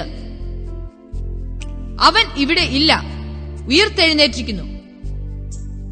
മുമ്പേ ഗലീലയിൽ ഇരിക്കുമ്പോൾ തന്നെ അവൻ നിങ്ങളോട് മനുഷ്യപുത്രനെ പാപികളായ മനുഷ്യരുടെ കയ്യിൽ ഏൽപ്പിച്ച് ക്രൂശിക്കുകയും അവൻ മൂന്നാം നാൾ ഉയർത്തെഴുന്നേൽക്കുകയും വേണമെന്ന് പറഞ്ഞത് ഓർത്തുകൊള്ളുവിൻ എന്ന് പറഞ്ഞു. അവർ അവന്റെ വാക്ക് ഓർത്തു. കല്ലറ വിട്ട് മടങ്ങിപ്പോയി. പതിനൊരുവർ മുതലായ എല്ലാവരോടും ഇതൊക്കെയും അറിയിച്ചു. അവർ ആരെന്നാൽ? മഗ്ദലക്കാരത്തി മറിയ യോഹന്ന യാക്കോബിന്റെ അമ്മ മറിയ എന്നവർ തന്നെ. അവരോട് കൂടെയുള്ള മറ്റു സ്ത്രീകളും അത് അപ്പോസ്തലന്മാരോട് പറഞ്ഞു. ഈ വാക്ക് അവർക്ക് വെറും കഥ പോലെ തോന്നി. അവരെ വിശ്വസിച്ചില്ല. എന്നാൽ പത്രോസ് എഴുന്നേറ്റ് കല്ലറയ്ക്കൽ ഓടിച്ചെന്ന് കുനിഞ്ഞു നോക്കി. തുണി മാത്രം കണ്ടു. സംഭവിച്ചതെന്തെന്ന് ആശ്ചര്യപ്പെട്ട് മടങ്ങിപ്പോന്നു. അന്നു തന്നെ അവരിൽ രണ്ടുപേർ എരിശിലേമിൽ നിന്ന് ഏഴു നാഴിക ദൂരമുള്ള എമ്മവുസ് എന്ന ഗ്രാമത്തിലേക്ക് പോകയിൽ ഈ സംഭവിച്ചതിനെക്കുറിച്ചൊക്കെയും തമ്മിൽ സംസാരിച്ചു കൊണ്ടിരുന്നു. സംസാരിച്ചും തർക്കിച്ചും കൊണ്ടിരിക്കുമ്പോൾ യേശു താനും അടുത്തു ചെന്ന് അവരോട് ചേർന്ന് നടന്നു. അവനെ അറിയാതെ വണ്ണം അവരുടെ കണ്ണ് നിരോധിച്ചിരുന്നു.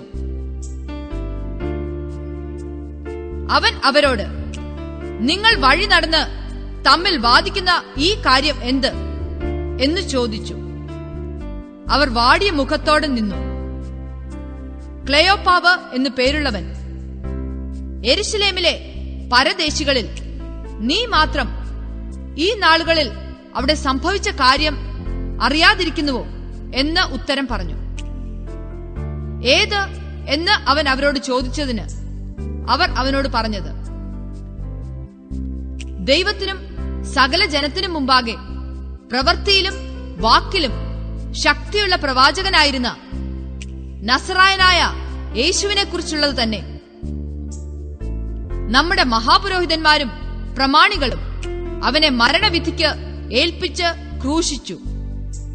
ഞങ്ങളോ അവൻ ഇസ്രായേലിനെ വീണ്ടെടുപ്പാനുള്ളവൻ എന്ന് ആശിച്ചിരുന്നു. അത്രയുമല്ല ഇത് സംഭവിച്ചിട്ട് ഇന്ന് മൂന്നാം നാളാകുന്നു. ഞങ്ങളുടെ കൂട്ടത്തിൽ ചില സ്ത്രീകൾ രാവിലെ കല്ലറയ്ക്കൽ പോയി അവന്റെ ശരീരം കാണാതെ മടങ്ങി വന്ന് അവൻ ജീവിച്ചിരിക്കുന്നുവെന്ന് പറഞ്ഞ ദൂതന്മാരുടെ ദർശനം കണ്ടു എന്ന് പറഞ്ഞ് ഞങ്ങളെ ഭ്രമിപ്പിച്ചു. ഞങ്ങളുടെ കൂട്ടത്തിൽ ചിലർ കല്ലറയ്ക്കൽ ചെന്ന് സ്ത്രീകൾ പറഞ്ഞതുപോലെ തന്നെ കണ്ടു. അവനെ കണ്ടില്ല താനും. അവൻ അവരോട് അയ്യോ ബുദ്ധിഹീനരെ. പ്രവാചകന്മാർ പറഞ്ഞിരിക്കുന്നതെല്ലാം വിശ്വസിക്കാത്ത മന്ന ബുദ്ധികളെ.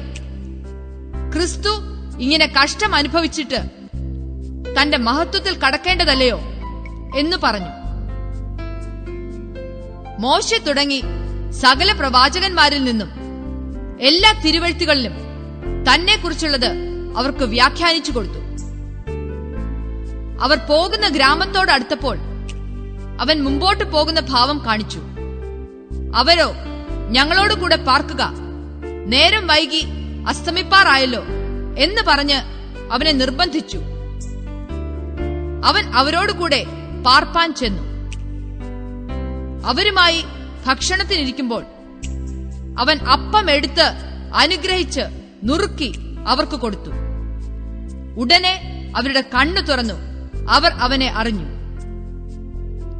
അവൻ അവർക്ക് അപ്രത്യക്ഷനായി. അവൻ വഴിയിൽ നമ്മോട് സംസാരിച്ച് തിരുവെഴുത്തുകളെ തെളിയിക്കുമ്പോൾ നമ്മുടെ ഹൃദയം നമ്മുടെ ഉള്ളിൽ കത്തിക്കൊണ്ടിരുന്നില്ലയോ എന്ന് അവർ തമ്മിൽ പറഞ്ഞു. ആ നാഴികയിൽ തന്നെ അവർ എഴുന്നേറ്റ് എരുസലേമിലേക്ക് മടങ്ങിപ്പോന്നു. കർത്താവ് വാസ്തവമായി ഉയർത്തെഴുന്നേറ്റു. ഷീമോന് പ്രത്യക്ഷനായി എന്ന് കൂടിയിരുന്ന് പറയുന്ന പതിനൊരു വരെ കൂടെയുള്ളവരെയും കണ്ടു. വഴിയിൽ സംഭവിച്ചതും അവൻ അപ്പം നുറുക്കുകയിൽ തങ്ങൾക്ക് അറിയായി വന്നതും അവർ വിവരിച്ചു പറഞ്ഞു. ഇങ്ങനെ അവർ സംസാരിച്ചു കൊണ്ടിരിക്കുമ്പോൾ അവൻ അവരുടെ നടുവിൽ നിന്നു. നിങ്ങൾക്ക് സമാധാനം എന്ന് പറഞ്ഞു. അവർ ഞെട്ടി ഭയപ്പെട്ടു. ഒരു ഭൂതത്തെ കാണുന്നുവെന്ന് അവർക്ക് തോന്നി. അവൻ അവരോട് നിങ്ങൾ കലങ്ങുന്നത് എന്ത്? നിങ്ങളുടെ ഹൃദയത്തിൽ സംശയം പൊങ്ങുന്നതും എന്ത്? ഞാൻ തന്നെ ആകുന്നുവെന്ന് എന്റെ കൈയും കാലും നോക്കി അറിവിൻ. എന്നെ തൊട്ടു നോക്കുവിൻ. എന്നിൽ കാണുന്നത് പോലെ ഭൂതത്തിന് മാംസവും അസ്ഥിയുമില്ലല്ലോ. എന്ന് പറഞ്ഞു. ഇങ്ങനെ പറഞ്ഞിട്ട് അവൻ കൈയും കാലും അവരെ കാണിച്ചു. അവർ സന്തോഷത്താൽ വിശ്വസിക്കാതെ അതിശയിച്ചു നിൽക്കുമ്പോൾ അവരോട് തിന്നുവാൻ വല്ലതും ഇവിടെ നിങ്ങളുടെ പക്കൽ ഉണ്ടോ? എന്ന് ചോദിച്ചു. അവർ ഒരു ഖണ്ഡം വറുത്ത മീനും തേൻ കട്ടയും അവന് കൊടുത്തു. അത് അവൻ വാങ്ങി അവർ കാണെ തിന്നു. പിന്നെ അവൻ അവരോട് ഇതാകുന്നു നിങ്ങളോടുകൂടെ ഇരിക്കുമ്പോൾ ഞാൻ പറഞ്ഞ വാക്ക്. മോശയുടെ ന്യായപ്രമാണത്തിലും പ്രവാചക പുസ്തകങ്ങളിലും സങ്കീർത്തനങ്ങളിലും എന്നെക്കുറിച്ച് എഴുതിയിരിക്കുന്നതൊക്കെയും നിവൃത്തിയാകേണം എന്നുള്ളത് തന്നെ എന്ന് പറഞ്ഞ് തിരുവഴുത്തുകളെ തിരിച്ചറിയേണ്ടതിന് അവരുടെ ബുദ്ധിയെ തുറന്നു. ക്രിസ്തു കഷ്ടം അനുഭവിക്കുകയും മൂന്നാം നാൾ മരിച്ചവരിൽ നിന്ന് ഉയർത്തെഴുന്നേൽക്കുകയും അവന്റെ നാമത്തിൽ മാനസാന്തരവും പാപമോചനവും എരിശിലേമിൽ തുടങ്ങി സകല ജാതികളിലും പ്രസംഗിക്കുകയും വേണം എന്നിങ്ങനെ എഴുതിയിരിക്കുന്നു. ഇതിന് നിങ്ങൾ സാക്ഷികൾ ആകുന്നു. എന്റെ പിതാവ് വാഗ്ദത്തം ചെയ്തതിന് ഞാൻ നിങ്ങളുടെ മേൽ അയക്കും നിങ്ങളോ ഉയരത്തിൽ നിന്ന് ശക്തി ധരിക്കുവോളം നഗരത്തിൽ പാർപ്പിൻ എന്നും അവരോട് പറഞ്ഞു. അനന്തരം അവൻ അവരെ ബേധാന്യോളം കൂട്ടിക്കൊണ്ടുപോയി കൈ ഉയർത്തി അവരെ അനുഗ്രഹിച്ചു. അവരെ അനുഗ്രഹിക്കൽ അവൻ അവരെ വിട്ടു പിരിഞ്ഞു. സ്വർഗാരോഹണം ചെയ്തു. അവർ അവനെ നമസ്കരിച്ചു. മഹാസന്തോഷത്തോടെ എരിശിലേമിലേക്ക് മടങ്ങിച്ചെന്ന് എല്ലായ്പ്പോഴും ദൈവാലയത്തിലിരുന്ന് ദൈവത്തെ വാഴ്ത്തിപ്പോന്നു.